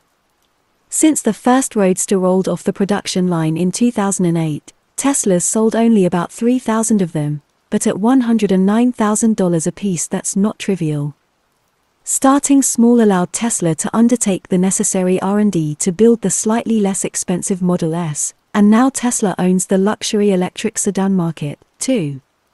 They sold more than 20,000 sedans in 2013 and now Tesla is in prime position to expand to broader markets in the future. Team Tesla's CEO is the consummate engineer and salesman, so it's not surprising that he's assembled a team that's very good at both. Elon describes his staff this way If you're at Tesla, you're choosing to be at the equivalent of special forces. There's the regular army, and that's fine, but if you are working at Tesla, you're choosing to step up your game. Distribution. Most companies underestimate distribution, but Tesla took it so seriously that it decided to own the entire distribution chain. Other car companies are beholden to independent dealerships, Ford and Hyundai make cars, but they rely on other people to sell them. Tesla sells and services its vehicles in its own stores. The upfront costs of Tesla's approach are much higher than traditional dealership distribution, but it affords control over the customer experience, strengthens Tesla's brand, and saves the company money in the long run. Durability Tesla has a head start and it's moving faster than anyone else, and that combination means its lead is set to widen in the years ahead. A coveted brand is the clearest sign of Tesla's breakthrough, a car is one of the biggest purchasing decisions that people ever make, and consumers' trust in that category is hard to win. And unlike every other car company, at Tesla the founder is still in charge, so it's not going to ease off anytime soon. Secrets Tesla knew that fashion drove interest in clean tech. Rich people especially wanted to appear green, even if it meant driving a boxy Prius or clunky Honda Insight. Those cars only made drivers look cool by association with the famous eco-conscious movie stars who owned them as well. So Tesla decided to build cars that made drivers look cool, period Leonardo DiCaprio even ditched his Prius for an expensive, an expensive-looking, Tesla Roadster. While generic clean tech companies struggled to differentiate themselves, Tesla built a unique brand around the secret that clean tech was even more of a social phenomenon than an environmental imperative. Energy 2.0 Tesla's success proves that there was nothing inherently wrong with clean tech. The biggest idea behind it is right the world really will need new sources of energy. Energy is the master resource, it's how we feed ourselves, build shelter, and make everything we need to live comfortably. Most of the world dreams of living as comfortably as Americans do today and globalization will cause increasingly severe energy challenges unless we build new technology.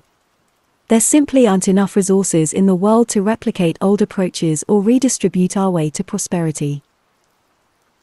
Cleantech gave people a way to be optimistic about the future of energy. But when indefinitely optimistic investors betting on the general idea of green energy funded clean tech companies that lacked specific business plans, the result was a bubble. Plot the valuation of alternative energy firms in the 2000s alongside the Nasdaq's rise and fall a decade before, and you see the same shape. The 1990s had one big idea the internet is going to be big.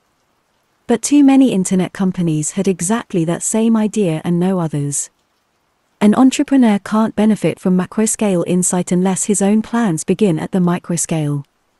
Clean tech companies faced the same problem no matter how much the world needs energy, only a firm that offers a superior solution for a specific energy problem can make money. No sector will ever be so important that merely participating in it will be enough to build a great company. The tech bubble was far bigger than clean tech and the crash even more painful. But the dream of the 90s turned out to be right, skeptics who doubted that the internet would fundamentally change publishing or retail sales or everyday social life looked prescient in 2001, but they seem comically foolish today. Could successful energy startups be founded after the clean tech crash just as Web 2.0 startups successfully launched amid the debris of the dot coms? The macro need for energy solutions is still real. But a valuable business must start by finding a niche and dominating a small market. Facebook started as a service for just one university campus before it spread to other schools and then the entire world. Finding small markets for energy solutions will be tricky. You could aim to replace diesel as a power source for remote islands, or maybe build modular reactors for quick deployment at military installations in hostile territories. Paradoxically, the challenge for the entrepreneurs who will create Energy 2.0 is to think small. The Founder's Paradox. Of the six people who started PayPal, four had built bombs in high school. Five were just 23 years old or younger. Four of us had been born outside the United States. Three had escaped here from communist countries, Yu Pan from China, Luke Nosek from Poland, and Max Levchin from Soviet Ukraine. Building bombs was not what kids normally did in those countries at that time the six of us could have been seen as eccentric. My first ever conversation with Luke was about how he'd just signed up for cryonics, to be frozen upon death in hope of medical resurrection. Max claimed to be without a country and proud of it. His family was put into diplomatic limbo when the USSR collapsed while they were escaping to the US. Russ Simmons had escaped from a trailer park to the top math and science magnet school in Illinois. Only Ken Howery fit the stereotype of a privileged American childhood. He was PayPal's sole Eagle Scout. But Kenny's peers thought he was crazy to join the rest of us and make just one third of the salary he had been offered by a big bank. So even he wasn't entirely normal. The PayPal team in 1999. Are all founders unusual people? Or do we just tend to remember and exaggerate whatever is most unusual about them? More important, which personal traits actually matter in a founder? This chapter is about why it's more powerful but at the same time more dangerous for a company to be led by a distinctive individual instead of an interchangeable manager.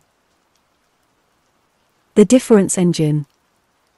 Some people are strong, some are weak, some are geniuses, some are dullards, but most people are in the middle. Plot where everyone falls and you'll see a bell curve. Since so many founders seem to have extreme traits, you might guess that a plot showing only founders' traits would have fatter tails with more people at either end. But that doesn't capture the strangest thing about founders. Normally, we expect opposite traits to be mutually exclusive. A normal person can't be both rich and poor at the same time, for instance. But it happens all the time to founders. Startup CEOs can be cash poor but millionaires on paper. They may oscillate between sullen jerkiness and appealing charisma. Almost all successful entrepreneurs are simultaneously insiders and outsiders. And when they do succeed, they attract both fame and infamy. When you plot them out, founders' traits appear to follow an inverse normal distribution. Where does this strange and extreme combination of traits come from? They could be present from birth, nature, or acquired from an individual's environment, nurture. But perhaps founders aren't really as extreme as they appear. Might they strategically exaggerate certain qualities? Or is it possible that everyone else exaggerates them? All of these effects can be present at the same time, and whenever present, they powerfully reinforce each other. The cycle usually starts with unusual people and ends with them acting and seeming even more unusual. As an example, take Sir Richard Branson, the billionaire founder of the Virgin Group. He could be described as a natural entrepreneur, Branson started his first business at age 16, and at just 22 he founded Virgin Records. But other aspects of his renown, the trademark lion's manner hairstyle, for example, are less natural. One suspects he wasn't born with that exact look. As Branson has cultivated his other extreme traits, is kiteboarding with naked supermodels a PR stunt? Just a guy having fun? Both, the media has eagerly enthroned him, Branson is the Virgin King, the undisputed king of PR, the king of branding, and the king of the desert and space. When Virgin Atlantic Airways began serving passengers drinks with ice cubes shaped like Branson's face, he became the Ice King. Is Branson just a normal businessman who happens to be lionized by the media with the help of a good PR team? Or is he himself a born branding genius rightly singled out by the journalists he is so good at manipulating? It's hard to tell, maybe he's both. Another example is Sean Parker, who started out with the ultimate outsider status, criminal. Sean was a careful hacker in high school. But his father decided that Sean was spending too much time on the computer for a 16 year old, so one day he took away Sean's keyboard mid hack. Sean couldn't log out, the FBI noticed, soon federal agents were placing him under arrest. Sean got off easy since he was a minor, if anything, the episode emboldened him. Three years later, he co founded Napster. The peer to peer file sharing service amassed 10 million users in its first year, making it one of the fastest growing businesses of all time. But the record company sued and a federal judge ordered it shut down 20 months after opening. After a whirlwind period at the center, Sean was back to being an outsider again. Then came Facebook. Sean met Mark Zuckerberg in 2004, helped negotiate Facebook's first funding, and became the company's founding president. He had to step down in 2005 amid allegations of drug use, but this only enhanced his notoriety. Ever since Justin Timberlake portrayed him in the social network, Sean has been perceived as one of the coolest people in America. JT is still more famous, but when he visits Silicon Valley, People ask if he's Sean Parker. The most famous people in the world are founders, too. Instead of a company, every celebrity founds and cultivates a personal brand. Lady Gaga, for example, became one of the most influential living people. But is she even a real person? Her real name isn't a secret, but almost no one knows or cares what it is. She wears costumes so bizarre as to put any other wearer at risk of an involuntary psychiatric hold. Gaga would have you believe that she was born this way, the title of both her second album and its lead track. But no one is born looking like a zombie with horns coming out of her head. Gaga must therefore be a self manufactured myth. Then again, what kind of person would do this to herself? Certainly nobody normal. So perhaps Gaga really was born that way. Where kings come from. Extreme founder figures are not new in human affairs. Classical mythology is full of them. Oedipus is the paradigmatic insider-outsider. He was abandoned as an infant and ended up in a foreign land, but he was a brilliant king and smart enough to solve the riddle of the Sphinx. Romulus and Remus were born of royal blood and abandoned as orphans. When they discovered their pedigree, they decided to found a city. But they couldn't agree on where to put it. When Remus crossed the boundary that Romulus had decided was the edge of Rome, Romulus killed him, declaring, so perish every one that shall hereafter leap over my wall. Lawmaker and lawbreaker, criminal outlaw and king who defined Rome, Romulus was a self-contradictory insider-outsider. Normal people aren't like Oedipus or Romulus. Whatever those individuals were actually like in life, the mythologized versions of them remember only the extremes. But why was it so important for archaic cultures to remember extraordinary people? The famous and infamous have always served as vessels for public sentiment, they're praised amid prosperity and blamed for misfortune. Primitive societies faced one fundamental problem above all they would be torn apart by conflict if they didn't have a way to stop it. So, whenever plagues, disasters, or violent rivalries threatened the peace, it was beneficial for the society to place the entire blame on a single person, someone everybody could agree on, a scapegoat. Who makes an effective scapegoat? Like founders, scapegoats are extreme and contradictory figures. On the one hand, a scapegoat is necessarily weak, he is powerless to stop his own victimization. On the other hand, as the one who can diffuse conflict by taking the blame, he is the most powerful member of the community. Before execution, scapegoats were often worshipped like deities. The Aztecs considered their victims to be earthly forms of the gods to whom they were sacrificed.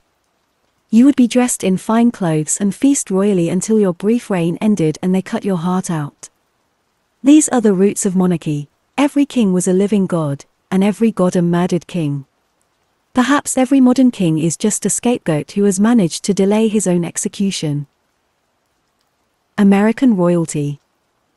Celebrities are supposedly American royalty. We even grant titles to our favorite performers. Elvis Presley was the king of rock. Michael Jackson was the king of pop. Britney Spears was the pop princess. Until they weren't. Elvis self destructed in the 70s and died alone, overweight, sitting on his toilet. Today, his impersonators are fat and sketchy, not lean and cool.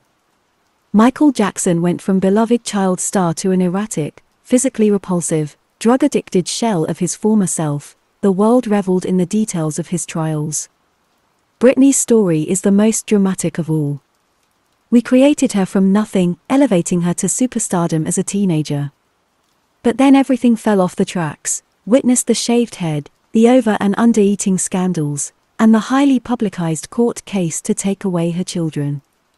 Was she always a little bit crazy? Did the publicity just get to her? Or did she do it all to get more?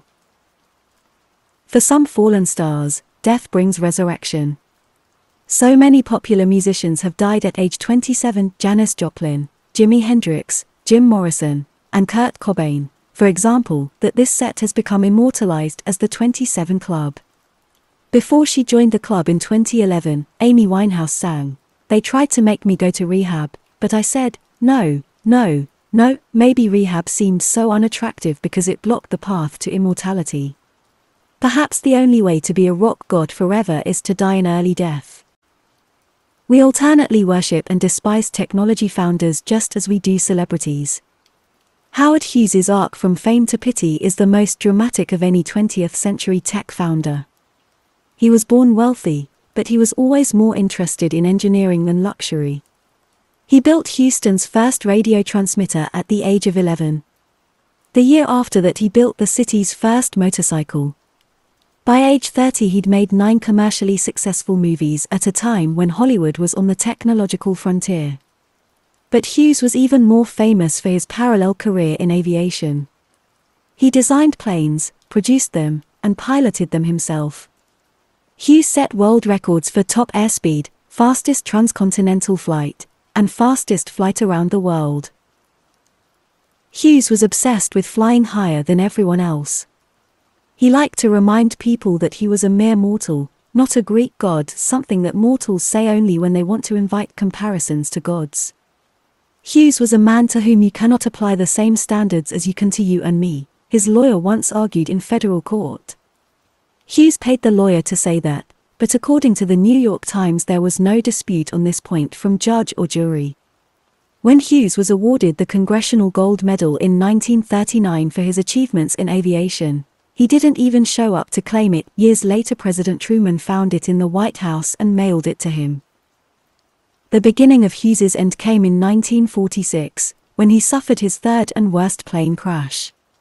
Had he died then, he would have been remembered forever as one of the most dashing and successful Americans of all time. But he survived, barely. He became obsessive compulsive, addicted to painkillers, and withdrew from the public to spend the last 30 years of his life in self imposed solitary confinement. Hughes had always acted a little crazy, on the theory that fewer people would want to bother a crazy person. But when his crazy act turned into a crazy life, he became an object of pity as much as awe.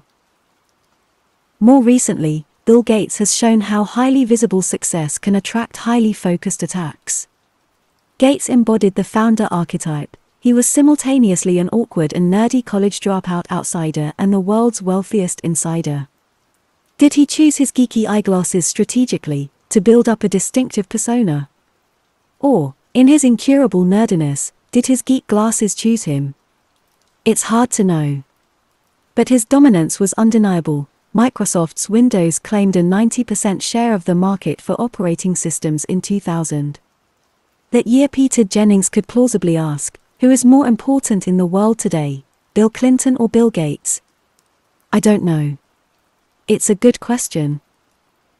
The US Department of Justice didn't limit itself to rhetorical questions, they opened an investigation and sued Microsoft for anti-competitive conduct. In June 2000 a court ordered that Microsoft be broken apart. Gates had stepped down as CEO of Microsoft six months earlier, having been forced to spend most of his time responding to legal threats instead of building new technology. A court of appeals later overturned the breakup order, and Microsoft reached a settlement with the government in 2001. But by then Gates's enemies had already deprived his company of the full engagement of its founder, and Microsoft entered an era of relative stagnation. Today Gates is better known as a philanthropist than a technologist.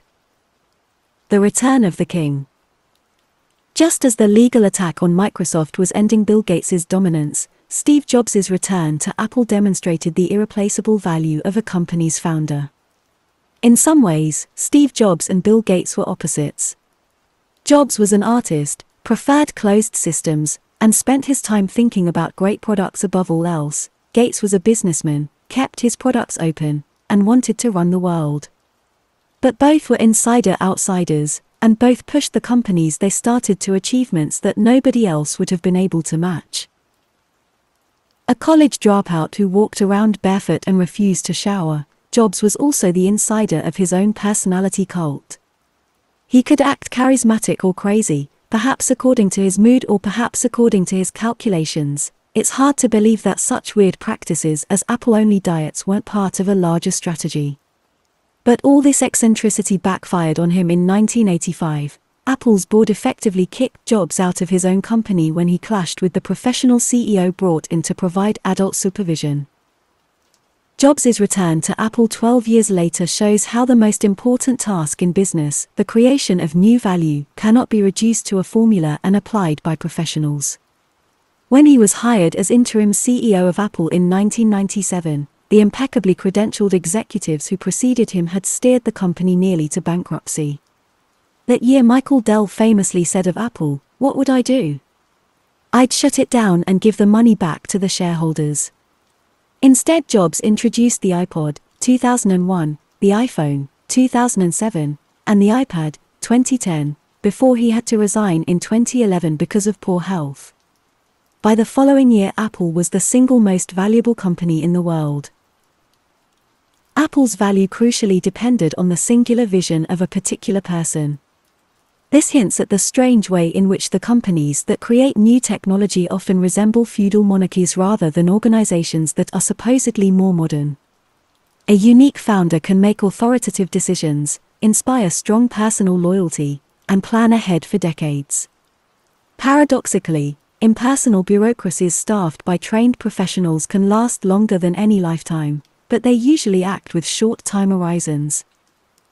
The lesson for business is that we need founders.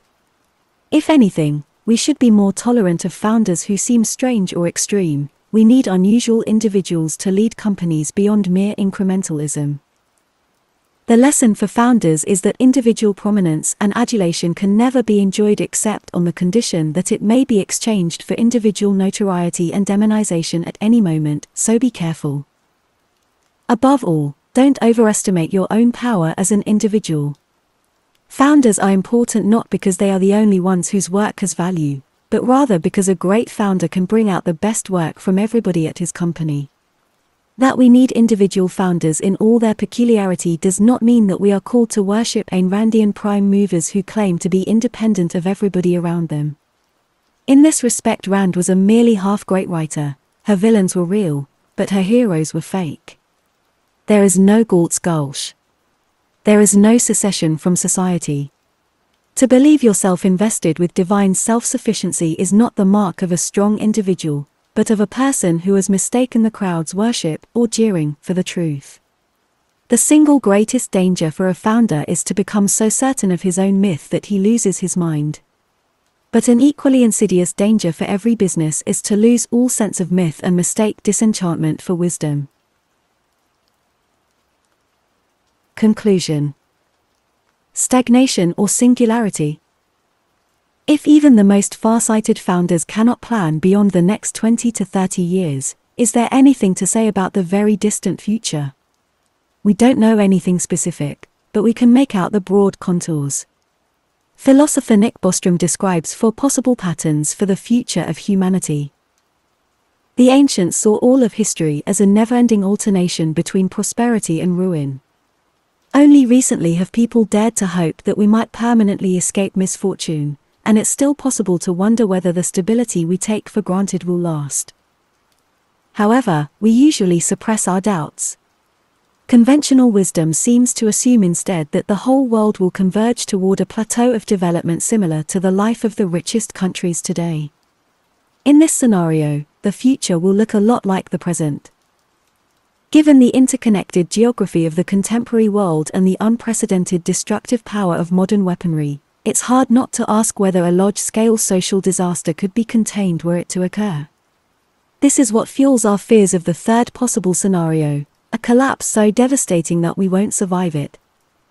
The last of the four possibilities is the hardest one to imagine accelerating takeoff toward a much better future. The end result of such a breakthrough could take a number of forms, but any one of them would be so different from the present as to defy description. Which of the four will it be? Recurrent collapse seems unlikely. The knowledge underlying civilization is so widespread today that complete annihilation would be more probable than a long period of darkness followed by recovery. However, in case of extinction, there is no human future of any kind to consider. If we define the future as a time that looks different from the present, then most people aren't expecting any future at all. Instead, they expect coming decades to bring more globalization, convergence, and sameness. In this scenario, poorer countries will catch up to richer countries, and the world as a whole will reach an economic plateau. But even if a truly globalized plateau were possible, could it last? In the best case, economic competition would be more intense than ever before for every single person and firm on the planet. However, when you add competition to consume scarce resources, it's hard to see how a global plateau could last indefinitely. Without new technology to relieve competitive pressures, stagnation is likely to erupt into conflict. In case of conflict on a global scale, stagnation collapses into extinction. That leaves the fourth scenario, in which we create new technology to make a much better future.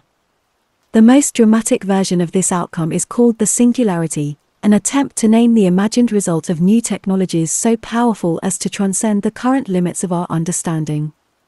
Ray Kurzweil, the best known singularitarian, starts from Moore's law and traces exponential growth trends in dozens of fields, confidently projecting a future of superhuman artificial intelligence. According to Kurzweil, the singularity is near, it's inevitable, and all we have to do is prepare ourselves to accept it.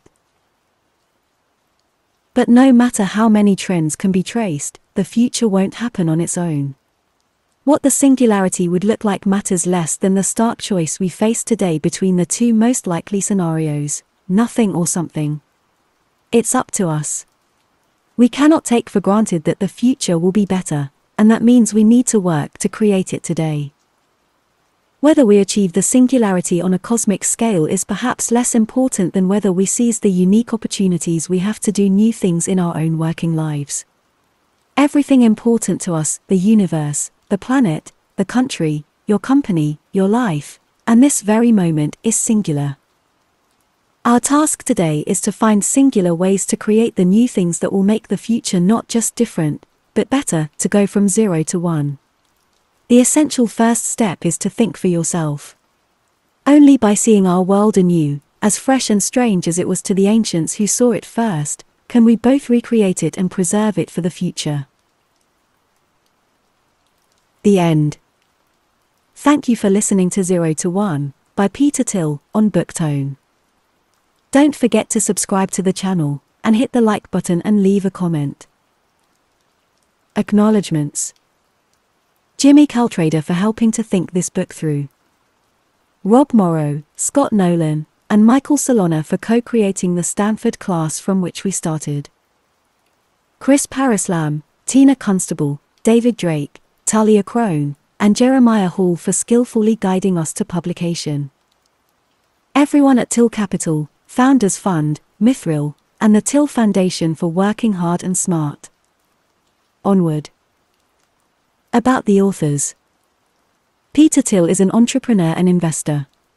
He started PayPal in 1998, led it as CEO, and took it public in 2002, defining a new era of fast and secure online commerce. In 2004, he made the first outside investment in Facebook, where he serves as a director. The same year, he launched Palantir Technologies, a software company that harnesses computers to empower human analysts in fields like national security and global finance.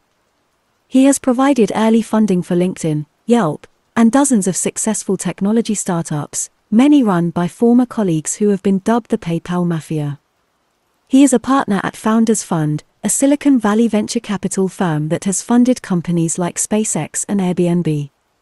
He started the Thiel Fellowship, which ignited a national debate by encouraging young people to put learning before schooling, and he leads the Thiel Foundation, which works to advance technological progress and long term thinking about the future.